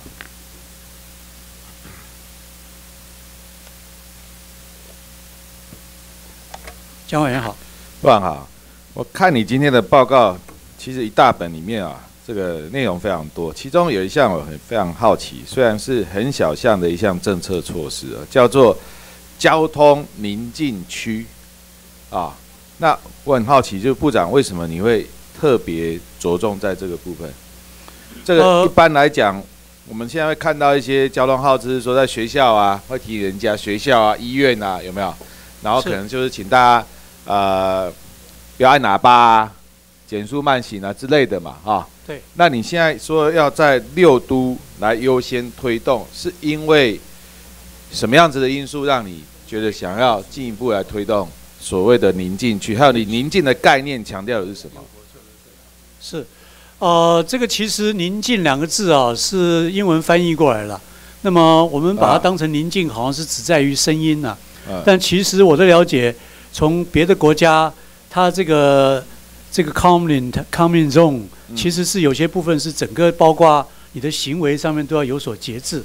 那这里面就包括你在这个加开车的时候不要动辄加速，因为它可能会有噪音，或者对别人来讲会有太快的冲击。哎这个都代表的是对于一个生命跟这个环境的这这个尊重。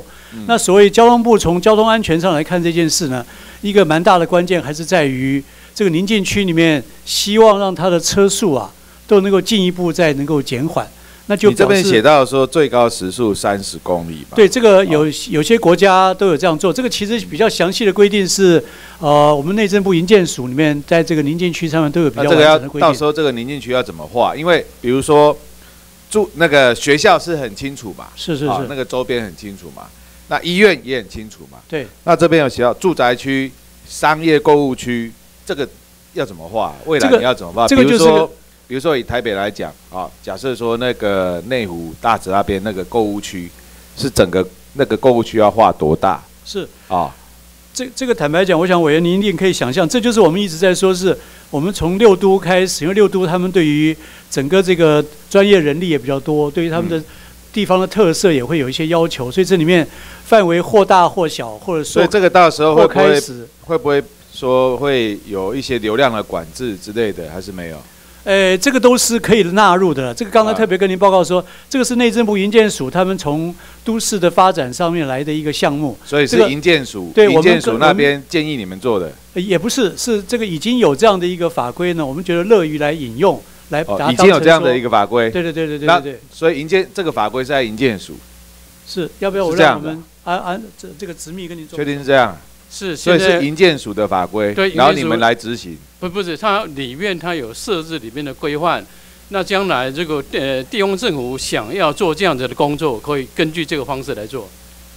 所以决定权在地方政府，是一个建议就性地方自治法规来定定就对了。对的对的对的是这样吗？对的对的对的。好，那个另外啊，我我觉得当然，呃，有一些区我们着重它的宁静安全是绝对必要的。是哦，但是你在落实上面要怎么样做，这肯定要讲得清楚一点。哦，当然当然。好，呃，很多概念很好，但是落实下去的时候怎么执行，我觉得这个要这个要想清楚，而要非常地而且一定是要尊重地方，他们在这个上面，哎因为每个地方它的特色都不太一样。对它的管理啊，哦他的他的有没有啊能力来做啊？这些等等，是的是的而不要说到时候变成一个口号了。是的是的是哦的是的。那另外啊，其实除了宁静之外，交通另外一个问题啊，我在你们报告里面，我我我其实有点失望，我没有看到啊交通的空气污染。是的，我非常承认这一点，我们没有。你知道吗，部长？上个礼拜啊，环保署啊有一个报告啊，那个报告啊，他说啊，啊、移动性的污染源占了空污的百分之三十七。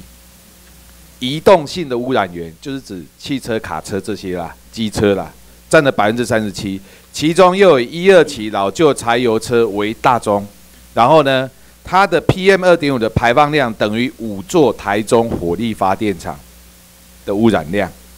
啊，那这个挥发性的有机物啊，等于三座六轻。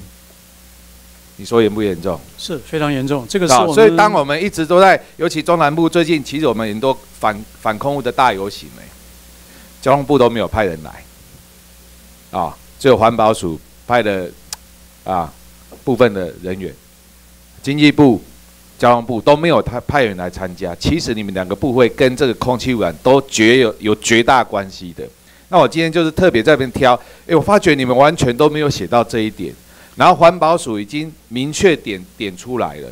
那李应元他也讲啊，他说要定出淘汰一万辆一二期的老旧柴油车，还有五十万辆的二型车机车，这具体目标他提出来的。那我想请教一下交通部，你们的政策措施是什么？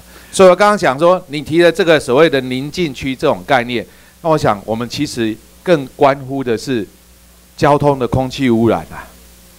这这个我完全同意。我是不是快速跟您简单说明一下？我们这个所谓的补助它太换了，一定要有一些事情要有一点点有诱因的哈哎。诱因除了经费以外，也是有一些让它它使用上面的一些障碍的话，就能够有帮助。所以这个部分如何使得他们在使用上有管制这件事情，是我们交通部要努力的。我们一个月之内会跟一环保署个月之内可以有一些措施、政策这些出来，是的是的好不好？啊，是的是的是的因为这个空气污染问题，我们一直在找，然后很多人有人讲说啊，台中火力发电厂，好、然后呢，有人讲说是汽机车，有人讲说是工厂、工业区等等的啊、是但现在就有数据出来，的确移动的这一部分，它的污染也有百分之三十七哦，非常高。是是是所以我们希望这部分能，既然有数字的，我们该有具体的措施出来，是好不好？好的应该的好谢谢好，谢谢江委员。黄昭顺委员，黄昭顺委员，黄昭顺委员不在。罗志正委员，罗志正委员，罗志正委员不在。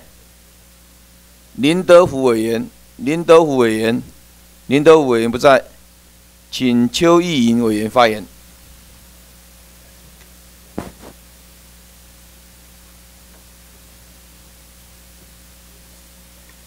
呃，谢谢主席，我是请下部长。请部长。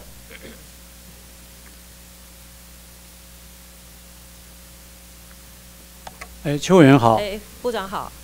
部长，这个我知道行政院最近核定了所谓的前瞻基础建设计划，哈，有一个是跟轨道基础建设有关。是。我想请教，公路建设是算在前瞻基础建设的哪一个环、哪一个区段？它应该不算轨道建设。我的了解好像是一部分放在城乡建设，啊，不在这个轨道建设里面。那城乡建设，呃，现在好像还在跟各县市，呃，互相在在这个会诊。那么我们还没有得到最后的这那如果国道的建设会算在哪一个区段？是算轨道建设呢，还是算城乡建设？它它应该还是按照它的性质，如果是因为这次的用意是说要不要编入特别预算，所以如果是是国道建设原来是已经有基金来支应的话，就不一定会纳入。部长，我请教一下，您知道国道十号延伸案这个计划案当时要和要通报国发会的时候，您看过吧？对，那你对这个案子研究到什么程度？国道十号要延伸到六龟新威大桥，这个是地方或者是啊、呃不管是地方的政府，或者是过去我们在竞选的时候，一直不断提出来一个很重要的政见。那交通部公路总局基本上叫做一意孤行。从民进党还没有执政讲到民进党执政，本席从上一届的立委讲到这一届的立委，结果呢，我找了你们公路总局来谈过不下五次，你们到最后规划出来的路线竟然是这样。当初讲好国道十号延伸到六龟新威，这个对于茂林国家风景区也好，或者是对于发展高雄后花园、六龟、甲仙等等的发展观光，叫解决交通瓶颈是最有利的。结果你们现在把它划到美浓的龙渡里头去，划到龙渡那还不打紧。第一个，你们弯进去到龙渡里面呢，要强行征收农地。美浓是一个农业特定区哦，强行征收农地。再来，交通问题完全没有解决，要打破交通的瓶颈也完全没有解决。第三，观光问题也完全没有达到。那我不晓得你做这样的一条道路用意何在？你们想要达到什么样的目的？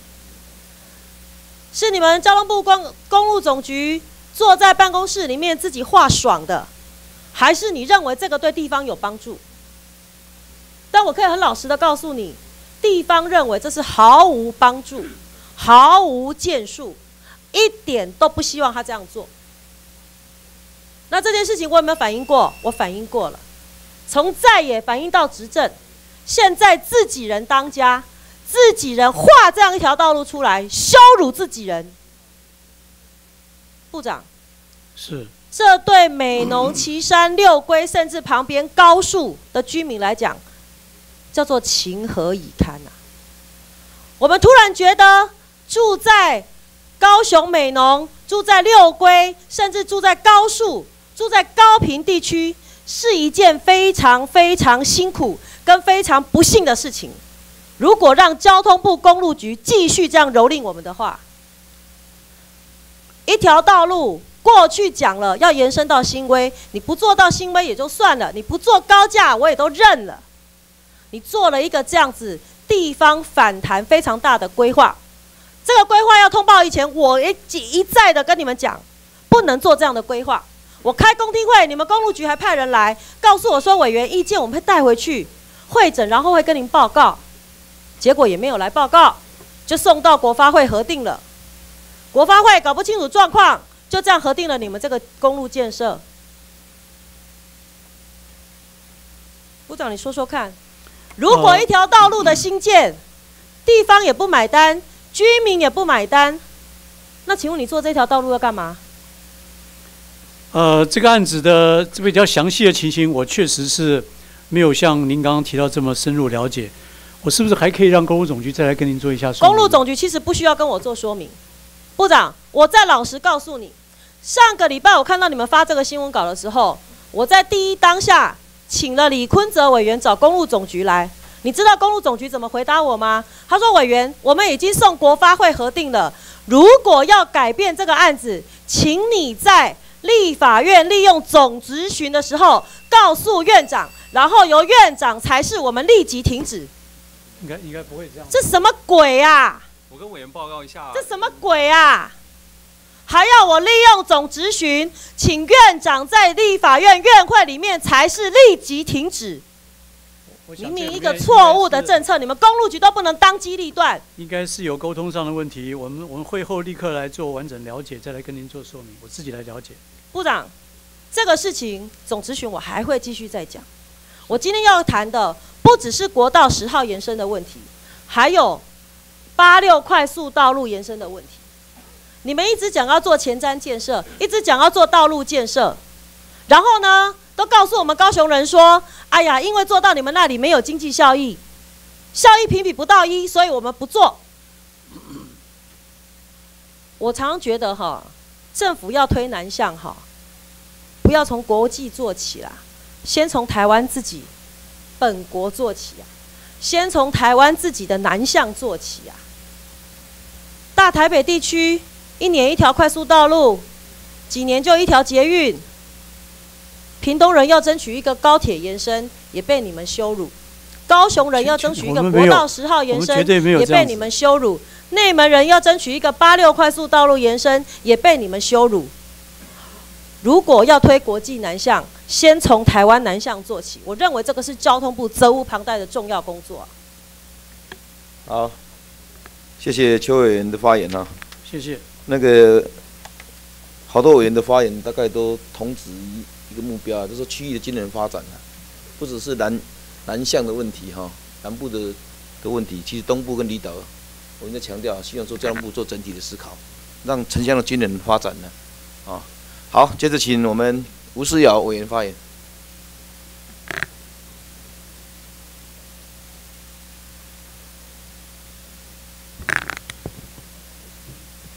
好，谢谢主席。呃，有请贺成部长。请那我另外有请我们坐在被询席上所有长官，你们认为？你们的本身执掌的业务跟市大运相关的，请出列。好，吴委员好。等一下哈，稍后我看哪些长官自己认有相关的，是不是请大家？没有相相关的不要上来哦。跟四大运有关系的啊对。好。大家也活动一下筋骨吧。有没有人该上来没上来？好，呃，部长，是我们所有不管是该站上来有站上来，或者是该站该站上来没站上来的各位交通部门的同仁，我今天要以市大运跟大家做一个非常严肃的质询。部长，市大运倒数几天，您知道吗？市大运什么时候上路？八月初吧，应该是。八月十九号到八月三十，今天是倒数第一百六十五天。交通部门业务包山包海，陆海空都有，包括交通运输的服务，包括所有的宣传，包括我们的观光客的套装行程。其实我认为，市大运的成败，在中央部会除了教育部非常重要之外，另外一个重中之重的部会，也就是交通部。有没有长官？你自己想一想，跟你有相关，你没有站上来，要赶快站上来。我等一下会点到。部长，我们看下一页。柯批市长也曾经是您的前长官哈，您过去在台北市的桃运呃捷运公司出任。我想对于市大运的业务，您也相当有掌握。但是我非常遗憾，新政府上台之后的交通部门，在您领导之下，对于市大运的作为是有所欠缺。这是历年有史以来台湾最高规格的运动赛会，不遑多论。世大运的成败，全国一起扛。下一页，它的场馆不是只在台北市，有横跨了新北市到新竹到桃园，它跨县市，所以交通运输非常重要。市大运的成败是全国一起扛。下一页，周局长，上一次您曾经被点过，你不认识？没有，不是我。啊，不是您吗？不是您吗？好，那我再给你个机会，哪一个是市大运的吉祥物？我们欧熊的旁边。好，欧熊旁边，也就是我手上这一只部长，它叫熊赞，是大运的吉祥物。我希望观光局多做一点宣传，多做一点宣导，不管是对国内的观光客，更是诉诸国际。只是台湾难得向世界行销的绝佳机会。我要说，它不只是台北市政府的事，它是全台湾的事，更是交通部自己的业务，应当关心。下一页，台北市政府的研考会在去年十一月做的民调。台北市有百分之二十五的居民愿意参与市大运，但是换到 TVBS 前几天做的民调，二月份全台湾有多少人知晓市大运，愿意参与？从百分之二十五掉到百分之十三。部长，你不要觉得这跟你没有关系。我没有这样想。好，委员千万不要误会。好，那我们是不是能够做更多？下一页，重中之重的。我们交通部的角色，部长从一百零一年我们在申办市大运之后，内阁就成立了市大运的跨部会的协调。目前在新政府上路之后，我们开了八次会，每个月一次。张景森政委担任召集人，副召集人是教育部的部长，而我们交通部是每次每个月都要来开会的。那部长您都没有来，没有关系，您没有来不代表您不关心。但是我现在请求您，我我我我这个委员是不，是真的。容许我讲？好，请说明。说我不关心，也许我在工作上面没有表现出来。我个人，你也可以去问问苏秘书长。嗯，我绝对绝对很多事情有在帮忙。所以我说了，没有出席这个会议不代表您不关心。但我今天的请求是，各个站出来的相关的。同仁们要更加把劲。你看，我执询到现在四分钟过去，站上来的越来越多了。大家突然想到，对，跟我有关系。下一页，这是我提供出来的是市大运申办到了之后，跨部会由台北市政府提出来的各部会请求支援的事项，包括要在国道设置选手专道。我想问一下，我们的国道高速公路局的赵局长，赵局长是。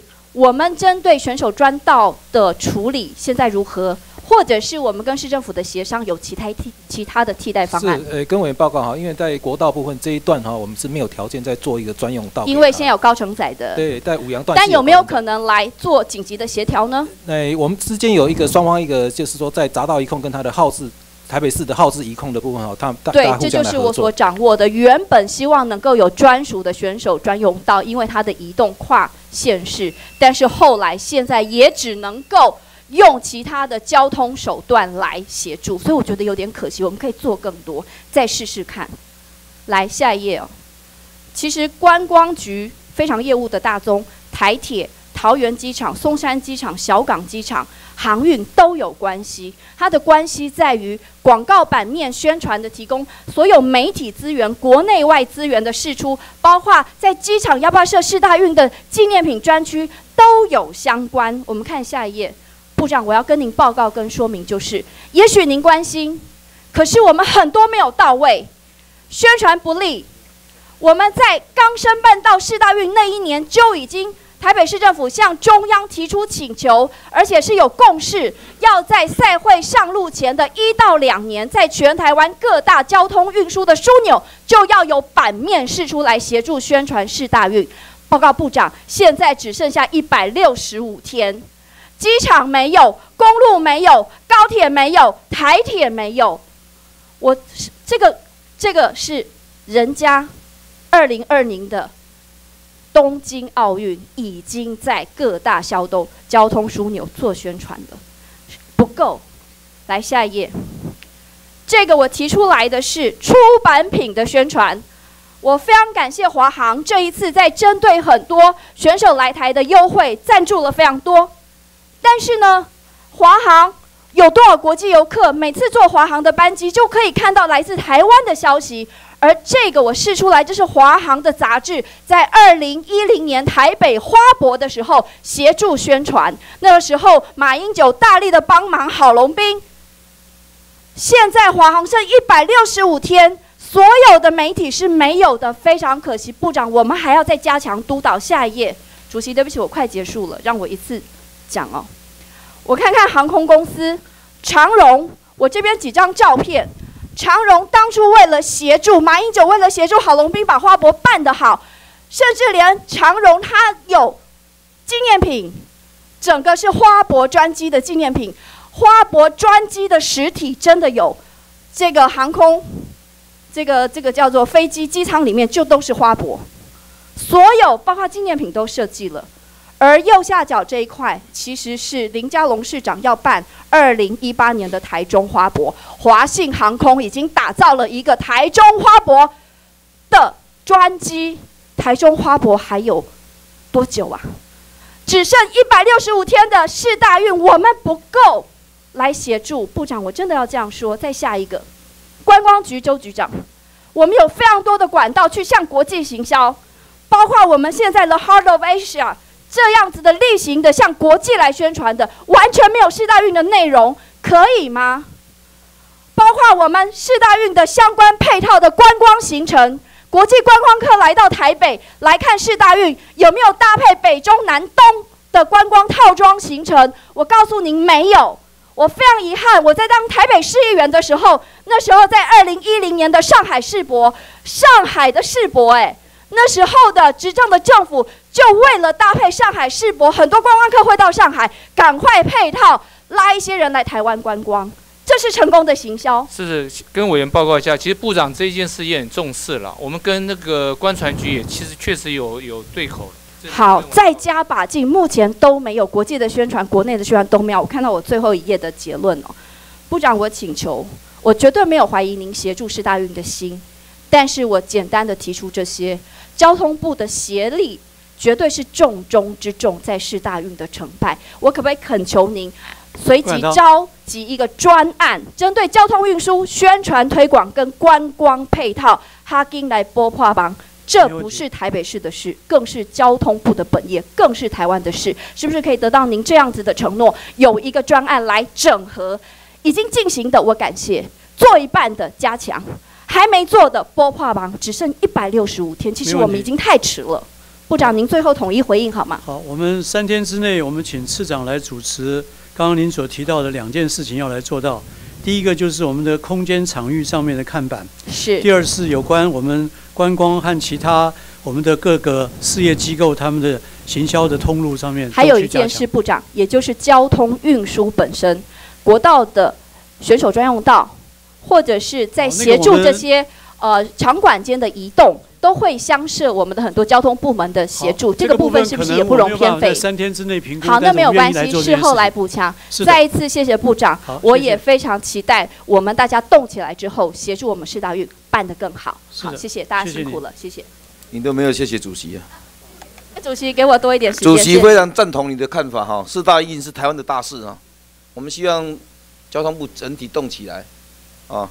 那也我们也呼吁哈，这个林前院长啊，呃召集相关部会啊，啊，我们虽然是重中之重，但是我们也是个角色而已啊，请他们各各个相关啊单位大家都动起来，好，谢谢。接着请孔文吉委员发言。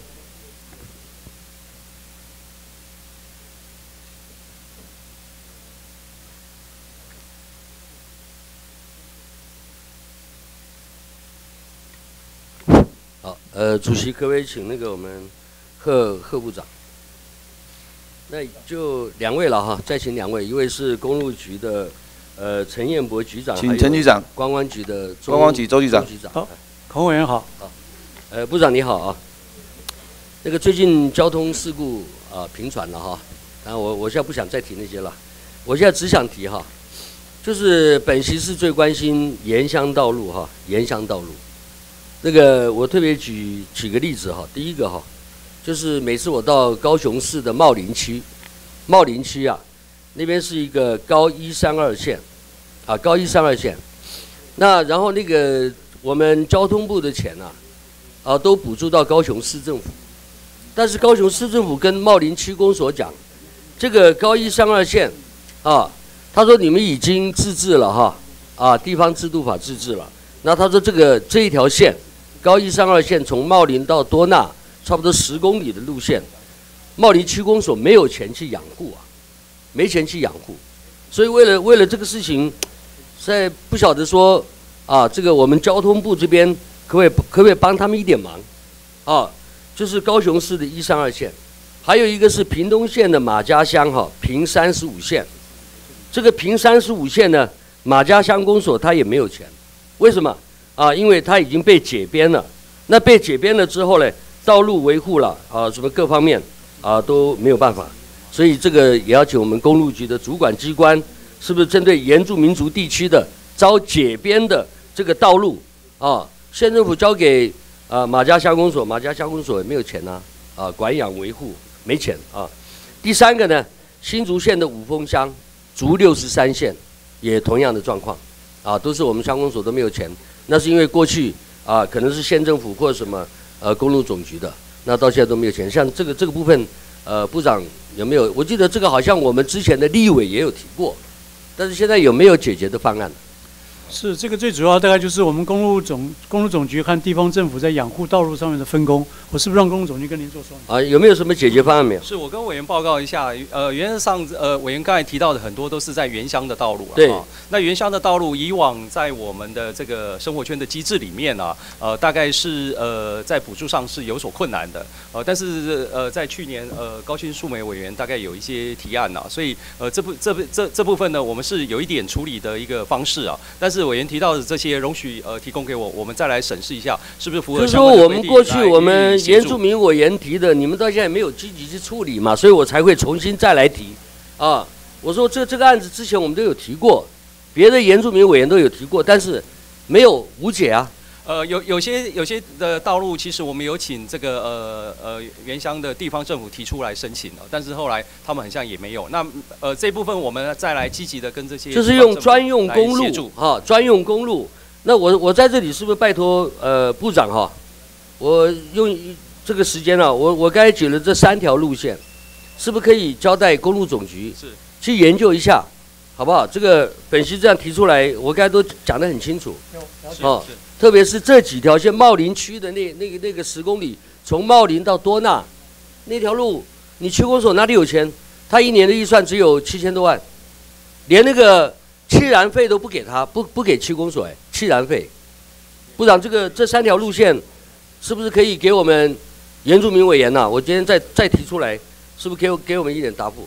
这个有的时候是地方政府他们在那个分配款上面的，我们再来协调了解，好不好？您刚刚讲的三条线，我们有记下来。这个三条线哈，哦，特别希望部长啊，这个能够哈花一点心在我们原住民地区的公路啊，特别是公路解编之后，解编之后，我们乡公所跟区公所没有钱去养护啊，没有钱去呃做那个道路的铺平的工作了啊。那这个这个呃倒是中间是出了什么差错啊？那县市政府他也他也不管，啊，说啊这个你们自治了，你们自己呃乡公所、区公所去认养，啊去管理，啊，好不好？好。那部长这个可以什么时候可以给我本溪一个答复？我想刚才公路总局陈局长已经跟您说了，他们会后就去了解，是不是两个礼拜之内好先了解这些案情，再跟您做说明，好不好？好，另外那个观光局哈，这个我这在这里特别拜托你们那个在风景区的吊桥，啊，像好比说在三山国家风呃风景区管理处，啊，像这个部分，呃，像台中市和平区的白鹿吊桥啊，啊，新竹县五峰乡的清泉吊桥，啊，清泉温泉那个吊桥，那我们现在公安局我们现在的呃在风景区的吊桥是不是你们在负责？呃，是有些是全责在我们，不管是怎么样，我们都全面普查，然后我们也希望给吊桥吊桥说故事，因为有非常多的这个经典的故事啊，其实在吊桥的这个新建过程里面，它都有一些可以做铺陈的。那三市委员有关心有几处，我们已经在在协调，尤其是新竹那个部分啊，因为是全属在县政府，那我们也在跟他沟通啊。是那个部长，我这样哈，我在在这边本席是拜托了哈。这个吊桥在三地乡的吊桥是只有严明会在啊、在管，但是在三地乡的风景区的吊桥，公安局应该有点责任吧？延明会有一点责任嘛？了解了解。哦、县政府也有点责任。了解了解，好，我们也去从普查当中来了解他需要的问协助。好，那这两座吊桥，请也请部长关心一下哈。是是是好是是，好，谢谢。啊，谢谢孔委孔委员发言。接着请黄国昌委员发言。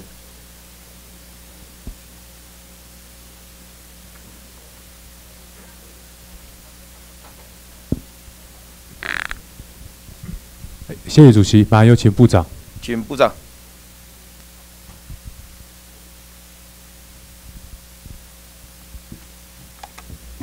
哎，黄委员好。哎，部长好。去年总咨询的时候，我特别针对西子啊非常严重的交通问题，有跟部长请命。那也感谢部长的支持啊，去应研所来一起协助。那不过过去啊这几个月在运研所啊，分别跟交通部、台北市政府、新北市政府啊，西子交通改善的平台处理下来，大概现在唯一一个在呃道路方面的部分啊，只有在高工局的协助下面，那呃跟新北市政府协调，开始推动在事后那边看是不是能够有一个新的南向匝道。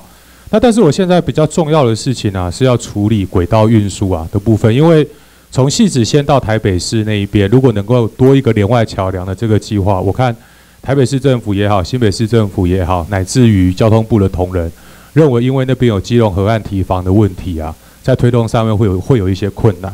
那针对这件事情，我事实上就以前马政府时期所在推的台铁捷运化，我也曾经提出过了咨询。那它实际上面预期的目标跟实际上面的效果啊，差距啊非常的大。那原因啊，就在于说在七堵的那个部分，在转换车辆的时候，让第三轨的运量啊大幅的限缩。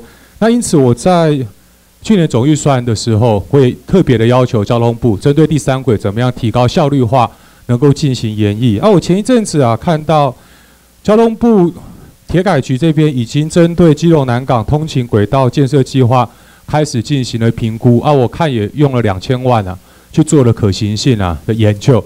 啊，我想要请教部长的是说，针对这件事情，目前所在进行的推动方向是不是确定的？呃，您讲的方向是说，这个关于台铁捷运化的部分，是他应该这件事情说起来，其实有一个比较大的讨论了，就是呃，从南港出去往基隆延伸，往基隆服务，或者是东部服务，那么等等这些部分，如果都是同样单一的一个台铁走廊的话，有的人是认为说需要另外做新的直铁。那么有的也是用这个现在我们一些所谓的短期的这个横渡线啊，来把这个基隆的这个服务跟东部的铁路把它分开来。那这个做做法里面就会涉及到您刚刚提到，要不要利用第三轨进一步直接延伸到南港或者南港展览展览展览馆这些部分，现在就是我们现在正在委托研究，想要把这个部分它的得失啊，跟它的工程的内容再来做进一步研究。那这个计划什么时候会做出来？啊，这个计划什么时候会做出来？是今今年这个已经发包的，八月份是不是？好像就是，应该应该差不多在第三季的时候。第三季的时候可以出来。那基本上面规划的方向还是利用第三轨，只是用轻便火的轻便火车的方式，让它能够提高运量嘛？是的，方向是这样。它并没有要新开一个轨道出来吗？目前就是在刚刚讲，把那个大方向的东部跟基隆稍微错开来的话，看是不是直接用第三轨来服务这个基隆这个方向。没有，就整个交通部吼，在规划上面要提高第三轨的运量的这个方向，是我个人是百分之百的赞同。是，但是我要提醒部长的事情是说，这个计划一出来了以后，大家开始把它想象成啊，说是有关于板南线捷运啊，实际上面的再延长，现实上面并不是这个样子嘛。对。那部长，你应该也很清楚哦，就细细子那边的居民，对于整个捷运能够到细子那一边，事实上已经引颈期盼，等了十几年了。你们今年这个计划刚出来的时候，细子那边居民啊的反应，一方面当然会觉得说提高第三轨的运量，大家都很开心，但是另外一方面，大家更关心的一个问题啊，是是不是用这一个基隆南港间通行轨道建设计划来当做一个烟雾弹？然后把整个民生系直线推动啊，把它给停滞下来。那部长，你其实看得出来啊，我们从可行性的研究报告出来以后，两千零四年，一直到今年，我们的环境影响评估才要去进行招标的作业，整整延宕了十几年了。戏子那边居民的心声是说，听戏子这边捷运要过来，从小学听到出社会。那目前这件事情推动了计划，我我想要。具体的请教部长这边，你们的政策立场是这条线是不是还会继续努力推动？哦，这个当然我的了解可能是台北市他们在这个上面有一个综合性的一个评估，目前大概是第二期，因为牵涉的范围比较广，也有环境上的考虑，所以您觉得需不需要让台北市捷运局来跟您做说明？没有这件事情，就交通部的立场来讲，是不是等到这一个环境影响评估做完了以后？送给交通部去核定，因为去年的时候，柯批市长跟朱立伦市长他们所达成的协议是，要由中央这边一次核定以后分阶段去建设嘛。那我现在要清楚的知道说，交通部针对民生西子线这件事情所采取的立场是什么？这个基本上我们是尊重台北市在这个上面的一二期的整体的规划。那么他们这个案子如果送上来，我们当然在核定上还是把它视为单一的线。但是在他们没有提出来以前，我们也。没有对于这些呃个别的内容有什么不同的看法？不晓得台北市捷运局的今天有没有来？是不是可以说明一下？嗯，报告委员，呃，就是我们现在是针对就是路线如果要一次核定化，因为环评还没有过，所以呃交通部是希望说我们先要完成环评，然后环评做完了之后呢，综合规划报告出来。那你们环评打算什么时候做完？呃，我们现在正在做这个呃委外的发包作业。对我的说，你们在整个推动的计划上面，因为你不能够说我永远都是在推各式各样的纸面计划嘛。那针对这件事情，你们估计在整个推动上面，环评什么时候会结束？呃，环评如果顺利的话，我们现在呃预估就说发包之后大概呃十五个月可以完成。完成十五个月，所以要等到明年吗？呃，是是。速度可以再快一点吗？呃，基本上，因为他要做一一年的这个环境的调查，所以这个环评如果过了以后，你们是不是就会交给中央来进行核定？呃，环评有环评审议的它的一个呃顺序，那另外还有综合规划报告书哈，也会再提报到中央做审议。我的意思就是，环评过了以后，你们整个计划才会提报到中央。现在目前的进度是不是这个样子？呃，原则上是这样子。啊，那个主席已经站起来了，不好意思，请部长哦。部长，最后我只讲一件事情哦，就是。妻子那边交通拥塞的问题，我相信你也非常的了解。在整个公路运输改公路运输改善有限的情况之下，我会希望在交通部的立场，针对于戏子居民，大家已经引颈期盼这么久的民生戏子线，能够采取一些更积极的态度来努力推动。好，轨道运输增强它的容量，我想我们就乐于见到。OK，好，谢谢谢部长。好，谢谢汪国昌委员的发言。接着请徐永明委员。徐永明委员，徐永明委员不在，吴志阳委员，吴志阳委员，吴志阳委员不在，廖国栋委员，廖国栋委员，廖国栋委员不在，张立善委员，张立善委员，张立善委员不在，赖世宝委员，赖世宝委员，赖世宝委员不在，请邱志伟委员发言。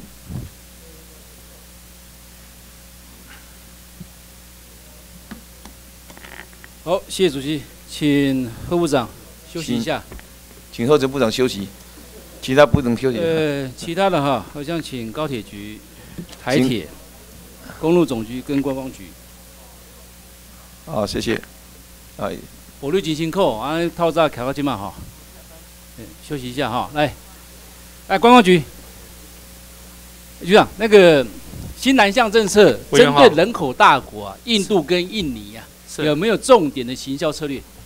我们现在正在印度参加印度的旅展，那刘副局长也亲自参加。一个重点，加强力道。好，除了印度之外，双印双印印度印尼是我们的重点。那目前他们来台的观光人数多不多？呃，确实是有限，尤其是因为在穆斯林的部分啊，是我们一个呃有关于吃跟这个旅游的这个喜好跟特色。那签证的管制严不严格？呃，现在也是一个问题，但是因为关协助突破，就印度他人民要来台湾，我们也希望印度是一个优先，让它简化。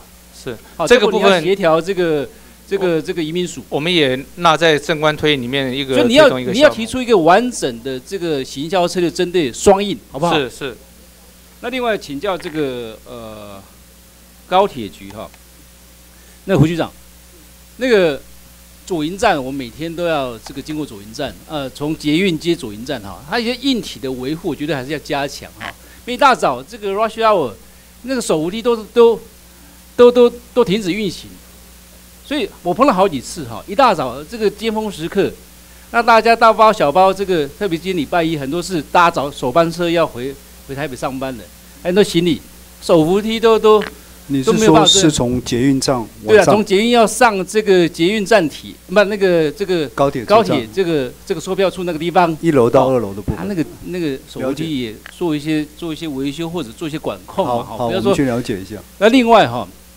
啊，这个问题也请教一下这个高铁公司了哈。就说这个在国外，特别在日本哈，你在搭乘公共运输工具哈，它都有一个一个标签的，有一个标志叫 “man model” 哈，就礼貌模式的哈。礼貌模式，他就把这个行动电话打一个打个叉，好，我觉得这是一个一个一个文明国家该有的一个一个一个生活礼仪的哈。就食衣住行，但是每天都必须要要去去碰到的。所以我要求自己搭这个公共运输的时候，非不得已啊，非不得已，我全部是用用简讯，或者是用其他的通讯方式，绝对不不接听电话。若非不得已有急事，比方说这个贺部长要找我，好，我可能到这个走道间呢，走道间去去通电话，很小声。但我现在碰到我每天搭乘高铁或者其他的这个运输工具。大家呢很习惯手机哇，天南地北的聊，聊他公司，聊聊他家的这个宠物，聊他家女儿。我听好多，我听好多故事。邻座的、隔壁的、前面的，那我们没有必要在这个这个这个搭车环境听到这些，他们属于私家人的事情。所以必须是不是要有一定劝导？有一定的这个作为，让让大家知道尊重别人是一个基本的礼貌。最起码你通电话可以要小声一点，然后呢，尽可能在日本是这样，他不能在车厢里面通电话了。搭乘捷运、搭乘公车、巴士都是如此。所以这么去研研究一下，也许国情不同，有不同的这个这个这个这个通话习惯，不同生活方式。所以我觉得这个高铁公司跟这个。啊，高铁局或者公路总局啊，是不是去研拟一下这部分要怎么样去宣传，让这个行车在这个搭乘公众运输的时候有更好的这个品质？好，这个委员我我想我个人非常同意你的想法，大概我们也会跟高铁公司这边就他车内的这个部分，看看如何来加强宣导。这部分很重要了哈，就是说，呃，总是要。提升整整体的这个素质嘛，哈，不管你生活品质，你搭车品质也要提升哈。所以这部分来请这个部长也，你也啊能够跟相关的这个同仁，能够针对这部分也有一些有一些讨论，拿出一些具体的这个做法。啊，另外台铁哈，啊台铁这个呃局长，这个北车的这个商业模式非常好，好，所以你们希望用北车的方式到其他的这个。啊，这个呃，一定运量的站，比方说屏东、潮州，用这个这个是跟商业结合的模式，哈，你们有这个计划吗？哈，是。那我建议把冈山也拉出去。冈山呐，好，好，冈山它的这个呃这个运量，它不会低于潮州吧？呃，比潮州好一点。对呀、那你潮州、屏东都可以列入这个所谓这个北车这营运模式的这个示范计划，啊，为什么冈山不行？我我们会纳入考量。所以我觉得这部分也请这个呃局长啊，把冈山纳进去哈。是。那我还有一些小问题，我继续请教一下观光局。我一次讲完了哈，我很快了。哎，主席，我比比照五十秒就好了哈。这观光局这个对地对地方上哈，地方政府参与有限，有些观光设施需要观光局的协助，比方说小冈山哈，小冈山风景区啊，谢谢观光局啊，在前任局长的这个谢局长的协助之下啊，有很多的这个硬体跟预算的这个投入啊，这个部分也希望说这个观光局继续协助。我希望你能够有一个缆车的新建计划，让这个啊呃年老者，让这个银发族，让这个我们长辈能够不用爬山，能够搭乘缆车，能够到这个小冈山啊，他看到这个整体的小冈山的这个美景。呃，这个部分，这个也许高雄市政府会提出比较详细的计划，到时候再请这个局长能够来支持啊。我们来了解一下。好，好，这部分我希望如果案子到你那边，你要再支持一下。时间的关系，以后再来问。好，谢谢邱志伟委员的发言。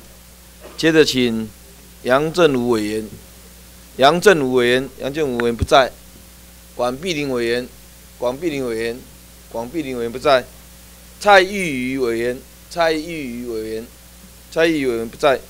周成秀霞委员，周成秀霞委员，周成秀霞委员不在。李义林委员，李义林委员，李义林委员不在。蒋乃新委员，蒋乃新委员，蒋乃新委员不在。黄伟哲委员，黄伟哲委员，黄伟哲委员不在。何新存委员，何新存委员，何新存委员不在。吴坤玉委员，吴坤玉委员，吴坤玉委员不在。李洪金委员，李洪金委员，李洪金委员不在。古拉斯尤卡达，啊，委员不在。姚文智委员。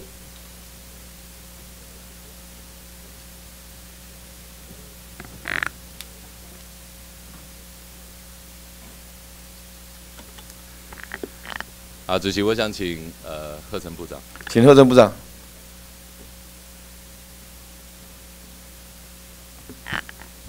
哎，姚委员好。哎，部部长很久没有找你了哈。是，不敢当。那呃，但是今天还是非来请教一下不可啊。呃，你也非常清楚，我一直主张松山机场是应该要废除。那当然，它其实就是整并进桃园机场啊。是。这个应该非应该非常清楚的状况。那我因为最近呢，我的办公室询问了交通部，但是得到两个答案。我想借这个机会啊，来问清楚。现在对于这个废松山机场啊，整并到桃园机场这样的一个方向，交通部到底的态度还有做法到底是什么？呃，应该是两方面，一方面是当然从首都机场的需要性，还有他眼前对于附近居民的环境做评估，这件事情民航局都持续在做。第二方面就是关于桃园机场它的这个建设期程，那么怎么样它可以有一个比较合理的时间表来容纳？假如说这个松山机场需要做迁建的时候。该怎么样的来在时程上配套？这两方面都分别是民航局这边在办理。在办理。那之前我记得，呃，曾经非常具体的答复我哈，是要请专业单位，是专业的研究单位或者是顾问顾问公司来做一个一个整体的专业性评估。那这个进度如何？他们现在我的了解是并到淘机公司的那个。呃，计划里面来做做这个详细的讨论，是不是让曾董事长跟您做说明？啊，是，现在变成在曾董事长。对，好来，请曾董事长。呃，委员好啊，我想我们机机场公司有一个我们叫整体纲要计划的第二第二第二版，就是我们第一版已经在实施了，第二版在刚刚开始启动要做检讨。那我们也是按照部里面的指指示，我们是把呃我们桃机在本身的这个 T 三就是三航厦跟三跑道整个做完之后，加上民航局的空域的这个整个分析，会把这个资料重新盘点以后，然后提供给部里面做相关政策的决定。三航厦三跑道做完是做完什么？呃，建设完成，它就可以增加它的建设容量。完成，对部长，这个这个曾曾董事长，你请了。部长是，部长，你答应我的是这样吗？呃，不是不是那个时候才才启动这个评估，而是现在是把这个容量在那个时候来容纳，但是前面的评估应该在这个之前就会有结论。有结论。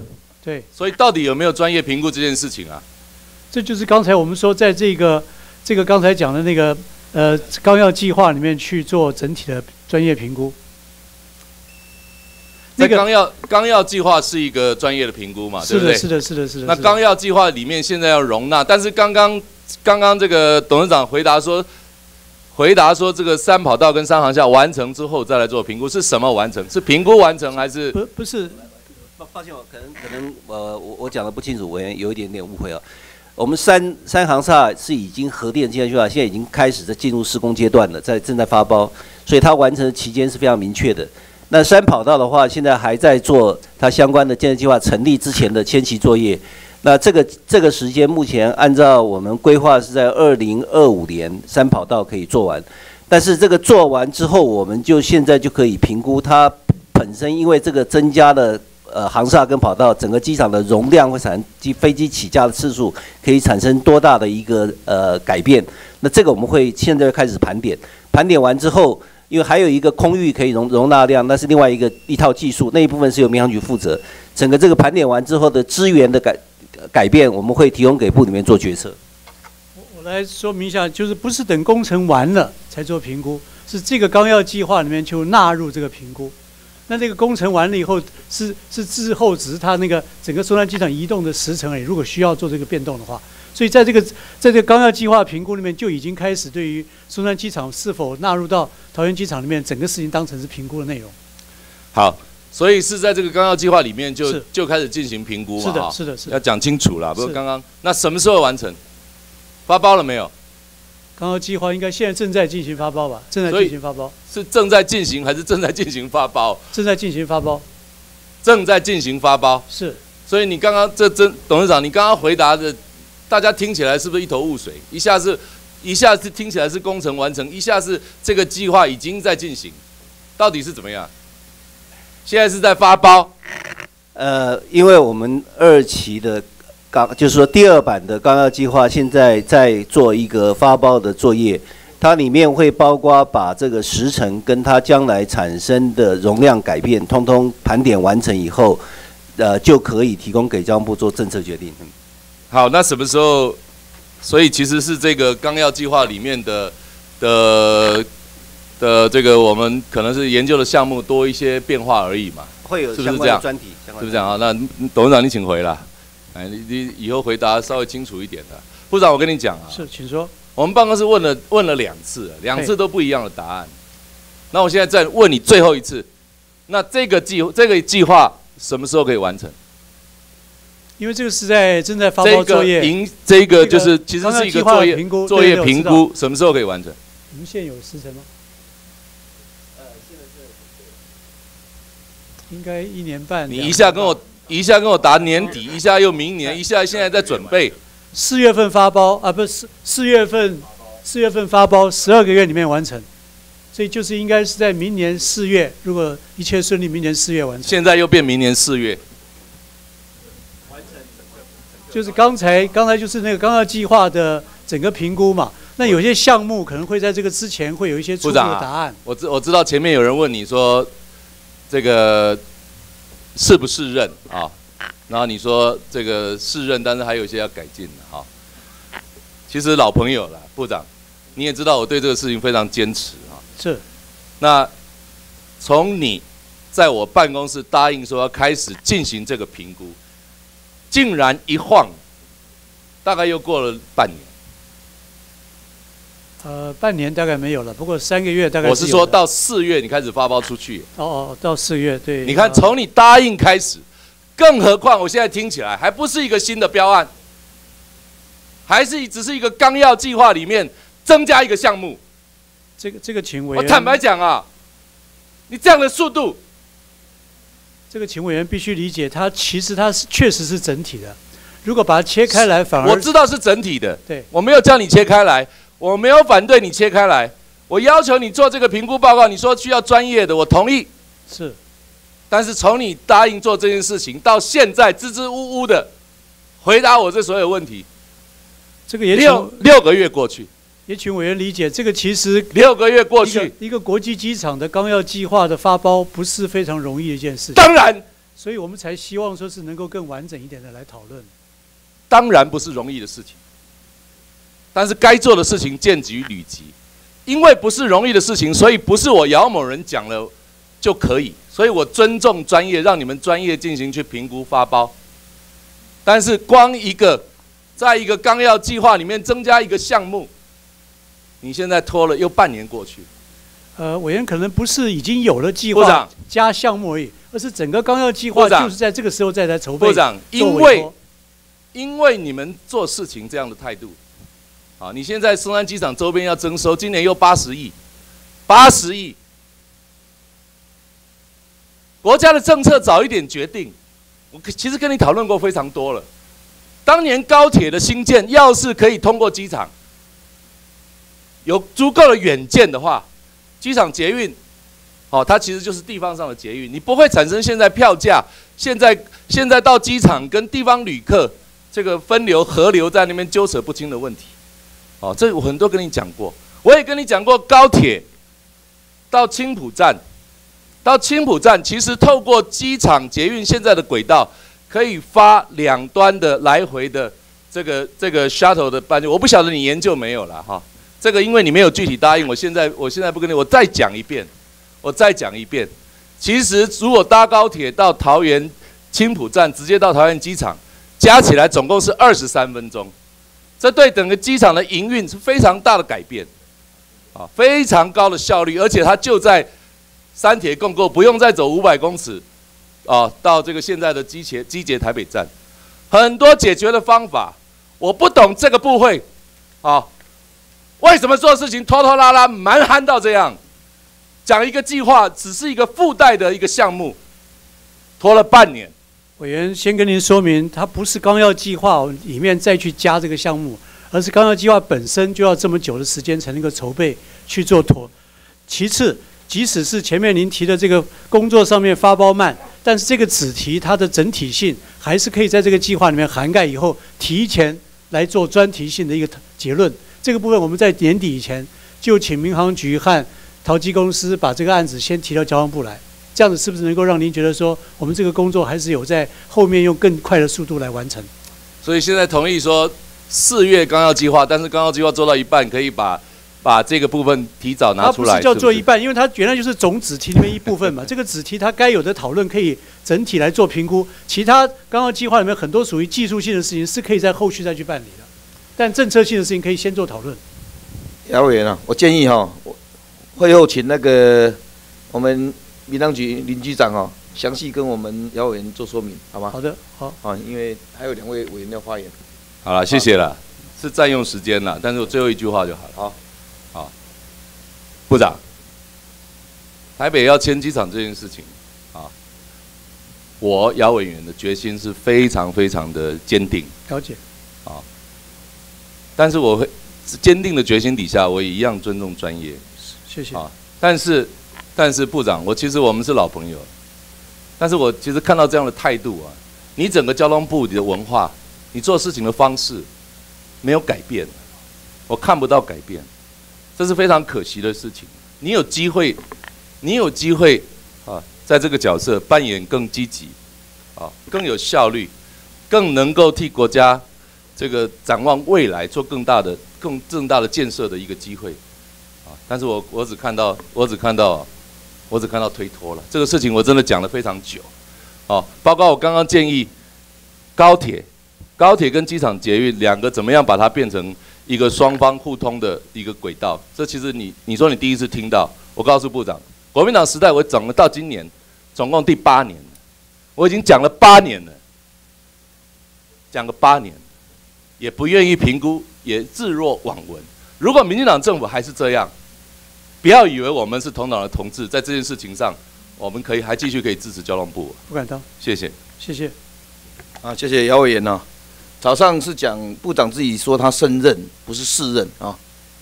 这个我会议都有录音哈。好，他说他升任了，不是他试试任啊。来，接着请我们哎林维周委员。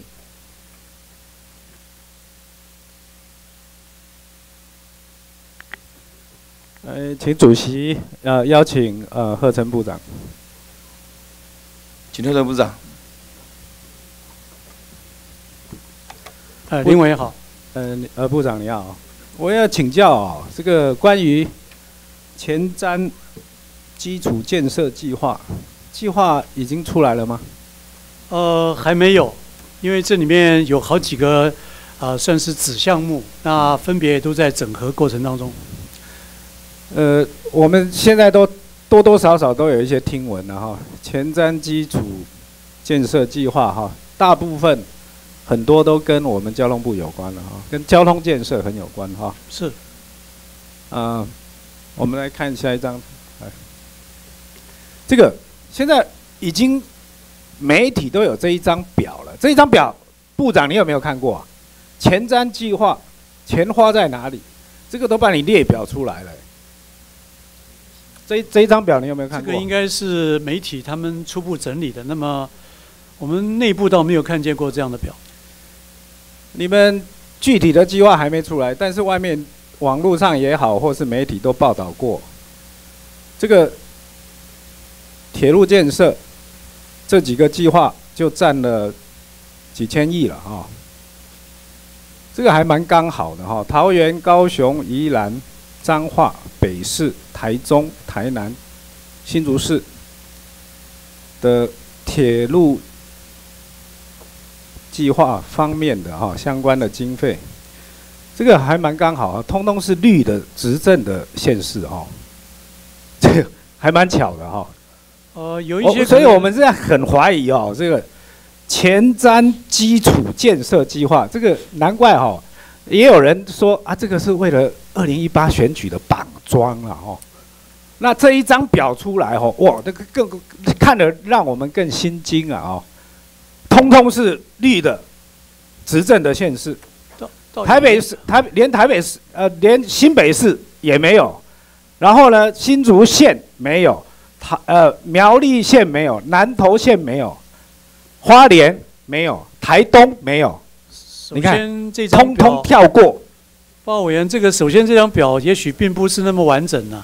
那第二，当然我们没有要特别跳过什么县市。我这一张表看了一清二楚。对，我想我们这个可能还有一些项目，这个表制表的时候并没有列进去。不过这个整个案子还没有结束，所以这件事我要跟部长讲的哈，这个国家的经费哈是这个都是要去举债的了，好，要用特别预算来建设。我们支持国民党支持哈扩大内需、提振经济，然后编列特别预算来做重大的，而且是有效率的交通建设，这个是我们非常支持的。但是如果是用这种方式来处理哈，我们觉得反对到底，用绑桩的方式，二零一八选举要到了要来绑桩，也没有去评估它。所能带动经济发展的效益，到底效益的数字分析在哪里都没看到。但是我们现在最早看到的就这样这样一张表，这个绝这样的态度哦，我们绝对无法接受。部长，你要不要说明一下？对，我想呃，我们没有把它当成是跟选举有关。那这个工作也还正在检讨当中，所以这张表可能也还并没有完整的陈列。希望不是如此的，是的。好，我们来看下一张。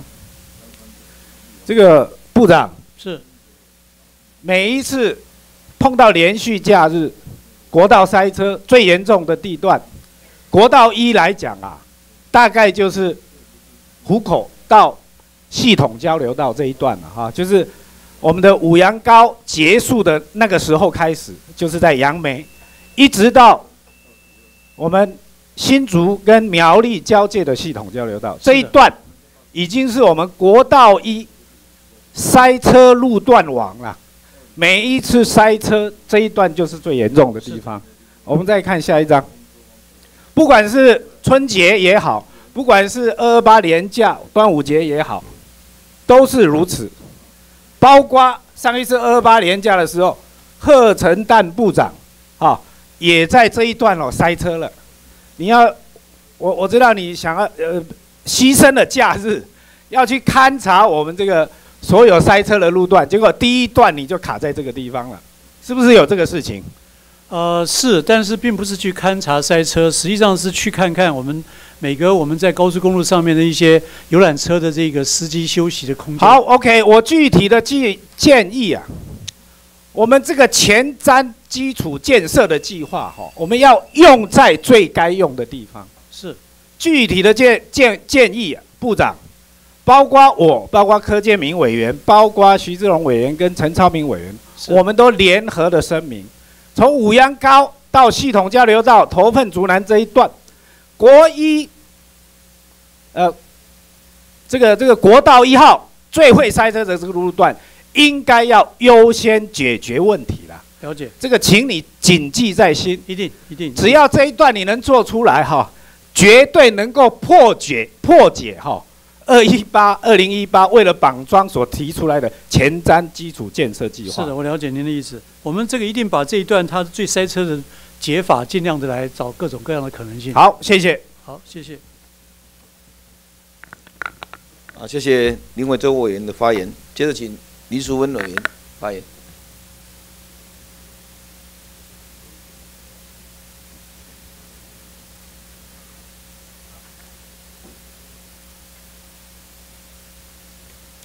呃，主席，各位大家午安哦，是不是请我们贺部长？请贺成部长。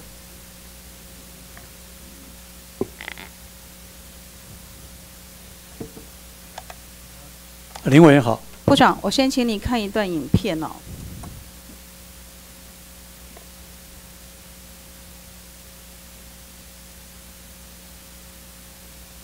时间上。时间可不可以暂停一下？影片放不出来。哦，时间暂停一下。啊，先归你了，时间归。四分钟哦。哎。四加一。哦。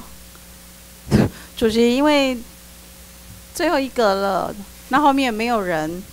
那我是想谈一个跟台湾很多这个驾驶安全有关的政策讨论。问题讲完可能都四分钟了。那可不可以让容我们哦？反正现在还在整理资料，让我们可以稍微有一点时间，因为立委来这里不是把自己的话讲完了哈，在这里是要对于公共政策能够造成影响和做到改变哦，我们的咨询才有意义啊。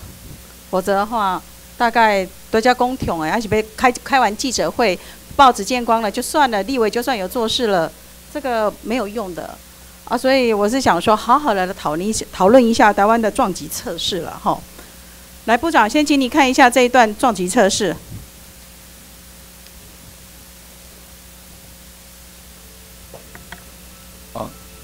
啊，开始计时。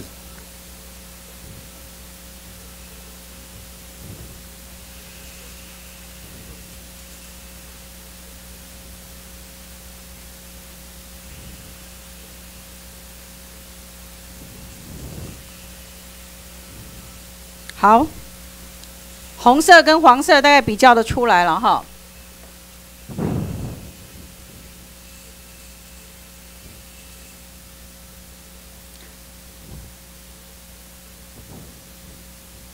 OK，停，来，部长，这个是今年是这个欧盟新车安全评鉴协会，就是 Euro NCAP，它成立二十周年的这个呃见证了哈。他们特别在二十周年的那个欧洲 NCAP 成立二十周年的时候，找来了两款车，一款是二十年前哦，在欧洲销售第一名的，大概 Rover 一百，就是红色的那一辆，欧洲销售第一名，和经过二十年以后，二零一五年的 Honda Jazz 就黄色那一辆，他们做这个进行四十 percent 偏位的正面撞击测试，它不是全部正面撞击测试，它是只有四十 percent 的撞击测试。哦，那这个对结构安全和驾驶人、乘车人的安全是相当呃重要的一个测试。那我们看得出来，当初二十年前在呃 NCAP 刚要进行撞击测试以前卖的最畅销的一款车，二十年后他们特地找这辆车来撞击测试，大概它的状况是这样，你看，呃，黄色的车子哦，二零一五年的哈，车头全毁。哦，那引擎受到挤压而溃缩，但是 A 柱以后的车厢空间保有相当完整的这个完整度。你看黄色的车子，引擎这个溃缩了，哈，但是 A 柱以后的空间大概保护了驾驶人和乘车人的安全，达到相当的功能。这个是欧洲 NCAP 测试二十周年后的成果。但是另外一个是当时还没有欧洲测试以前，哈。这个最畅销的 Rover 一百，我们只能说它是惨不忍睹的。引擎室就不用说了，连前座都被挤压到剩下三分之一，整辆车扭曲变形，哈，造成严重的伤亡。想想看，如果是我们或是我们的家人驾驶这样的车子，不要讲伤亡，光是要去救他，他的救援和脱困的难度。所以为什么二十年后？这个欧洲 N K N Cap 要做这样的东西，是因为他们在新闻稿里面提到有一段是这样子：在一九九七年二月四号揭晓第一次的撞击测试以前，每一家车厂们的自家车辆撞击测试都有撞击哦，一直都不公布的状态，消费者无从得知任何资讯。所以，虽然在那个时候。一九九七年二月四号，他们的 Europe 这个 NCAP 开始要撞击测试了，但是当时因为很多人，还有包括汽车业者还不适应，百般抗拒，所以引起了很多社会的反弹。哈，但是呢，我们看到欧洲车厂经过二十年以后，发展到现在，给全世界带来什么样欧洲车的概念？就是我们觉得欧洲车是相对比较安全的良好印象，而且是一个事实。所以呢，迫使包括美国 IIHS，包括其他世界各国的 NCAP 开始在执行，迫使欧洲以外各国的国家加紧脚步，致力于研发安全的车款。这个欧欧 Europe NCAP 的功不可没。所以呢。我们今天要讲哦，呃，NCAP Europe NCAP 他们有表示，到目前为止啊，欧洲市场上销售的车款百分之九十都经过这个 N 就是 Euro NCAP 的检测，而且他们希望这一股影响力可以带动印度、拉美、东南亚地区的安全等级要一并更改。目标是让车辆车厂出厂的车辆能够设计出安全的车辆，保护乘客和车外人员，达到全球用路零伤亡的成果。OK，部长，你知道我要讲什么了吧？是的。我们在这里要讲保护驾驶人和行人的安全，还有在兼顾提升产业发展的这个脚步上，它是它是相得益彰的。所有的 NCAP，它都让车厂开始研发更安全的车辆，它也逼迫国家正视这件事事情，定出严格的标准。所以，我们今天讲说，台湾不但跟不上欧洲，也跟不上美国，那就不要讲哦。汽车产业的韩国跟日本，我告诉你这一份测试，我给你看，我我没有拿出来了，因为我考量到我们也不是针对这一家车厂。但是我必须告诉你，这家公司叫做东风裕隆。你知道东风裕隆是在哪里哪里造车吗？部长，东风裕隆，他在哪里造车的？这是哪哪一国的车厂？上海吗？上海，没错。裕隆公司在中国上海。你知道这官方网站还可以调得出来它的安全碰撞试验结果？B B 玉龙纳智捷大七，在中国组装的在中国制造的还必须去通过中国的所谓的 CNCAP，中国的 NCAP，呃这个 NCAP 的测试撞击，不管它成绩好坏，至少它还必须遵守。玉龙在台湾造的车子不用，连在中国都必须要做到这个测试，连在东南亚都有 NCAP 制度。今天我们看到国发会上一个网络平台，有一个人提议，目前民众对于车辆的安全日益重视，可以由进口车和国产车的购买比例来见证。从以前进口车是三比七，比国产车的这个比例一直提高到四比六，所以大家都知道说，大部分进口车经过认证的实验室实施这测这个撞击测试，好，那我们看到国产车市场不断的萎缩，在退缩，然后呢，人家到国发会去提案，要求公告，依照现行的法令，你们做了最简单的 ARTC 的这个撞击测试合格公布，你们也不要，叫你们说台湾要实施 NCAP，你们也不要，你们还跟消遣人家，说啊，这个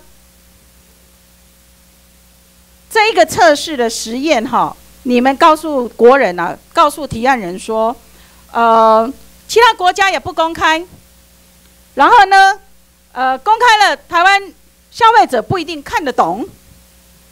你讲的的，你们讲的也对，也讲的蛮好的。其他国家也没有公开，因为其他国家不是用最基本六十分的合格与否的标准在做车辆检验，国家的个标准规定，哈，其他国家也没有要求要公开，但是他们每一辆车子都有欧盟的 NCAP，NCAP 的测级撞击测试比国家标准还要严格。第一个，第二个。说看不懂，对，没错。所谓的 NCAP 制度就是要告诉消费者，你不用懂得学理上的问题，我用最简单的量化星等颜色来告诉你它的风险有多高。国家就是要做这一件事情，结果你们不做，还说我公开了，你们看不懂。其他国家也没有公开，你们却没有说其他国家的车辆，欧洲的、美国的。还有日本的、韩国的，包括中国的，都比国家最简单的六十分的安全测试还要高，在做 NCAP。然后你说看不懂，人家都用星等，或者是等级或颜色，来让消费者一目了然。你说我们看不懂，却不让我们知道，人家别的国家是看不懂，我用你看得懂的方式让你知道。我今天讲这么多，因为时间啊很少，部长。主席都一直站起来，我是要告诉大家这件事情很重要，这件事情对消费者来讲也很关心，这件事情对那车祸当中上升的、受伤的，所有每一个人都很重要，也对未来要买车的都很重要。我们不想要买车的基准是要去打听啊，打听说哪一辆车是比较好的。这个国家和这个社会难道没有制度来告诉我们？我们不用去包打听，打听还不知是真是假。你给我们一套管理标准，给我们一目了然的 NCAP 制度。了解，了解是要做还是不做？这个林委员，首先交通部对于那凡是提升交通安全的作为，我们绝对支持。那这个 NCAP 这个制度在全世界现在这样子风行，对我们来说也乐于见到。我们下去就跟经济部大家一起来探讨。怎么样在现在它的车测中心或者是相关的这个车辆制造业上面共同来把这件事情做好？部长，那是你说的，你下面的人都拒绝和抗拒啊？呃，我想，我想没有关系啊，我们每次都在各位咨询当中来成长吧。那你你多久要做出政策的研议？我今天讲不是研议说可行不可行哦，我今天是要研议如何让它可行。对，我刚才他的适法性会出现在哪里？哪一条法规要改？哪一条法规改了以后，让他有适法有依据？我今天不是要研议可行不可行，我今天希望你们研议什么时候可以开始做法规，哪里要扫除？委员，我刚才也是跟您说，下去以后我们就跟经济部来研究怎么样推行这件事。怎么会跟经济部呢？这个车测中心就是经济部的财产法人了。那如果没有政策上，各位，我跟您报告。我我们的制车辆的制造业，他们愿不愿意在这个上面接受一个算是公信的团体来做这件事情，也是一个国家车辆制造产业的一环。所以这些事情要跟他们一起车辆制造产业永远都不想要所以我们才说我们要跟他们去一起讨论这件事嘛。啊，他们都不想要。我想也不见得了，他们想要他们自己的品牌。你知道在欧洲执行这个单位的哈，在美国啦，是美国国家公路交通安全局，不是经济部的车测中心。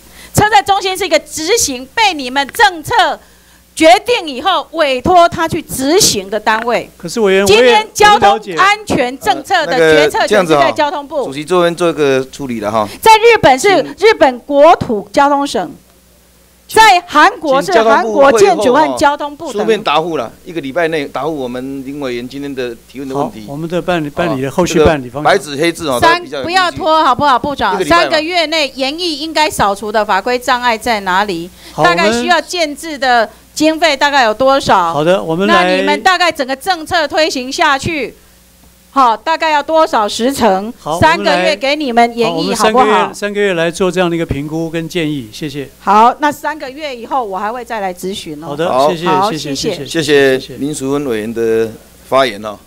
啊，主席今天对于美丽认真的委员都比较这个给他多比较多的时间咨询哦，也请那个交通部所有的啊这个同仁谅解哈、好，接着请李丽芬委员。李丽芬委员，李丽芬委员不在，钟孔少委员，钟孔少委员，钟孔少委员，钟孔少委员不在。那今天登记执行委员经理发言完毕，委员吴志阳、徐真卫、钟嘉宾所提书面质询列入记录并刊登公报。针对今天的会议做如下的决定：一、报告及询答完毕；二、委员于执行中要求提供相关书面资料或未及答复部分，请交通部尽速以书面答复。现在休息，星期三上午九点继续开会。